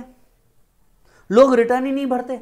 लोग कंप्लायंस ही नहीं करते। अब ऐसे केस में हो क्या रहा था पता है? जो इनकम टैक्स ऑफिसर लेट से पुणे, मुंबई, दिल्ली, बैंगलोर जैसी सिटीज़ के अंदर में था, ये ओवर ऑक्यूपाइड हो जाता था, क्योंकि पॉपुलेशन भी ज़्यादा थी और उसके ऊपर वर्क प्रेशर भी ज़्यादा हो जाता था। यही जो ऑफिसर्स इनकम टैक्स डिपार्टमेंट तो पूरे इंडिया में है, जो ऑफिसर ईस्ट इंडिया के अंदर में बैठे हैं, जो छोटे गाँव के अंदर में इनकम टैक्स ऑफिसर्स थे, इनके लिए बहुत ज़्यादा काम ही नहीं होता था। क्यों? क्योंकि वहाँ के लोग ही लिमिटेड उसमें से भी लिमिटेड लोग ही इनकम टैक्स का कंप्लायंस कर रहे लिमिटेड असेसमेंट्स थी। यानी जो सिटी के ऑफिसर्स थे, ये ओवरली ऑक्यूपाइड थे और गाँव के ऑफिसर्स जो थे, ये ऑक्यूपाइड ही नहीं थे। इससे बैलेंस ऑफ़ वर्क नहीं रह पाता था। दूसरा ये हो पाता था कि जो सिटी के ऑफिसर्स होते थे, ये ज़्यादा से ज़्यादा पॉपुलेशन के असेसमेंट्स कर ही नहीं पाते थे। क्यों? क्योंकि एक टाइम पे कितने असेसमेंट्स को वो हैंडल करेंगे? कितने वेरिफिकेशंस करेंगे? भैया, एक साथ में तुम भी सोचो ना कितने ऑडिट कर पाओगे तुम भी। एक, दो, तीन। उससे ऊपर तुम क्या हैंडल करोगे? तुम भी बॉस को बोल दोगे, सर, मेरे पास तीन लोगों का काम है, मैं चौथे का लेगा नहीं। उसको भले ही छुट्टी चाहिए आर्टिकलशिप में, मेरा मेरा लुकआउट नहीं है, मैं नहीं करेगा ये काम। समझ में आ रही है बात? नो द पॉइंट इज़ इसी के लिए डिपार्टमेंट ने फेसलेस जुरिस्डिक्शन की बात करी। फेसलेस असेसमेंट की बात करी। हो रहा यह था कि डिपार्टमेंट अपने जो रिसोर्सेज थे, क्योंकि सैलरी तो इनको भी जा रही थी जो नॉर्थ इंडिया में बैठे हैं यू नो ईस्ट इंडिया के अंदर में बैठे हैं, जहाँ पे इतने लोग रिटर्न नहीं भर रहे हैं। सदर्न पार्ट में बैठे हैं वेस्टर्न पार्ट में बैठे हैं गाँव के अंदर में। अब ऐसे केसेस में डिपार्टमेंट इन्हें सैलरी तो दे रहा था, लेकिन उनका इनकम टैक्स रिकवरी जो वो कर सकते थे, वो क्या कर सकते थे? कुछ लोड इधर शिफ्ट कर सकते थे, लेकिन जुरिस्डिक्शन वो सेक्शन था जो इन्हें रोके रखता था। जब जुरिस्डिक्शन ही नहीं है तो कैसे करेंगे? इसलिए फेसलेस असेसमेंट और फेसलेस अपील जैसी चीज़ें आई। फेसलेस जुरिस्डिक्शन नाम की चीज़ें आई। 2018 में निर्मला सीतारमन जी ने यह डिक्लेयर किया कि हाँ, हम लोग फेसलेस असेसमेंट्स के लिए वर्क करेंगे। 2019 फेसलेस असेसमेंट को इंप्लीमेंट कर दिया गया। दिल्ली में इसके लिए एक सेंटर बनाया गया। दिल्ली में इसके लिए एक सेंटर बनाया गया। फेसलेस असेसमेंट्स को पूरा का पूरा वर्कआउट करने के लिए। 2020 आया और 2020 ने फेसलेस जुरिस्डिक्शन फेसलेस असेसमेंट आज 143.3 144 दैट इज़ नॉर्मल असेसमेंट और स्क्रूटनी असेसमेंट दोनों के दोनों फेसलेस होने चालू हो चुके हैं। यस yes, अब क्या हो रहा है? आसाम में बैठा कोई इनकम टैक्स डिपार्टमेंट का ऑफिसर पुणे में बैठे किसी भी पर्सन का असेसमेंट ओपन कर सकता है। This is because of this section this is because of this section section 130 right now ये कब से आया है? एक ग्यारह दो हज़ार बीस से। तब तक के प्रोविज़न क्या थी? 124 अगर मेरा बिज़नेस है तो place of business will be my jurisdiction if I have multiple place of business sir मान लीजिए मेरे एक से ज़्यादा ब्रांचेस है multiple place of business late से लेट से आपने सिटी के अंदर में कोई फेवरेट ज्वाइंट होगा, खाने का कोई रेस्टोरेंट होगा, जिसके मल्टीपल ब्रांचेस होंगे, अब किसको माने? If you have multiple place of business principal place of business जो भी डिक्लेयर किया होगा, वो प्लेस ऑफ़ जुरिस्डिक्शन बनता है। फिर वहाँ का जिसके पास भी राइट होगा, वही इसका असेसमेंट ओपन कर पाएगा, भले ही ब्रांचेस कितनी भी हो। और अगर आपका बिज़नेस या प्रोफेशन नहीं है तो place of residence will be your jurisdiction तो सेक्शन 124 सबसेक्शन 1 कहता है jurisdiction will be specified by CCIT CIT और प्रिंसिपल सीसीआईटी सीआईटी कौन सा ऑफिसर के पास क्या जुरिस्डिक्शन होगा? अगर बिज़नेस है तो प्लेस ऑफ़ बिज़नेस वाला जो जुरिस्डिक्शन रखता होगा, वो एओ से अडॉप्ट करेगा। मल्टीपल प्लेस ऑफ़ बिज़नेस है तो जो भी प्रिंसिपल प्लेस आपने डिक्लेयर किया होगा, वो और अदरवाइज़ प्लेस ऑफ़ रेसिडेंस पे जुरिस्डिक्शन आएगा। अच्छा सर मान लीजिए आपने जैसा कि अभी कहा कि जब भी जुरिस्डिक्शन आता था, जब भी जुरिस्डिक्शन आता था, हम क्या कर देते थे? इसे ऑब्जेक्ट कर सकते थे कि, सर, ये मेरा जुरिस्डिक्शन नहीं है। क्या ऐसा हो सकता है? यस सेक्शन देखिए। Assessee can question the jurisdiction within one month from the date of notice is served जब नोटिस आती थी, उसके एक मंथ के अंदर हमें रिप्लाई करना होता था this is not my correct jurisdiction आप इसको ऑब्जेक्ट कर सकते थे, इस नोटिस को ऑब्जेक्ट कर सकते थे. ऐसा एक पावर सेक्शन 124 के अंदर में दिया हुआ था. Subsection two any question relating to jurisdiction shall be determined by DGIT CCIT CIT अब जरा पॉइंट समझिए. देखिए, कई बार ऐसा हो सकता था कि कोई एक न्यू एरिया है जो सिटी के अंदर में ऐड हुआ है। और अभी तक के एक एओ कह रहा है, ये मेरा जुरिस्डिक्शन है। दूसरा एओ कह रहा है, ये मेरा जुरिस्डिक्शन है। दो एओ क्वेश्चन में है इस जुरिस्डिक्शन को लेकर के। अब बताइए, इसे सॉल्व कौन करेगा? ऐसे कई केसेस आए, इसीलिए सबसेक्शन टू लाया गया। कहा गया, अगर दो एओ झगड़ रहे हैं कि ये मेरे जुरिस्डिक्शन में ये मेरे जुरिस्डिक्शन में है, या ये मेरे जुरिस्डिक्शन में नहीं है, मेरे जुरिस्डिक्शन में नहीं है इस पॉइंट को क्लियर करेगा इनके ऊपर का C C I T C I T not C C I T C I T इस पॉइंट को क्लियर करेगा। सर, दोनों के सी आई टी अगर अलग अलग है तो? दोनों के सी आई टी अगर अलग अलग है तो? तो वो दोनों मिल करके म्यूचुअली डिसाइड करेंगे। उनमें भी अगर म्यूचुअली डिसीज़न नहीं हो रहा है तो सीसीआईटी इस बात को रिजोल्व करेगा। वापस से सुनिए। सबसे पहले अगर दो एओ झगड़ रहे हैं कि ये मेरा जुरिस्डिक्शन है या नहीं इस क्वेश्चन पे, इन दोनों के ऊपर अगर एक सीआईटी है तो वो सीआईटी डिसाइड करेगा किसका जुरिस्डिक्शन होगा। दोनों के ऊपर अगर अलग अलग सीआईटी है तो सबसे पहले ये दोनों मिल बांट के म्यूचुअली डिसाइड करेंगे। इनसे भी नहीं हो रहा तो सीसीआईटी फिर रोल प्ले में आएगा। Subsection 2 any question relating to jurisdiction shall be determined by dgit ccit or cit if both ao have different DGIT, CCIT or CIT, then it shall be decided mutually. If both authority are not in agreement, matter shall be decided by CBDT. CBDT मतलब actually CCIT. CCIT में भी अगर mutual consent नहीं हो रहा तो फिर CBDT order issue करता है section three right to challenge the jurisdiction क्या असेसी जुरिस्डिक्शन को चैलेंज कर सकता है आंसर इज़ यस वो एक महीने के अंदर चैलेंज कर सकता है लेकिन एक महीने कहाँ से ये इंपॉर्टेंट है। जरा ध्यान से सुनिएगा।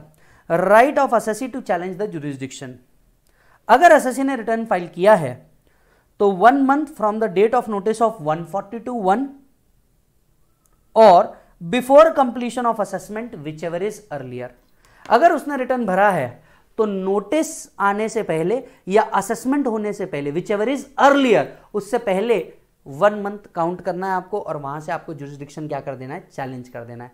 One month prior to the date of notice और assessment whichever is earlier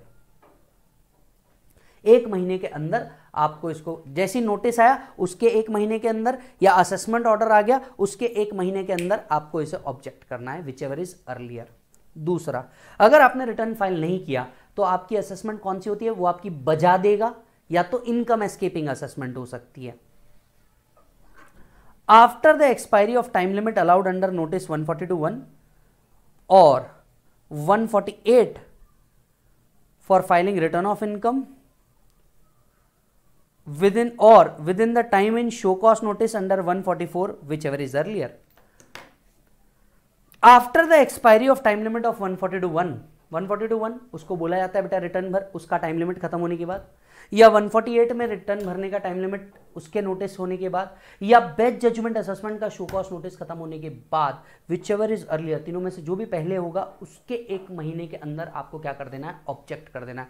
उसके एक महीने के अंदर आपको क्या कर देना है? ऑब्जेक्ट करना है। अगर आपके घर पे सर्च एंड सीजर हुआ होगा, अगर आपके घर पे सर्च एंड सीजर हुआ होगा तो within one month from notice under 153 A 153 C जैसे ही सर्च होता है, उसके बाद एक नोटिस आता है। इस नोटिस को 153 ए या 153 सी कहा जाता है। नोटिस आने के एक महीने के अंदर ही आपको ऑब्जेक्ट करना है जुरिस्डिक्शन को। सो so, वापस देखते हैं 124 124 क्या कहता है? 124 जुरिस्डिक्शन डिसाइड करता है। अगर बिज़नेस है तो place of business is jurisdiction एक से ज़्यादा प्लेस ऑफ़ बिज़नेस है मल्टीपल प्लेस है तो प्रिंसिपल प्लेस जो डिक्लेयर किया है वो जुरिस्डिक्शन होगा।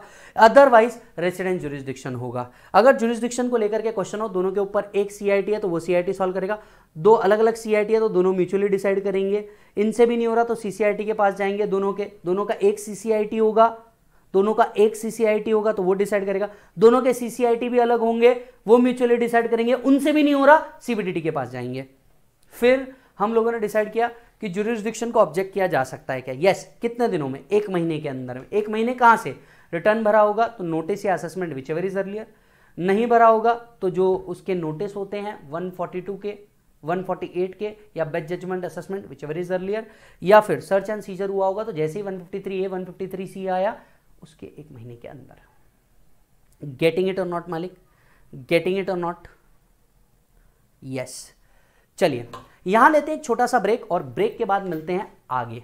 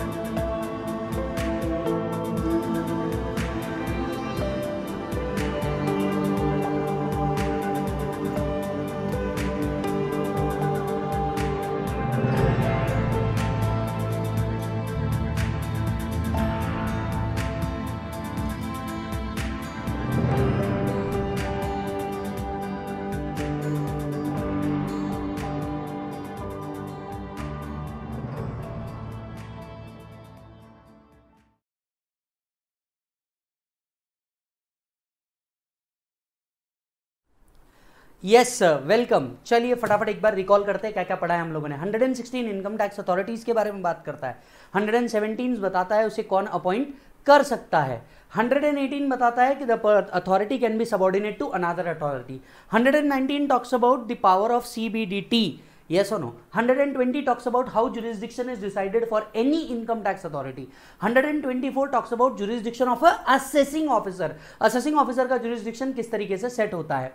बहरहाल, अब तक के jurisdiction 124 के हिसाब से सेट हुआ करता था। अब हम एक ऐसा सेक्शन पढ़ने जा रहे हैं, जो आया ही एक नवंबर 2020 से है मतलब कोविड सिचुएशन के बाद। इस कोविड सिचुएशन ने हमें बहुत कुछ सिखाया है। आपको नहीं लगता? इस कोविड सिचुएशन ने हमें बहुत कुछ सिखाया है, और उनमें सबसे अच्छी बात यह भी है कि हम डिस्टेंस से भी काम कर सकते हैं। बहरहाल 2017 में when Arun Jaitley sir took this pledge कि हम इससे पूरा का पूरा ई असेसमेंट्स में लेकर के आएँगे। वहाँ से ये प्रोसेस पूरी की पूरी चालू हुई। लेटर ऑन इसे निर्मला सीतारमन जी ने आगे बढ़ाया और फिर 2019 के अंदर में हम लोगों ने national e assessment centres Delhi के अंदर में सेटअप किया। बराबर है? अब जब सेटअप किया और असेसमेंट होने लगे तो असेसमेंट तो वही कर सकता था एओ जिसके जुरिस्डिक्शन में था। यानी सबसे पहले अगर किसी सेक्शन को बदलना था तो वो था section 124 which talks about jurisdiction of an income tax authority and jurisdiction of a AO so so, 120 और 124 को सबसे पहले बदलना था इसी के लिए एक नए सेक्शन का इंट्रोडक्शन हुआ सेक्शन 130 जिसने कहा for a greater efficiency accountability CBDT may make a scheme for jurisdiction less assessment जिसका मतलब यह हुआ कि अब पूरे भारत में कोई भी किसी भी तरीके के जुरिस्डिक्शन को एक्सरसाइज कर पाएगा। कोई भी अथॉरिटी किसी भी जुरिस्डिक्शन को एक्सरसाइज कर पाएगा। ये जुरिस्डिक्शन कैसे डिवाइड होगा? ये नेशनल ई असेसमेंट सेंटर्स के थ्रू होगा। मैं आपको बताता हूँ कैसे। एक नेशनल ई असेसमेंट सेंटर बनाया गया है और उसके नीचे कुछ कोर टीम्स बनाई गई है। ये बात हम अपील के अंदर में और ज़्यादा देंगे कि असेसमेंट्स के अंदर में और ज़्यादा देखेंगे। वहाँ से सिस्टम ऑटोमेटिकली इसे अलॉट करता है। Point to be noted system automatically क्या करता है? अलॉट करता है असेसमेंट्स के लिए ऑफिसर्स को। और ऑफिसर्स अब उसका क्या कर पाएँगे? असेसमेंट कर पाएँगे। यानी अब जो सेक्शन 124 था, जो आपको स्पेसिफिक जुरिस्डिक्शन की बात करता था सेक्शन 130 आ चुका है, जो जुरिस्डिक्शन लेस असेसमेंट की बात करता है। अब कोई स्पेसिफिक जुरिस्डिक्शन नहीं होगा। नेशनल ई असेसमेंट सेंटर आपका जो रिटर्न है, ये कहीं पे भी दे सकता है ताकि इनकम टैक्स डिपार्टमेंट को ग्रेटर एफिशिएंसी मिले। इसका ऑब्जेक्टिव क्या होगा? ऑब्जेक्टिव बड़ा सिंपल बन गया कि टैक्स बेस बड़ा हो जाएगा। इसीलिए आप देखेंगे आने वाले कुछ सालों के अंदर में जो डायरेक्ट टैक्स का कलेक्शन है आपको बढ़ता हुआ दिखेगा क्योंकि पहले जो बहुत सारे असेसमेंट्स बाहर निकल जाते थे, अब वो इसके अंदर में कवर हो जाएँगे। सो चेक कीजिएगा। With effect from first November 2020 आप देख सकते हैं नोट्स कितने अपडेटेड है। With effect from 1st November 2020 central government may make a scheme may make a scheme ये स्कीम आ चुकी है वर्केबल भी है the central government may make a scheme by notification in the official gazette for the purpose of exercise of all or any of the power performance of function conferred under section 120 exercise of all or any of the function referred under 120 vesting the jurisdiction of AO 124 exercise the power to transfer the cases 127 और change in incumbents 129 127 और 129 अभी हम discuss करेंगे। But 120 और 124 के जो power रहेंगे central अब सेंट्रल गवर्नमेंट अब उसे एडमिनिस्टर करेगा, उसके लिए कोई स्कीम बनाएगा। आखिर ये स्कीम बन क्यों रही है? So as to impart greater efficiency income tax department और ज़्यादा एफिशिएंट तरीके से काम कर सके मैक्सिमम लोगों से टैक्स कलेक्शन कर सके जो टैक्स अभी नहीं पे कर रहे होंगे। ट्रांसपेरेंसी ट्रांसपेरेंसी इसलिए क्योंकि डिपार्टमेंट को पता है, पहले क्या होता था, एक दूसरे को असेसमेंट पास ऑन करके बेनिफिट पास ऑन हो जाते थे। मलाई मिठाई टोकन गुडलक एक दूसरे के साथ शेयर हो जाता था। अब बिलीव मी किसी भी ऑफिसर को यह पता नहीं रहेगा कि कौन सा केस किसके पास गया है। ये ऑटोमेटिक सॉफ्टवेयर कर रहा है। Efficiency, transparency and accountability. Income tax department का अकाउंटेबिलिटी बनता है रिस्पॉन्सिबिलिटी बनता है, दैट वो फेयर टैक्स सबसे कलेक्ट करे। So as to impart efficiency transparency and accountability objective क्या है? Eliminate the interface between income tax authority and assessee or any other person to the extent technologically feasible word देखिए कितने ज़बरदस्त लिखे हैं। To the extent technologically feasible ये section को यहीं मैं डीप में पढ़ा रहा हूँ, क्योंकि सेम वर्ड आपको बहुत जगह आगे देखने को मिलेंगे। To the extent technologically feasible क्या आज भी 100 परसेंट हम ई असेसमेंट्स में आ चुके हैं? आंसर इज़ नो आज भी ई असेसमेंट्स में हम लोग 100 परसेंट नहीं आए हैं। उसके दो रीजन थे। एक तो कोविड का सिचुएशन जो 100 परसेंट इसको टेस्टिंग के लिए टाइम नहीं दे रहा है राइट right? डिपार्टमेंट के कई लोग अभी भी फुल फ्लेज एक्टिविटीज़ में नहीं आए हैं। और टेक्नोलॉजिकली फिजिबल पॉसिबल का मतलब क्या है? आज किस तरह से असेसमेंट होती है? लेट्स से एक आपने रिटर्न भरा रैंडमली वो नेशनल ई असेसमेंट सेंटर उठा करके किसी एओ को दे देगा। वो एओ अगर आपका असेसमेंट ओपन करता है तो वो आपका जो ऑफिशियल ईमेल एड्रेस होता है, इसके ऊपर वो नोटिस सेंड करता है। साथ साथ में एक मैसेज भी आता है आपके मोबाइल के ऊपर। इस मैसेज की लिंक भी दी होती है या आपको लॉगिन करना होता है और उसने जो इंफॉर्मेशन मांगी है, आज वो पीडीएफ के तौर पे जिप फ़ाइल के तौर पे आपको प्रोवाइड करनी होती है। तो जो इंफॉर्मेशन पैसे फिजिकली जाती थी, आज ये सारी इंफॉर्मेशन पीडीएफ के माध्यम से स्कैन करके आपको क्या करनी होगी? अपलोड करनी होगी और उसके बाद असेसमेंट का पूरा प्रोसेस चालू होगा। Optimum utilisation of resources through economies of scale and functional specialisation word देखिए यूटिलाइजेशन ऑफ़ रिसोर्सेज हो ये रहा था कि यहाँ के जो ऑफिसर्स थे, ये ओवर ऑक्यूपाइड थे और कई जगह के ऑफिसर्स जो थे, ये ऑक्यूपाई नहीं हो पा रहे थे. रिसोर्सेज पूरे यूज़ नहीं हो पा रहे थे जितना कॉस्ट लग रहा था. अब ये ऑप्टिमम यूटिलाइजेशन ऑफ़ रिसोर्सेज होगा. एंड फंक्शनल स्पेशलाइजेशन ये फंक्शनल स्पेशलाइजेशन क्या होता है? जैसा कि मैंने आपको बताया असेसमेंट्स के अंदर में कुछ लोग स्पेशलाइज्ड होते हैं किसी सेक्टोरियल असेसमेंट के लिए। तो अब डिपार्टमेंट इन सेक्टर स्पेशलाइजेशन को समझते हुए क्या करेगा? ये असेसमेंट स्पेसिफिकली उनको ट्रांसफ़र करेगा। सो so दैट उनको ये चीज़ें पता रहेगी, कहाँ से क्या निकालना है, कहाँ कहाँ छुपी हुई चीज़ें होती है, या ये सेक्टर कैसे ऑपरेट करता है, वो वहाँ से चीज़ें निकाल करके टैक्स वसूल कर सकते हैं। Introducing a team based exercise of power and performance of function ये team based exercise and performance of function क्या है? मैं आपको बताता हूँ। सर जो नेशनल ई असेसमेंट सेंटर है, वो टीम बनाता है। जो भी एओ रहेगा एओ को अगर कोई इंफॉर्मेशन वेरीफाई करनी है तो वो इंफॉर्मेशन उस टीम के पास भेजेंगे। वो टीम इस इंफॉर्मेशन को वेरीफाई करके अपनी रिपोर्ट अपने इनपुट्स किसको देगा? एओ को देगा। सो so, एओ को भी फिजिकली कहीं इंफॉर्मेशन वेरीफाई करने के लिए जाना नहीं है। उसके पीछे एक पूरी बैकेंड टीम रहेगी जो इस हर चीज़ को एनालाइज करेगी इस हर चीज़ के पीछे की डिटेल निकाल करके देगी और एओ को एक सेटिस्फैक्शन लेवल प्रोवाइड करेगी। So introducing a team-based exercise of power and performance of function by two or more income tax authorities concurrently एक साथ दो टीम एक साथ वर्क करेगी।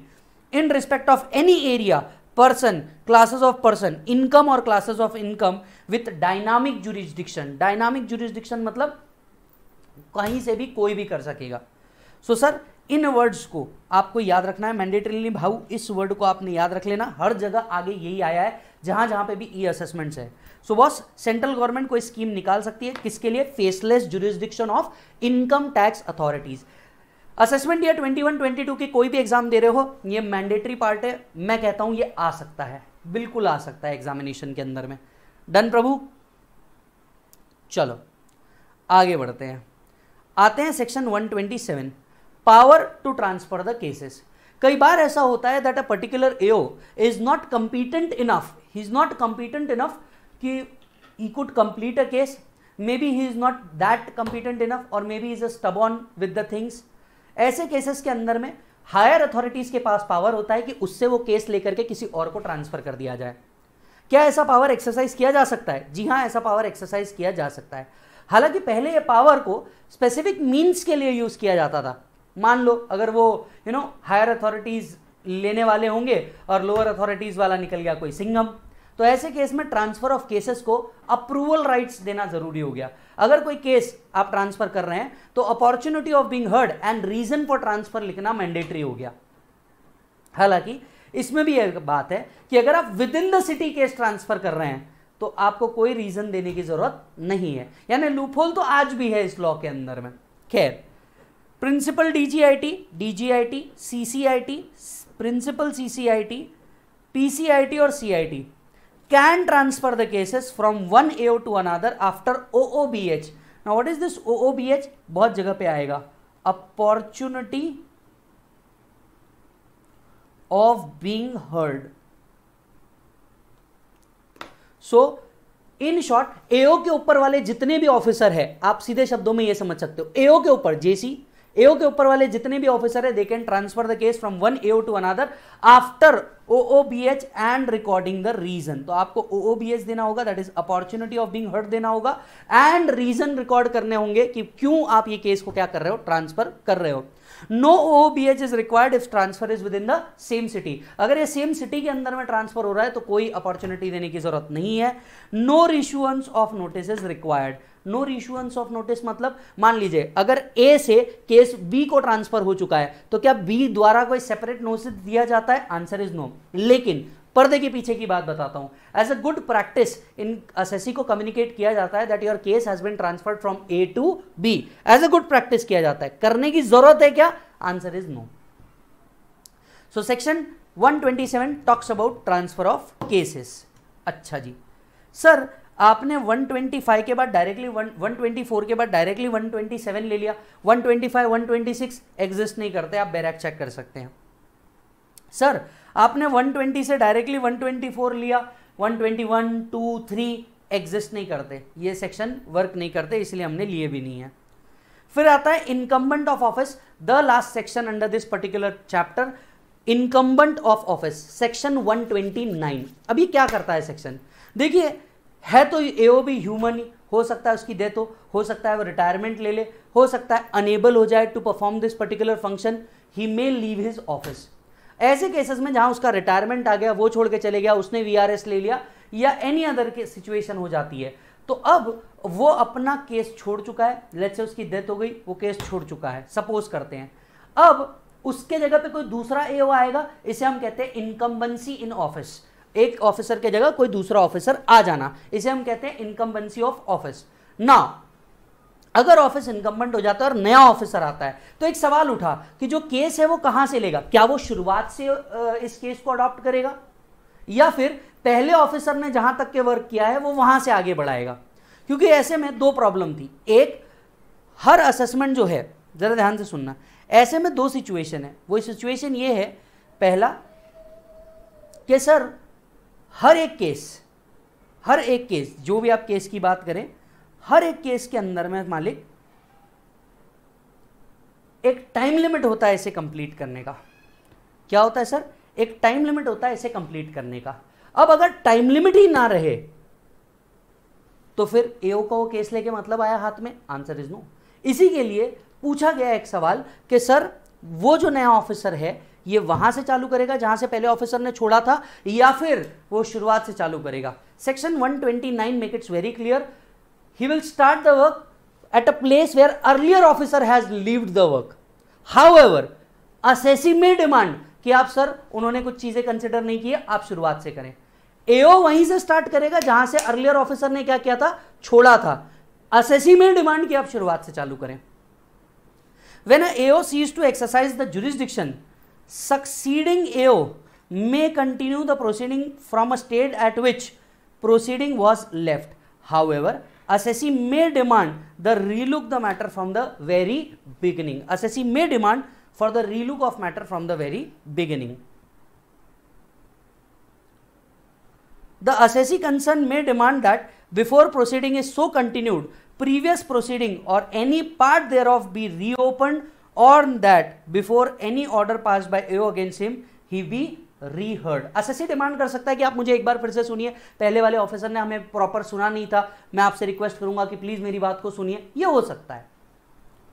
Notice shall be issued for change of incumbent of office if the same is not issued assessment would be bad in law. As per Automotive Tyre Manufacturing Association Supreme Court judgment अगर change in incumbent हुआ है तो ऐसे case में notice issue करना mandatory है। और अगर ये नोटिस नहीं इशू की जाती तो वो क्या हो जाएगा? Bad in law assessment would be void it would be bad in law is that done Prabhu yes तो देखो हँसते खेलते हमारा दूसरा टॉपिक भी कंप्लीट होता है।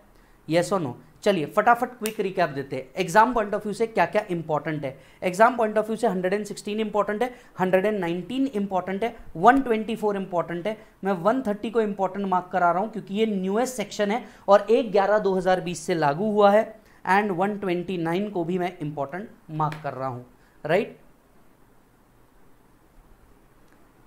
ये थे मालिक अथॉरिटी मैक्स कितने मार्क्स को आ सकता है? आप यहाँ पे लिख के रखिए। मैक्स ये तीन से चार मार्क के ऊपर टॉपिक आ सकता है उससे ऊपर ये नहीं आ सकता, बस।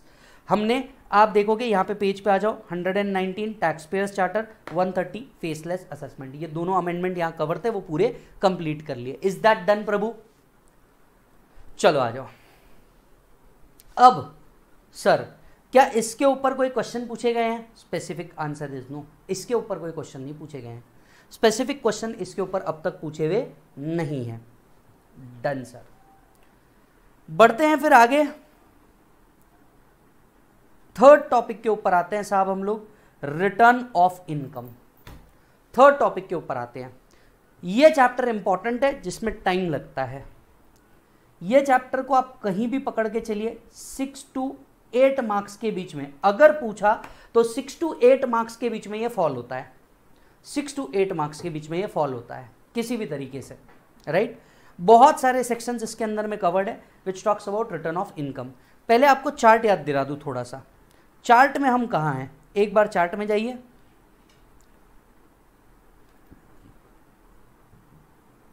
सबसे पहले अभी तक हमने समझा इनकम टैक्स अथॉरिटीज अब हम चाह रहे हैं चार्ट में इस पार्ट पे रिटर्न ऑफ़ इनकम के बेसिस पे। रिटर्न ऑफ़ इनकम बड़े अमेंडमेंट बाय फाइनेंस एक्ट 2020 बड़े amendment by Finance Act 2020 sir कौन से अमेंडमेंट है रिटर्न को लेकर के? इस चैप्टर को थोड़े अलग तरीके से पढ़ने का ट्राई कीजिए, सबसे पहले तो। रिटर्न आप कब भरते हैं और कैसे भरते हैं? एक वॉलेंटरीली रिटर्न भरा जाता है that is section 139 that is section 139 दूसरा होता है return in response to notice department notice देगा और तब आप क्या करेंगे? रिटर्न भरेंगे। Return in response to notice को हम कहते हैं 14211 क्या कहते हैं? बोलो जल्दी से। 14211 तो खुद होके वॉलेंटरीली आपने रिटर्न भरा दैट इज़ 139 और डिपार्टमेंट ने मैंडेटरी किया, उस पर आपने रिटर्न भरा, इसे हम कहते हैं 14211 बराबर? ऑफ़िस में रिटर्न भरने से पहले कुछ चीज़ें ज़रूरी होती है। आज कुछ प्री रिक्विजिट है रिटर्न भरने से पहले। क्या प्री रिक्विजिट है? पहला, आपके पास पैन नंबर होना चाहिए। दूसरा, आपके पास पैन नंबर नहीं है तो आधार नंबर होना चाहिए।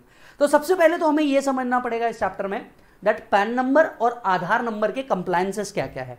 पैन नंबर और आधार नंबर के कंप्लायंसेस क्या क्या है? इस बात को समझना होगा। आइए, समझते हैं। PAN number page number five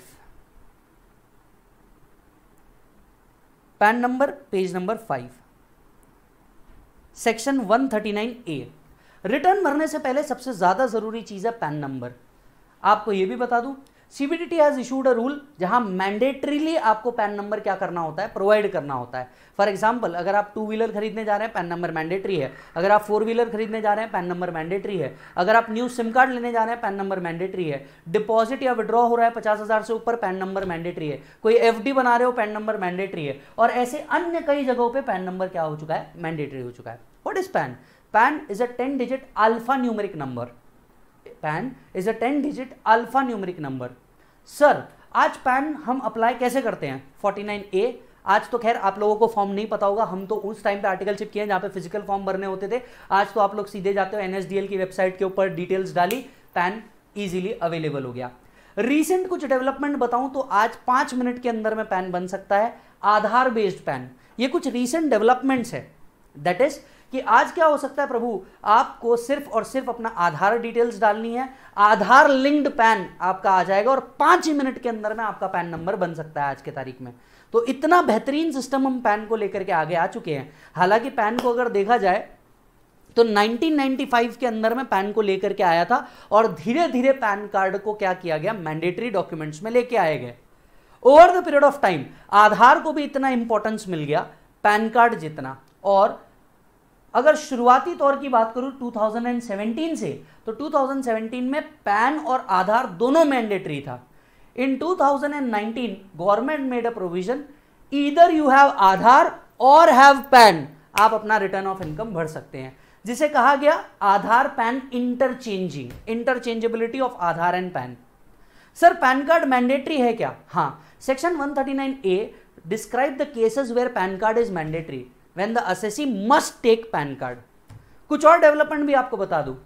pan card लेना है ये सेक्शन 139 ए ने कहा था, लेकिन पैन कार्ड किस डेट तक लेना है, इस बारे में क्लैरिटी नहीं थी। In 2019 department came up with a notification specifying the date by which PAN card must be obtain if the condition are satisfied if the condition are satisfied so check it out page number five Following person must obtain PAN ध्यान से सुनिएगा। Following person must obtain PAN every person liable to pay tax हर वो व्यक्ति जो tax pay करने के लिए liable है must obtain PAN every person carrying on PGBP and having a sales और turnover exceeding five lakh rupees अगर आपका बिज़नेस है और बिज़नेस का सेल्स या टर्नओवर पाँच लाख से ऊपर है तो आपको पैन नंबर लेना मैंडेटरी है। every person who is required to furnish return under 1394a 1394a कौन कवर होता है? चैरिटेबल ट्रस्ट 1394A के अंदर में कौन कवर होता है? चैरिटेबल ट्रस्ट कवर होता है sir so every person must obtain a PAN every person who is liable to pay tax point number two every person who sales turnover exceed five lakh rupees third every charitable trust must apply for a PAN fourth every person being resident other than individual who enters into the financial transaction aggregating two point five lakh और more in a financial year अब जरा देखिए यह क्या था? यह amendment क्यों आया था? उसके पीछे का एक लॉजिक था। हो यह रहा था कि every person who is liable to pay tax इन्हें ही क्या करना था? पैन लेना था। जरा अंडरस्टैंड कीजिए इस लाइंस को। ये अमेंडमेंट क्यों आए, इसके पीछे के लॉजिक बता रहा हूँ आपको। हर वो व्यक्ति जो टैक्स पे करेगा, वही सिर्फ़ क्या लेगा? पैन नंबर लेगा, ये बात थी। बराबर है? तो कई charitable trust hospital educational institutes right या अदर ऑर्गेनाइजेशन जिनकी इनकम 100 परसेंट एग्ज़ाम थी अंडर सेक्शन 10 ये पैन ही अप्लाई नहीं करते थे। फिर जब एओ इनकी असेसमेंट करता था and penalty for not having PAN लगाता था penalty for not having PAN लगाता था तो ये कह के ये लोग छूट जाते थे कि 139 ए देखिए। 139 ए में कहीं पे भी आपने लिखा है, हमें पैन लेना है। आपने लिखा है every person who is liable to pay tax every person who is engage in sales हमारे को तो मैंडेशन ही नहीं है पैन लेने का। और वो इस पेनल्टी से बच जाता था। डिपार्टमेंट को समझ में आया, ये लोग तो हमें हा हा बेवकूफ़ बना रहे हैं। तब ये ऐड किया गया। एनी पर्सन जो रेसिडेंट है other than individual which enters into financial transaction जो फाइनेंशियल ट्रांजैक्शन में एंटर कर रहा है, और ये फाइनेंशियल ट्रांजैक्शन की वैल्यू 2.5 लाख से ऊपर जा रही है ही मस्ट ऑप्टेन पैन इस प्रोविज़न के कारण, उन एग्ज़ाम क्लास और क्लासेस ऑफ़ पीपल भी जो थे, वो भी इसके अंदर में कवर हो गए। हालाँकि इसमें एक और बात मैं आपको बता दूँ। अगर कोई व्यक्ति को सेक्शन टेन का एग्जामेशन लेना था, वैसे भी लॉ स्पेसिफिकली उनसे पैन नंबर लेने की बात करता था। लेकिन इसमें से कुछ लोग बच भी जाते थे। वो भी अब इसके अंदर में क्या हो जाएँगे? कवर हो जाएँगे। Next any person who is MD director trustee founder karta CEO और प्रिंसिपल ऑफिसर मज़ेदार किस्सा है, लेकिन किस्सा है कंपनी लॉ का। ध्यान से सुनिएगा। हो ये रहा था कि जब भी कोई व्यक्ति डायरेक्टर बन रहा था, क्योंकि ये तो वन ऑफ़ द माई मेरे क्लाइंट के एक केस के अंदर में भी ये चीज़ हुई हुई है। जब कोई व्यक्ति डायरेक्टर बनता था तो वो डिन अप्लाई करता था, ये बात आपको कंपनीज़ एक्ट के तहत पता ही होगी। हर कोई व्यक्ति जो क्या करता था डायरेक्टर बनना चाहता था, वो डिन अप्लाई करता था। अब पॉइंट क्या होता था? जब वो डिन अप्लाई करने जाता था तो उसको पैन कार्ड मंगा जाता था। अब वो व्यक्ति ये कह देता था कि मैं तो पैन कार्ड के लिए एलिजिबल ही नहीं हूँ। For the timing assume I am not liable to pay tax मेरा सेल्स टर्नओवर है ही नहीं। मैं थर्ड कैटेगरी में भी नहीं आ रहा फोर्थ कैटेगरी तो खैर इसी के साथ जोड़ी गई है। तो मुझे पैन कार्ड लेने की ज़रूरत नहीं है। ऐसे ही director trustee founder karta CEO अपने इंडिविजुअल पैन लेते ही नहीं थे।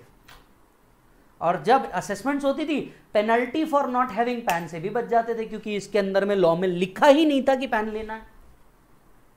डिपार्टमेंट को समझ में आ गया कि ये लोग तो हमें, हा बेवकूफ़ बना रहे हैं। डिपार्टमेंट ने चाल के लिए डिपार्टमेंट ने सेक्शन 139 ए को अमेंड किया, कहा if you are about to be on a position of a director trustee CEO founder karta और principal officer in case of let's say a political party mandatorily have a PAN आपकी income liable to tax हो या ना हो doesn't matter government ने एक power अपने हाथ में ले लिया। Anyone who intent to enter into such transaction as may be prescribe by board government ने कह दिया, इसके अलावा और किन किन लोगों को पैन लेना है, ये अब बोर्ड प्रिस्क्राइब करेगा। तो सिक्स पॉइंट बहुत बड़ा पॉइंट हो गया, जिसके तहत अब बोर्ड कभी भी उन नंबर ऑफ़ पीपल की लिस्ट इंक्रीज कर सकता है, जिन्हें पैन नंबर लेना मैंडेटरी होगा। तो चलिए वापस आइए, फटाफट रिकॉल करते हैं। पैन किस किस को लेना है? Everybody quick every person who is liable to pay tax business where sales और turnover exceed five lakh charitable trust every person other than individual if financial transaction exceed two lakh fifty thousand in the financial year fifth any person who is about to became director M D trustee principal officer etcetera six any other person as may be specified by board ये छह लोगों को mandatorily क्या लेना है? PAN लेना है. Mandatorily क्या लेना है? पैन लेना है. Further five E six A और सिक्स बी ये पैन आधार इंटरचेंजेबिलिटी की बात करता है। सितंबर 2019 के अंदर में अमेंडमेंट आया था और ये तीन सबसेक्शन पैन के सेक्शंस के अंदर में जोड़ दिए गए थे। आइए पढ़ते हैं क्या है। Five E notwithstanding anything contained in the act इस एक्ट में कुछ भी कहीं पे भी कैसे भी लिखा हो। Every person who is required to furnish और इंटीमेट और quote his PAN number and who has not been allotted PAN but possesses Aadhaar, हर वो व्यक्ति हर वो व्यक्ति जिसको रिक्वायर्ड है फर्निश करना इंटीमेट करना PAN number and who has not been allotted PAN but possesses Aadhaar. जिसको अब तक पैन अलॉट नहीं हुआ है पर उसके पास आधार है. May furnishes Aadhaar number in lieu of PAN PAN के जगह आधार दे सकते हो. इसीलिए अब, अब अगर आप रीसेंट आईटीआर देखोगे तो वहाँ पे पैन और आधार दो ऑप्शन आते हैं. And such person shall be allotted a PAN in such a manner as may be prescribe ये क्या पॉइंट था, ये आपको बताता हूँ। हुआ ये ये पॉइंट लेके आई निर्मला सीतारमन जी। और ऐसा पॉइंट क्यों लेके आया? इसके पीछे एक छोटा सा स्टैटिस्टिक्स था, जो उन्होंने बजट 2019 के अंदर में भी कहा था। उन्होंने कहा, अगर हम रीसेंट रीसेंट स्टैटिस्टिक्स देखें तो around 132 crore people have PAN sorry have Aadhaar. Whereas only 40 to 50 crore people have PAN अगर 132 करोड़ लोग हैं टेंटेटिवली 100 करोड़ लोग तो इनकम कमा रहे हैं। But as against that PAN सिर्फ़ कितने लोगों ने अप्लाई करके रखा है? 40 से 50 करोड़ लोगों ने ही पैन अप्लाई करके रखा है। इन दैट वे गवर्नमेंट ने इनडायरेक्ट तरीके से गेम खेला। सेक्शन 139 5 ई लेके आया। उन्होंने कहा, अगर कोई व्यक्ति के पास पैन नहीं है, लेकिन इसके पास आधार है, आप आधार नंबर डाल दो। अगर आपने आधार नंबर डाल दिया system will automatically issue PAN without any cost लोग बड़े खुश हुए। उनने कहा, वाह, हमें पैन फ्री मिल रहा है, जिसके लिए सौ या एक सौ दस रुपए लगते थे, हमें तो पैन फ्री मिल रहा है। वाह वाह, बधाई हो। उन्हें समझ नहीं आया डिपार्टमेंट ने उन्हें। हा हा, बेवकूफ़ बनाया है। कैसे? पैन तो फ्री में दे दिया बेटा, लेकिन तुम असेसमेंट्स में कवर हो जाओगे, उसका क्या? तुमको नोटिस आएगी रिटर्न ना भरने की, उसका क्या? सौ रुपए तुम्हारे बचा लिए, पर डिपार्टमेंट तुमसे बड़ा गेम खेल गया। अब वर्ड पढ़िए वापस से क्या लिखा है? Who has not been allotted a PAN but possess Aadhaar? May furnish his Aadhaar number in lieu of PAN आगे पढ़ना। And such person shall be allotted PAN in such manner as may be prescribe हम खुद होके उसको क्या कर देंगे? Pan allot कर देंगे। यानी सिस्टम जो था इनकम टैक्स डिपार्टमेंट को जो सॉफ्टवेयर था, वो आधार के बेसिस पे सबसे पहले चेक करेगा, इस आदमी का पैन नंबर है या नहीं है। हुआ तो वो अलॉट नहीं करेगा अदरवाइज़ वो ऑटोमेटिकली आपको क्या कर देगा? पैन अलॉट कर देगा। And has been allotted a PAN and who has intimated his Aadhaar number may furnish or intimate or quote his Aadhaar number in lieu of plan मान लीजिए उसके पास पैन भी है तो वो पैन या आधार दोनों में से कोई भी चीज़ क्या कर सकता है? कोट कर सकता है। तो इसे हम कहते हैं Aadhaar PAN interchangeability six A आया। ये एक और नई प्रोसेस थी। जरा ध्यान से सुनना। सर गवर्नमेंट ने बोला कि, सर, मैं मैक्सिमम ऑफ़ द ट्रांजैक्शन के ऊपर नज़र रखना चाहता हूँ। गवर्नमेंट कहती है, हम मैक्सिमम ऑफ़ द ट्रांजैक्शन के ऊपर क्या करना चाहते हैं? नज़र रखना चाहते हैं, ये देखना चाहते हैं कि किसने किसके साथ क्या ट्रांजैक्शन किया। गवर्नमेंट ने दो सबसेक्शन इंसर्ट किए सिक्स ए सिक्स बी जिसके तहत उन्होंने क्या कहा? उन्होंने कहा that any person who is entering into a prescribe transaction अब ये प्रिस्क्राइब ट्रांजैक्शन क्या है? गवर्नमेंट इसके लिए सेपरेट नोटिफिकेशन लेके आएगी। जिसके तहत उन्होंने कहा कि अगर कोई भी व्यक्ति ये प्रिस्क्राइब ट्रांजैक्शन में एंटर कर रहा है तो जो व्यक्ति एंटर कर रहा है, उसकी ज़िम्मेदारी है सामने वाले को क्या अलॉट करे? पैन नंबर प्रोवाइड करे। ये उसकी ज़िम्मेदारी है कि सामने वाले को क्या प्रोवाइड करे? पैन नंबर प्रोवाइड करे। At the same time receiver के ऊपर भी एक रिस्पॉन्सिबिलिटी डाली। अगर कोई व्यक्ति प्रिस्क्राइब ट्रांजैक्शन में है और इंफॉर्मेशन रिसीव कर रहा है या अमाउंट रिसीव कर रहा है तो he must verify the PAN number verify the PAN number ये बड़ा इंपॉर्टेंट लाइन था. वेरीफाई द पैन नंबर मतलब आप और मैं सपोज़ प्रिस्क्राइब ट्रांजैक्शन में एंटर करते हैं तो आपकी ज़िम्मेदारी है, आप मुझे पैन देंगे। मेरी ज़िम्मेदारी है, मैं तुरंत उसे वेरीफाई करूँगा कि हाँ ये पैन नंबर आप ही को बिलोंग करता है या नहीं करता है। और अगर हम दोनों में से कोई ऐसा नहीं करता तो इसके लिए पेनल्टी प्रोविज़न अपडेट किया। इसके लिए क्या अपडेट किया? पेनल्टी प्रोविज़न अपडेट किया। Check every person who is entering into such transaction such transaction such transaction as may be prescribe every person entering shall quote his PAN or Aadhaar number as the case may be in the document pertaining to such transaction and also authenticate such PAN or Aadhaar in such manner as may be prescribe सवाल उठा कि अब ये कैसे authenticate करेंगे? Recently अगर government की कुछ न्यूज़ को देखें तो it may be a O T P based authentication अगर गवर्नमेंट की सोर्सेज से पढ़ें तो it may be a based authentication ये पर्सन एंट्रिंग था. अब रिसीविंग की बात सिक्स बी लेकर के आए. Every person receiving any document relating to the transaction shall ensure the PAN or Aadhaar as may be duly quoted in such document and ensure that such PAN or Aadhaar is so authenticated तो अब क्या होगा? जो व्यक्ति transaction में enter कर रहा है, वो क्या करेगा? इस आधार को प्रोवाइड करेगा। चलो, वापस एक बार फटाफट पैन को रीड करते हैं। सेक्शन 139 ए पैन किस किस को लेना है? एवरीबॉडी फोकस पहला every person who is liable to pay tax if the business sales turnover exceed five lakh charitable trust every person other than individual whose financial transaction in the previous year exceed 2 lakh 50000 rupees. Then director trust trustee founder, karta ceo principal officer. Sixth who enters into such prescribed transaction as may be prescribed by the board. फिर 139 5e लेकर के आए। क्या कहा इस section के तहत? उनने कहा, अगर आपके पास पैन नहीं है, आधार दे दो। आधार अगर आपने प्रोवाइड कर दिया सिस्टम चेक करेगा, आपके पास पैन है या नहीं है। पैन नहीं होगा सिस्टम आपको पैन अलॉट कर देगा। सिक्स ए सिक्स बी अगर कोई व्यक्ति प्रिस्क्राइब ट्रांजैक्शन में एंटर करने जा रहा है तो जो एंटर कर रहा है, वो पैन या आधार कोट करेगा। जो पर्सन रिसीव कर रहा है वो चेक करेगा कि इंश्योर करेगा कि सच में ये आधार या पैन इसी का है या नहीं। एज ऑफ़ नाउ ये ओटीपी बेस्ड ऑथेंटिकेशन रखा गया है।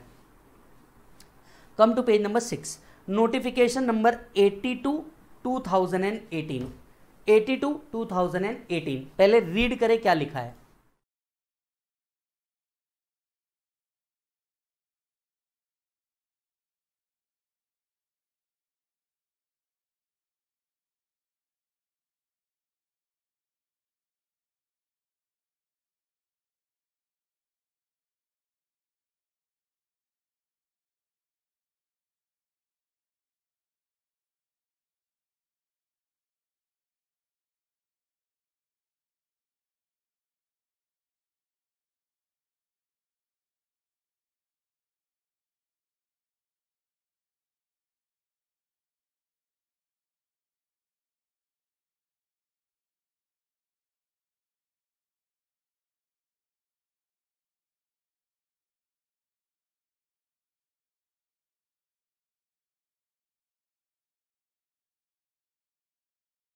चलिए सर, आगे बढ़ते हैं। What is this notification 82 2018 about section ने ये तो कह दिया कि पैन नंबर लेना है, लेकिन सेक्शन ये बताना भूल गया कि पैन कार्ड कब तक अप्लाई करना है। अब होता क्या था? जरा ध्यान से सुनिए। सर जब भी असेसमेंट्स होते थे असेसमेंट्स के अंदर में एसएससी के पास अगर पैन कार्ड नहीं मिला असेसमेंट के अंदर अगर एसएससी के पास पैन कार्ड नहीं मिला तो पता है आपको क्या होता था? तो होता ये था कि एओ बोलता था, मैं पेनल्टी लगाऊँगा। एसएससी कहता था आप पेनल्टी क्यों लगाओगे? मैं पैन कार्ड अभी ले लेता हूँ। आप क्यों पेनल्टी लगाओगे? डिपार्टमेंट कहता था, नहीं नहीं नहीं नहीं। आपके पास पैन नहीं है, मैं असेसमेंट कर रहा हूँ, आपके पास पैन नहीं है। You are assessee in default assessee in default को असेसी मान के उस पर प्रोसीडिंग चला सकते थे। You are assessee in default मैं तो आपके ऊपर पेनल्टी लगाऊँगा. सर एक मिनट आप पेनल्टी तब लगाओगे ना जब कहीं डेट लिखी हो, मैंने पैन कार्ड कब तक लेना है? आप बताइए आपके लॉ को देख करके कि आपने कहा लिखा है कि पैन कार्ड कब तक लेना है? आपने बोला पैन कार्ड लेना है, हम ले लेंगे मैटर और। ये कहाँ लिखा है, कब तक लेना है? Yes there was a timeline which was missing as to what time as to by which time PAN card should be taken notification number eighty two two thousand eighteen talks about time limit to apply the PAN as to when you should apply the PAN maximum time beyond which penalty provision will be attracted beyond which penalty provision will be attracted if the person total income exceed basic exemption limit T I total income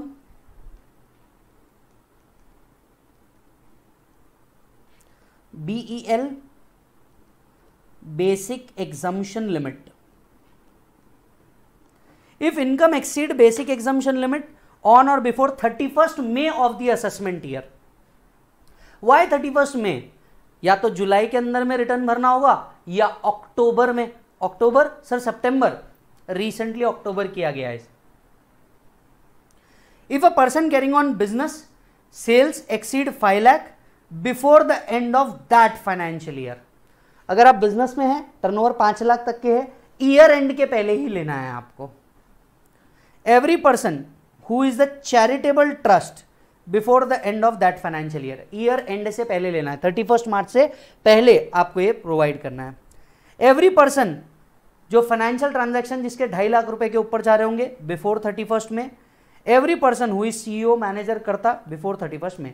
यानी in short business and charitable trust के case में जो PAN obtain करना है, वो year end के पहले ही करना है। बाकी सभी केस में before thirty first May of the assessment year आपको क्या करना है? पैन लेना है। Beyond which particular date AO may have a right to apply the penalty AO may have a right to apply for the penalty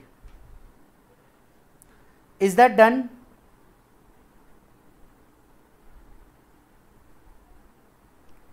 sir आप जब से कह रहे हैं पेनल्टी लगा सकता है पैन नहीं दिया तो या पैन कोट नहीं किया तो पेनल्टी लगा सकता है, कितनी पेनल्टी है? यही लिखा है। पेज नंबर सिक्स पे आइए। Penalty for failure to comply with 139 A 139 A क्या है बेटा? पैन आपने अगर पैन का कंप्लायंस नहीं किया तो पेनल्टी कितनी है? याद रखे, आपको पेनल्टीज आती है। पेनल्टी का एक ऑल टुगेदर सेपरेट चैप्टर है जो हम डिस्कस करने वाले हैं। स्टिल पेनल्टीज कुछ कुछ इंपॉर्टेंट है जिसको याद रखना पड़ेगा। If a person fails to comply with the provision of 139 A AO first तो ये हाईलाइट कीजिए। पेनल्टी लगा कौन सकता है? AO AO may direct that such person shall pay by way of a penalty a sum of rupees ten thousand penalty max कितनी लग सकती है साहब? टेन थाउज़ेंड रुपीज़ की। If a person who is required to quote his PAN or Aadhaar जहाँ पे भी oblique दिख रहा है, इसे आप और मानेंगे। If a person who is required to quote his PAN or Aadhaar if any document refer to in section 139 A 5 C or intimate such number as may be required in 5 A 5 C quote or intimate a number which is false and which he either knows or believe is to be fault or does not believe it to be true the AO may direct that such person shall pay a penalty of ten thousand rupees मान लीजिए जहाँ जहाँ पे भी आपको pan और आधार coat करना है, आप कोट नहीं करते, या पैन आधार कोट करते हो, वो गलत नंबर है। Again a penalty ten thousand rupees for each such default if a person is required to quote his PAN or Aadhaar as the case may be in documents refer to in six A six A जो transaction हम enter कर रहे हैं transaction अगर prescribed transaction है तो आपको PAN देना है, मेरे को ऑथेंटिकेट करना है। सिक्स ए और ऑथेंटिकेट या तो आपने डॉक्यूमेंट में पैन नहीं दिया, या मैंने ऑथेंटिकेट नहीं किया। In a document refer to in six A or authenticate such number with the provision of set subsection or fail to do so AO may direct that such person shall pay by way of a penalty ten thousand for each such default दस हज़ार रुपए जैसे पाँच अगर authentication आपने नहीं किया, पाँच ट्रांजेक्शन एंटर किए पाँच ऑथेंटिकेशन आप फेल कर गए ten thousand into five fifty thousand rupees is the amount of penalty ten thousand rupees for each default ten thousand rupees for each default की बात कर रहे हैं वो। If a person who is required to ensure that PAN or Aadhaar as the case may be has been duly quoted duly authenticated fail to do so AO may direct that such person shall pay by way of penalty a sum of ten thousand for each such default sir वही बात है, आप अगर document देते वक्त pan नहीं लिए, या मैंने ऑथेंटिकेट नहीं किया each such transaction ten thousand rupees is the penalty sir दोनों को लग सकती है अगर आपने नहीं दिया और मैंने भी ऑथेंटिकेट नहीं किया, दोनों को ही लगेगी, लग सकती नहीं, दोनों को ही लगेगी। आपको लगेगी अंडर दिस पर्टिकुलर सबसेक्शन मुझे लगेगी under this particular subsection no order under this section shall be pass unless unless the person on whom the penalty is process to be impose is given an opportunity of being heard इसे हम कहते हैं principle of natural justice penalty तब तक नहीं लगाई जाती जब तक कि अपॉर्चुनिटी ऑफ़ बीइंग हर्ड ना दे दिया गया हो। यस और no 139 A read with 272 B हमने दो कंप्लीट किया। अब हम बढ़ते हैं आगे। Aadhaar 139 double A on the page number six Aadhaar. जरा पॉइंट सोच के देखिए पॉइंट समझ के देखिए। सर, हुआ ये कि आधार कब से इनकम टैक्स में चलने लग गया? बात थी 2014 Modi government. Aadhaar was a concept which was brought up by Congress government but later on led and implemented by Modi government.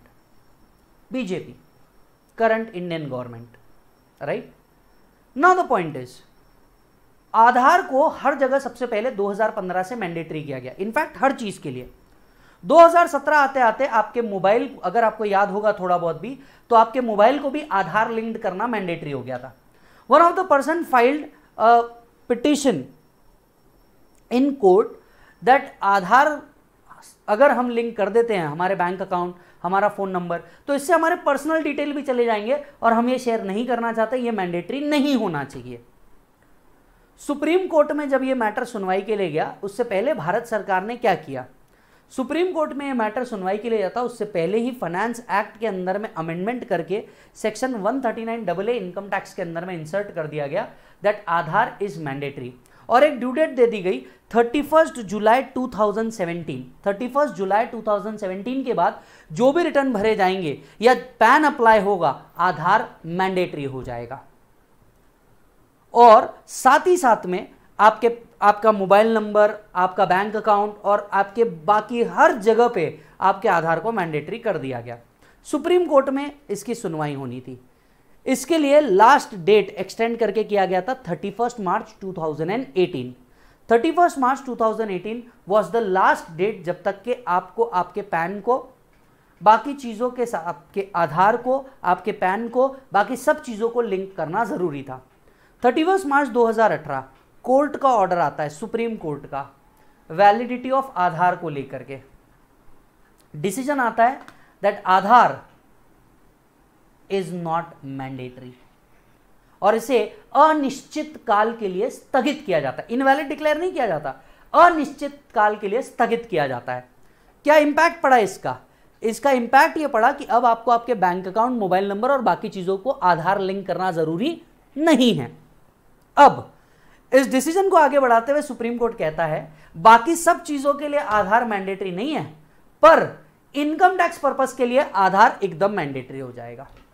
Government का एक प्रॉपर एक्टिव एक एक्टिविटी गवर्नमेंट की पूरी हुई। भले ही पूरी जीत नहीं हुई, पर आधी जीत तो हो ही गई। सेक्शन 139 ए को वैलिडिटी मिल गई सुप्रीम कोर्ट द्वारा कि हाँ ये सेक्शन एक वैलिड सेक्शन है और इनकम टैक्स रिटर्न या पैन कार्ड अप्लाई करने के लिए आधार ज़रूरी हो गया।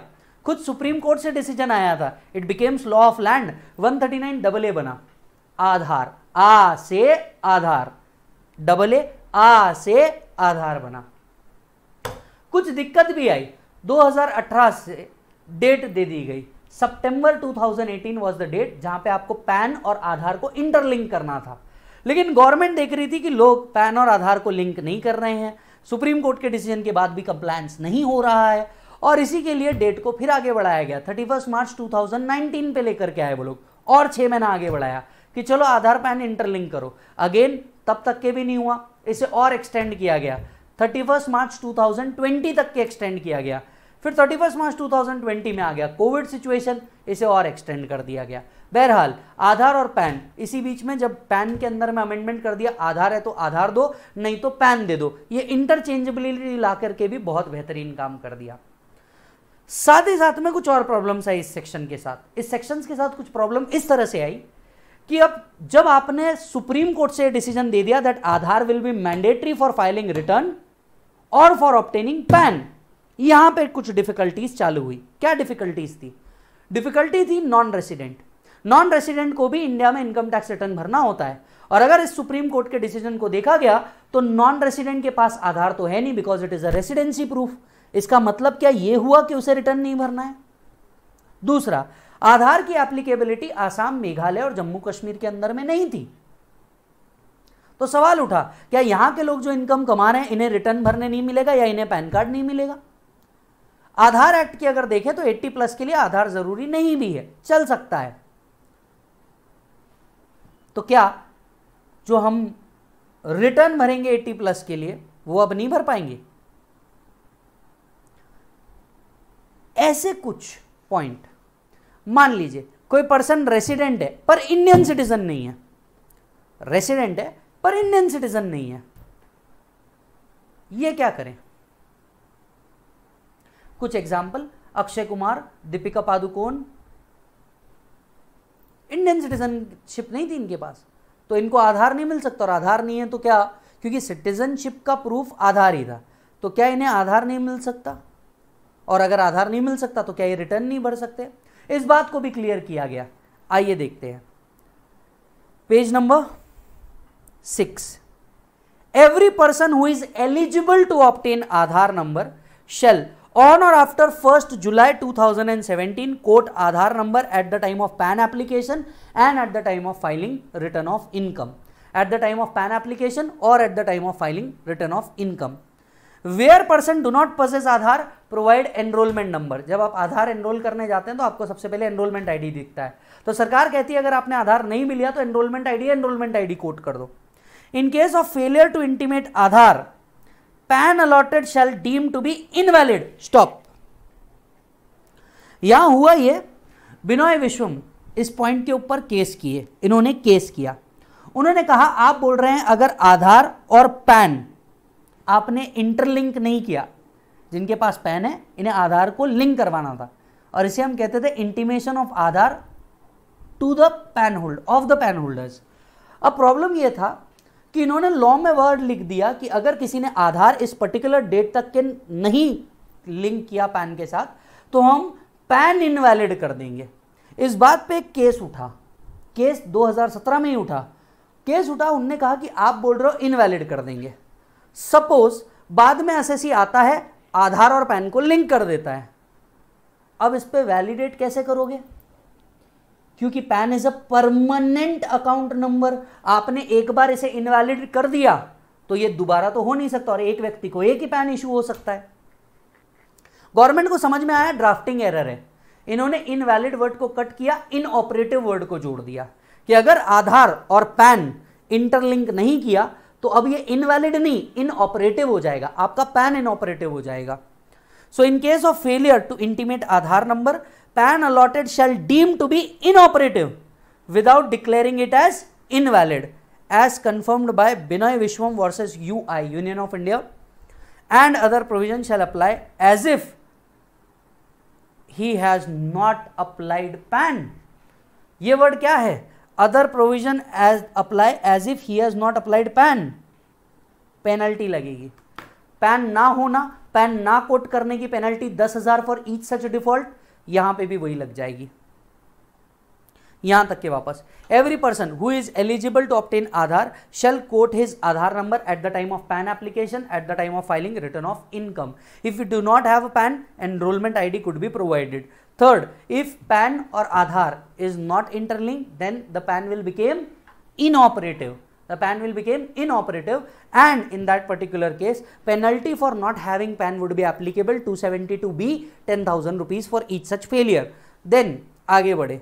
जैसे कि मैंने कहा था कि ये सेक्शन कुछ लोगों के लिए अप्लाई नहीं करेगा। मतलब इनके पास आधार नहीं भी है तो ये रिटर्न भर पाएँगे। इसीलिए तो पैन का प्रोविज़न आया था साहब।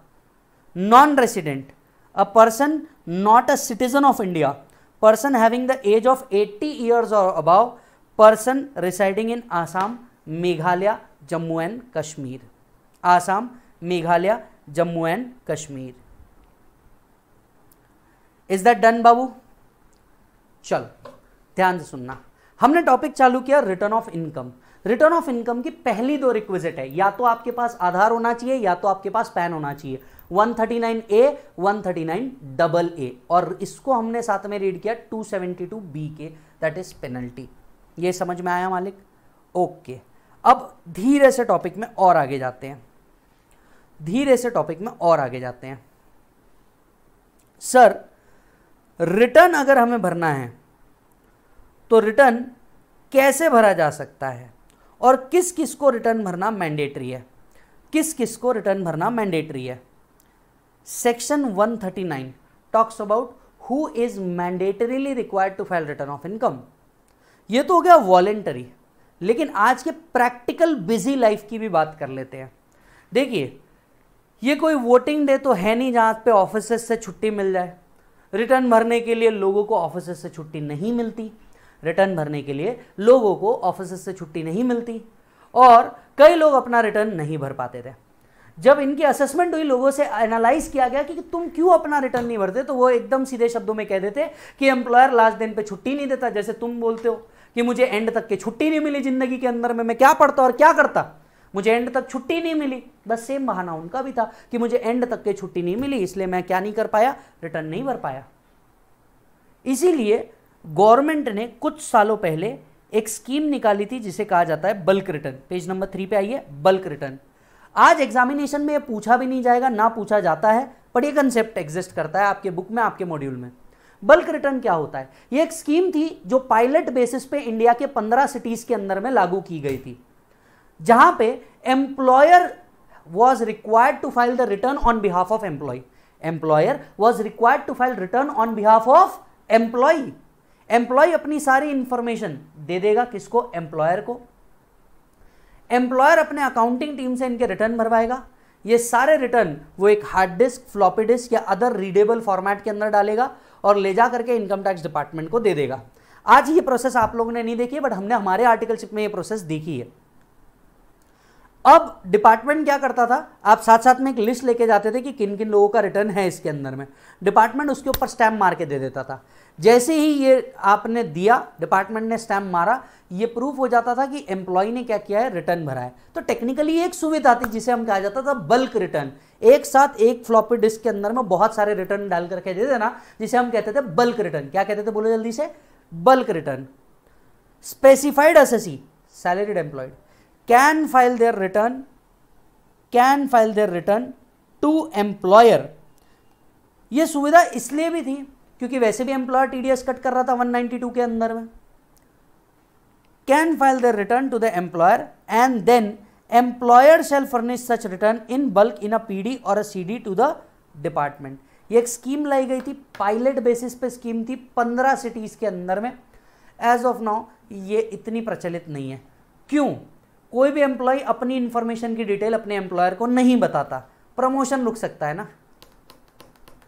प्रमोशन रुक सकता है। इसी के लिए वो बताता नहीं और ये स्कीम इतनी ज़्यादा फ़ेमस नहीं हो पाई। अच्छा जी sir. Page number three only one thirty nine one C one thirty nine one C central government can exempt certain class और classes of person to file return of income return of income तो भरना ही है। Section 139 one उन लोगों की बातें करता है जिन्हें मैंडेटरीली रिटर्न ऑफ़ इनकम भरना है। लेकिन क्या सेंट्रल गवर्नमेंट कुछ क्लास और क्लासेस ऑफ़ पीपल को एग्ज़ाम कर सकता है from filing the return answer was yes section 139 one C कुछ क्लास और क्लासेस ऑफ़ पीपल को एग्ज़ाम किया जा सकता है from filing return of income earlier in 2013-14 जिनकी इनकम पाँच लाख रुपए तक थी, उन्हें रिटर्न भरने की ज़रूरत नहीं थी। हालाँकि ये एक साल ही चलाया गया और इसके बाद इसे बंद कर दिया गया। आज पर्टिकुलरली इसमें अमेंडमेंट है और किसे रिटर्न नहीं भरना है, वो बात भी बताया है। पर ऐसा कोई पावर है कि क्लास और क्लासेस ऑफ़ पीपल को एग्ज़ाम किया जा सकता है। इस क्लास में नॉन रेसिडेंट्स ज़्यादा आते हैं। नॉन रेसिडेंट जिनका टीडीएस कट चुका है और उनकी इंडिया से और कोई इनकम नहीं है, जिस इनकम पे टीडीएस कट चुका है उसको छोड़ के तो उन्हें रिटर्न भरने की ज़रूरत नहीं पड़ती। ऐसा एक क्लास और क्लास प्रोवाइड किया हुआ है। चेक कीजिएगा। Central government is empowered to notify कौन नोटिफाई करेगा? Central government central government is empowered to notify the class of person who will be exempt from the requirement of filing return of income. Notification 55 2019 central government hereby exempted इस power के तहत government ने notification निकाला central government hereby exempted following classes of person from filing return non resident and a foreign company who has any income chargeable under the act in previous year from any investment in IFSC in India अगर कोई non resident या foreign company को investment से income आ रही है और ये इन्वेस्टमेंट उनने आईएफएससी में किया है IFSC international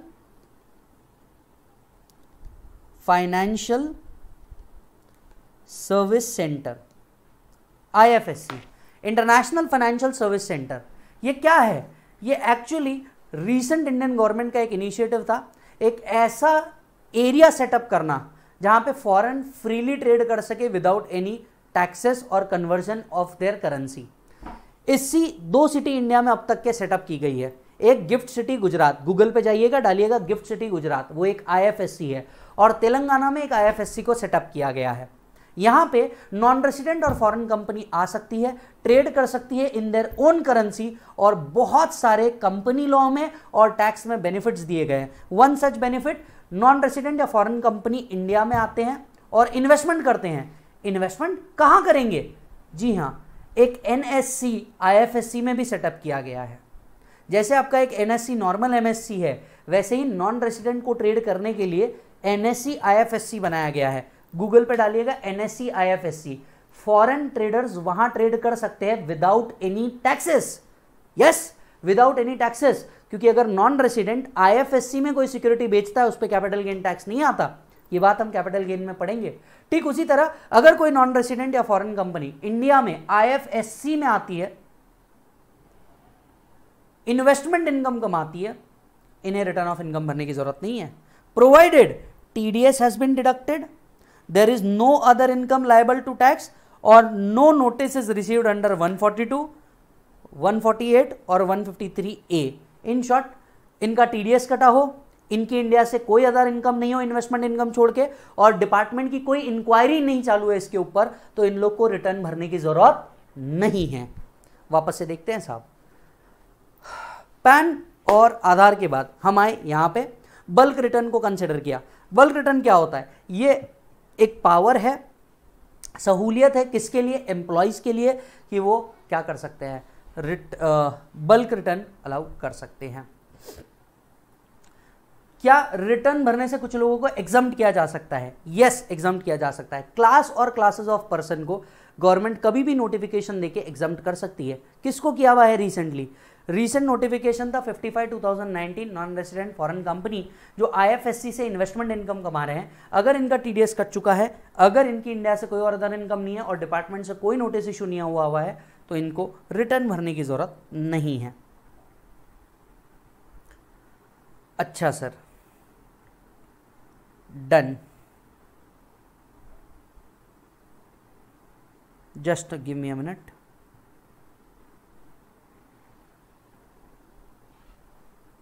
come to page number 8 TRPs come to page number 8 TRP read it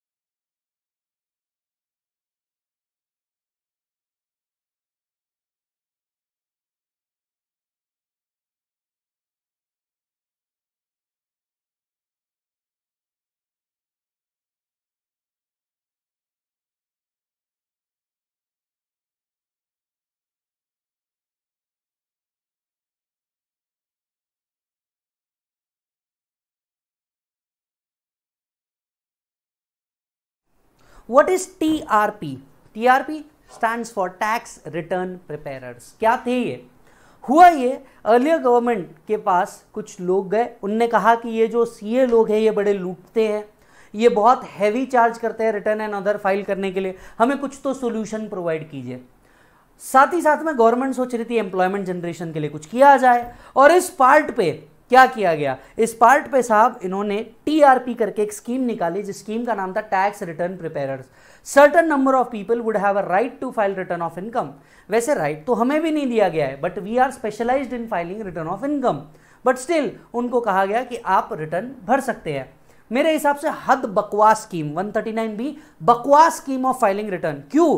क्योंकि डिपार्टमेंट दो बार ट्राई कर चुका है, लेकिन टीआरपी एक सक्सेसफुल स्कीम नहीं बन पाई। टीआरपी को लोग कैसे अपॉइंट किया जाएगा? टीआरपी डिपार्टमेंट द्वारा अपॉइंट किया जाएगा। अगर किसी व्यक्ति को लगता है कि रिटर्न भरना है he can go to TRP and file the return he can go to TRP and file the return अच्छा साहब, बताइए, फिर क्या हुआ? सर टीआरपी के पास जाकर के रिटर्न भरवा सकता है। कौन भरवाएगा? इंडिविजुअल एंड एच टीआरपी के पास जाकर के रिटर्न भरवा सकते हैं। सर कौन कौन टीआरपी से रिटर्न नहीं भरवा सकता? A person who is covered in tax audit जो व्यक्ति टैक्स ऑडिट के अंदर में कवर था, वो टीआरपी से रिटर्न नहीं भरवा सकता था। नॉन रेसिडेंट्स के रिटर्न टीआरपी नहीं भर सकते थे। और अगर ओरिजिनल रिटर्न टीआरपी ने नहीं भरा है तो रिवाइज रिटर्न भी टीआरपी नहीं भर सकता था।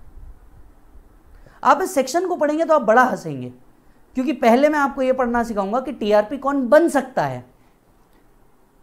एजुकेशनल क्वालिफिकेशन ऑफ़ टीआरपी पे आइए graduate from a recognise university और इंस्टीट्यूशन। वर्ड देखिए क्या लिखा है। ग्रेजुएट, कोई भी ग्रेजुएट क्या कर सकता है? टीआरपी बन सकता है। सर, बाकी सब छोड़िए। बीकॉम वाला टीआरपी, बीएससी, बीबीए वाले भी टीआरपी बन पाएँगे। ठीक है साहब, जिन्होंने इनकम टैक्स का आय नहीं पढ़ा, स्कीम देखिए, जिन्होंने इनकम टैक्स का आय नहीं पढ़ा, वो टीआरपी बनेंगे। इनफैक्ट बीकॉम के अंदर में भी जो इनकम टैक्स होता है, वो एक साल पीछे चलता है। आपने खुद ने एग्ज़ाम देखी होगी। उनको बोला, आप टीआरपी बन जाओ, कोई प्रॉब्लम नहीं। बहुत बढ़िया साहब। कोई भी ग्रेजुएट बन सकता है। ओके। दूसरा who have cleared clear the intermediate exam of C S C S C M A institute बहुत बढ़िया साहब। इसी बीच उन्होंने एक और बात कही है। A chartered accountant cannot be a TRP who is not eligible to be TRP chartered accountant अब मैं ये लॉ बनाने वालों से पूछना चाहूँगा, पता नहीं जी कौन सा नशा करते हैं ये लोग और ऐसी स्कीम बनाते हैं। बहुत बढ़िया। You don't want our finish good but you want our raw material आप बोल रहे हो, जो व्यक्ति C A C S C A में इंटर क्लियर किया हुआ है, वो टीआरपी बन सकता है। लेकिन फाइनल जो सी ए बन चुका है, वो टीआरपी नहीं बन सकता। वाह, क्या स्कीम निकाली I like you as a friend इसका क्या मतलब हुआ? I like you as a friend तुमको हमारा रॉ मटेरियल चाहिए ना, लेकिन तुमको हमारा फिनिश प्रोडक्ट नहीं चाहिए। बहुत शानदार बेटा। क्या पता नहीं जी कौन सा नशा करता है, ऐसा कैसा लॉ बनाता है? Any graduate any person who has cleared अच्छा इंटरमीडिएट नहीं क्लियर इंटरमीडिएट मतलब वो फाइनल का स्टूडेंट होना चाहिए। Who has cleared the C A C S और सी ए में इंटरमीडिएट एग्जामिनेशन बहुत बढ़िया बेटा। But who can't be TRP a chartered accountant can't be TRP तुमको हमारा रॉ मटेरियल चाहिए, पर तुमको हमारा फिनिश प्रोडक्ट नहीं चाहिए। बहुत बढ़िया। Any legal practitioner who is entitle to practise in any civil court in short advocate TRP नहीं बन सकता। सी चार्टर्ड अकाउंटेंट्स की बहुत ज़्यादा कमी थी, आज भी है। ऐसे केस में कई एडवोकेट्स रिटर्न फाइलिंग के काम करते हैं। इसीलिए उनको भी हटा दिया। An employ of a specified class और classes of person schedule bank का एम्प्लॉय भी टीआरपी नहीं बन सकता। Who can be TRP an individual H can be TRP return which cannot be filed by TRP ये इंपॉर्टेंट है। कौन से रिटर्न टीआरपी फ़ाइल नहीं कर सकता? A person who is covered in tax audit revise return if original return is not filed by TRP a person who is not resident in India कहाँ से करोगे? जो ग्रेजुएट है, उसको टैक्स ऑडिट के बारे में वैसे भी पता नहीं रहता। अगर वो सिर्फ़ ग्रेजुएट कर रहा है अंडरस्टैंड दैट टू अगर वो अकाउंटेंट नहीं है बीकॉम में नहीं है बीएससी वाले ग्रेजुएट तो वो भी है, उनको टैक्स ऑडिट के बारे में पता ही नहीं, वो रिटर्न भर देंगे। स्कीम बनाने से पहले कुछ तो सोचते मेरे भाई। अगर ओरिजिनल रिटर्न आपने नहीं भरा तो आप रिवाइज नहीं भरोगे। क्यों? समझ नहीं आएगा क्या एडजस्टमेंट्स की है। नॉन रेसिडेंट के रिटर्न आप नहीं भरोगे। हाँ, भर ही नहीं सकते। नहीं भरोगे नहीं, भर ही नहीं सकते। बीकॉम में इंटरनेशनल टैक्स पढ़ाया ही नहीं जाता। कहाँ से भरोगे? और इसके बावजूद अगर कोई कहता है ना कि हाँ सीए लूटते हैं, मैं कहूँगा हाँ ठीक है एक्सेप्टेड हाँ ठीक है एक्सेप्टेड हम जितने भी प्रोफेशनल्स है C A C S C M है हम साढ़े तीन साल, चार साल मेहनत करते हैं। अटेम्प्ट पे अटेम्प्ट लगाने के बावजूद हमने करते हैं। साला कोविड में हर जन अलग अलग वेब सीरीज़ देख रहा था। हम बैठ करके चुपचाप अपनी एग्जामिनेशन के लिए प्रिपेयर कर रहे थे या तो आर्टिकल चिप कर रहे थे। कोविड में हर जन अपने घर पे सेफ़ बैठा था। हमारे हमारे आर्टिकल चिप वाले हमें भेज रहे थे कि तुम जाओ, कुछ नहीं होता। हाँ हम तो सुपरमैन ही पैदा हुए थे। और इसके बावजूद अगर कोई कहता है ना कि तुम ज़्यादा पैसे लेते हो तो मैं कहता हूँ डिजर्व करते हो। तुम फिर डिजर्व करते हो। तो बस बेटा, टेंशन नहीं लेना। इसी के साथ आज का लेक्चर को हम करते हैं वाइंड अप फटाफट डिस्कस करते हैं क्या क्या पढ़ा। आज हमने पूरा इनकम टैक्स अथॉरिटीज पढ़ा, जहाँ पे 116 से 129 हम लोगों ने कंप्लीट किया। आज हमने रिटर्न ऑफ़ इनकम पढ़ा, जिसमें हम लोगों ने 139 ए पढ़ा 139 डबल ए पढ़ा 139 बी पढ़ा 139 वन सी पढ़ा। ये सेक्शन हम लोगों ने आज पढ़े। मैंने आपसे कहा था कि बेसिक के क्वेश्चन आज हम लोग एंड में सॉल्व करेंगे बट इसी में डिस्कशन में निकल गया और वो सॉल्व नहीं कर पाए। कल कर लेंगे। क्वेश्चन अपने साथ में रखना, कल हम लोग ये सॉल्व कर लेंगे। डन सर तो आज का आपका सिर्फ़ और सिर्फ़ एक होमवर्क है। जितना मैंने पढ़ाया है प्लीज़ प्लीज़ प्लीज़ इसे पढ़ना। मैं रोज आपसे यही कहूँगा, यही होमवर्क रहेगा कि जितना हमने पढ़ा डेली पढ़ लेना, साथ साथ में आपके रेगुलर बुक्स भी बाजू रख के आपको पढ़ना है। जिस बुक से भी पढ़ लेना कंटेंट आपको पूरा मिलेगा। एंड यस आपका कोई भाई, दोस्त, यार, रिश्तेदार अगर क्लास लेना चाह रहा होगा तो उसे अकॉर्डिंगली ज़रूर बताइएगा। डन सर कोई डाउट होगा तो इस नंबर पे आप मुझे व्हाट्सएप कर सकते हैं। मैं आपको 48 आवर्स मिनिमम के अंदर में रिप्लाई करने की कोशिश कर दूँगा। Done sir thank you so much you take care see you tomorrow bye bye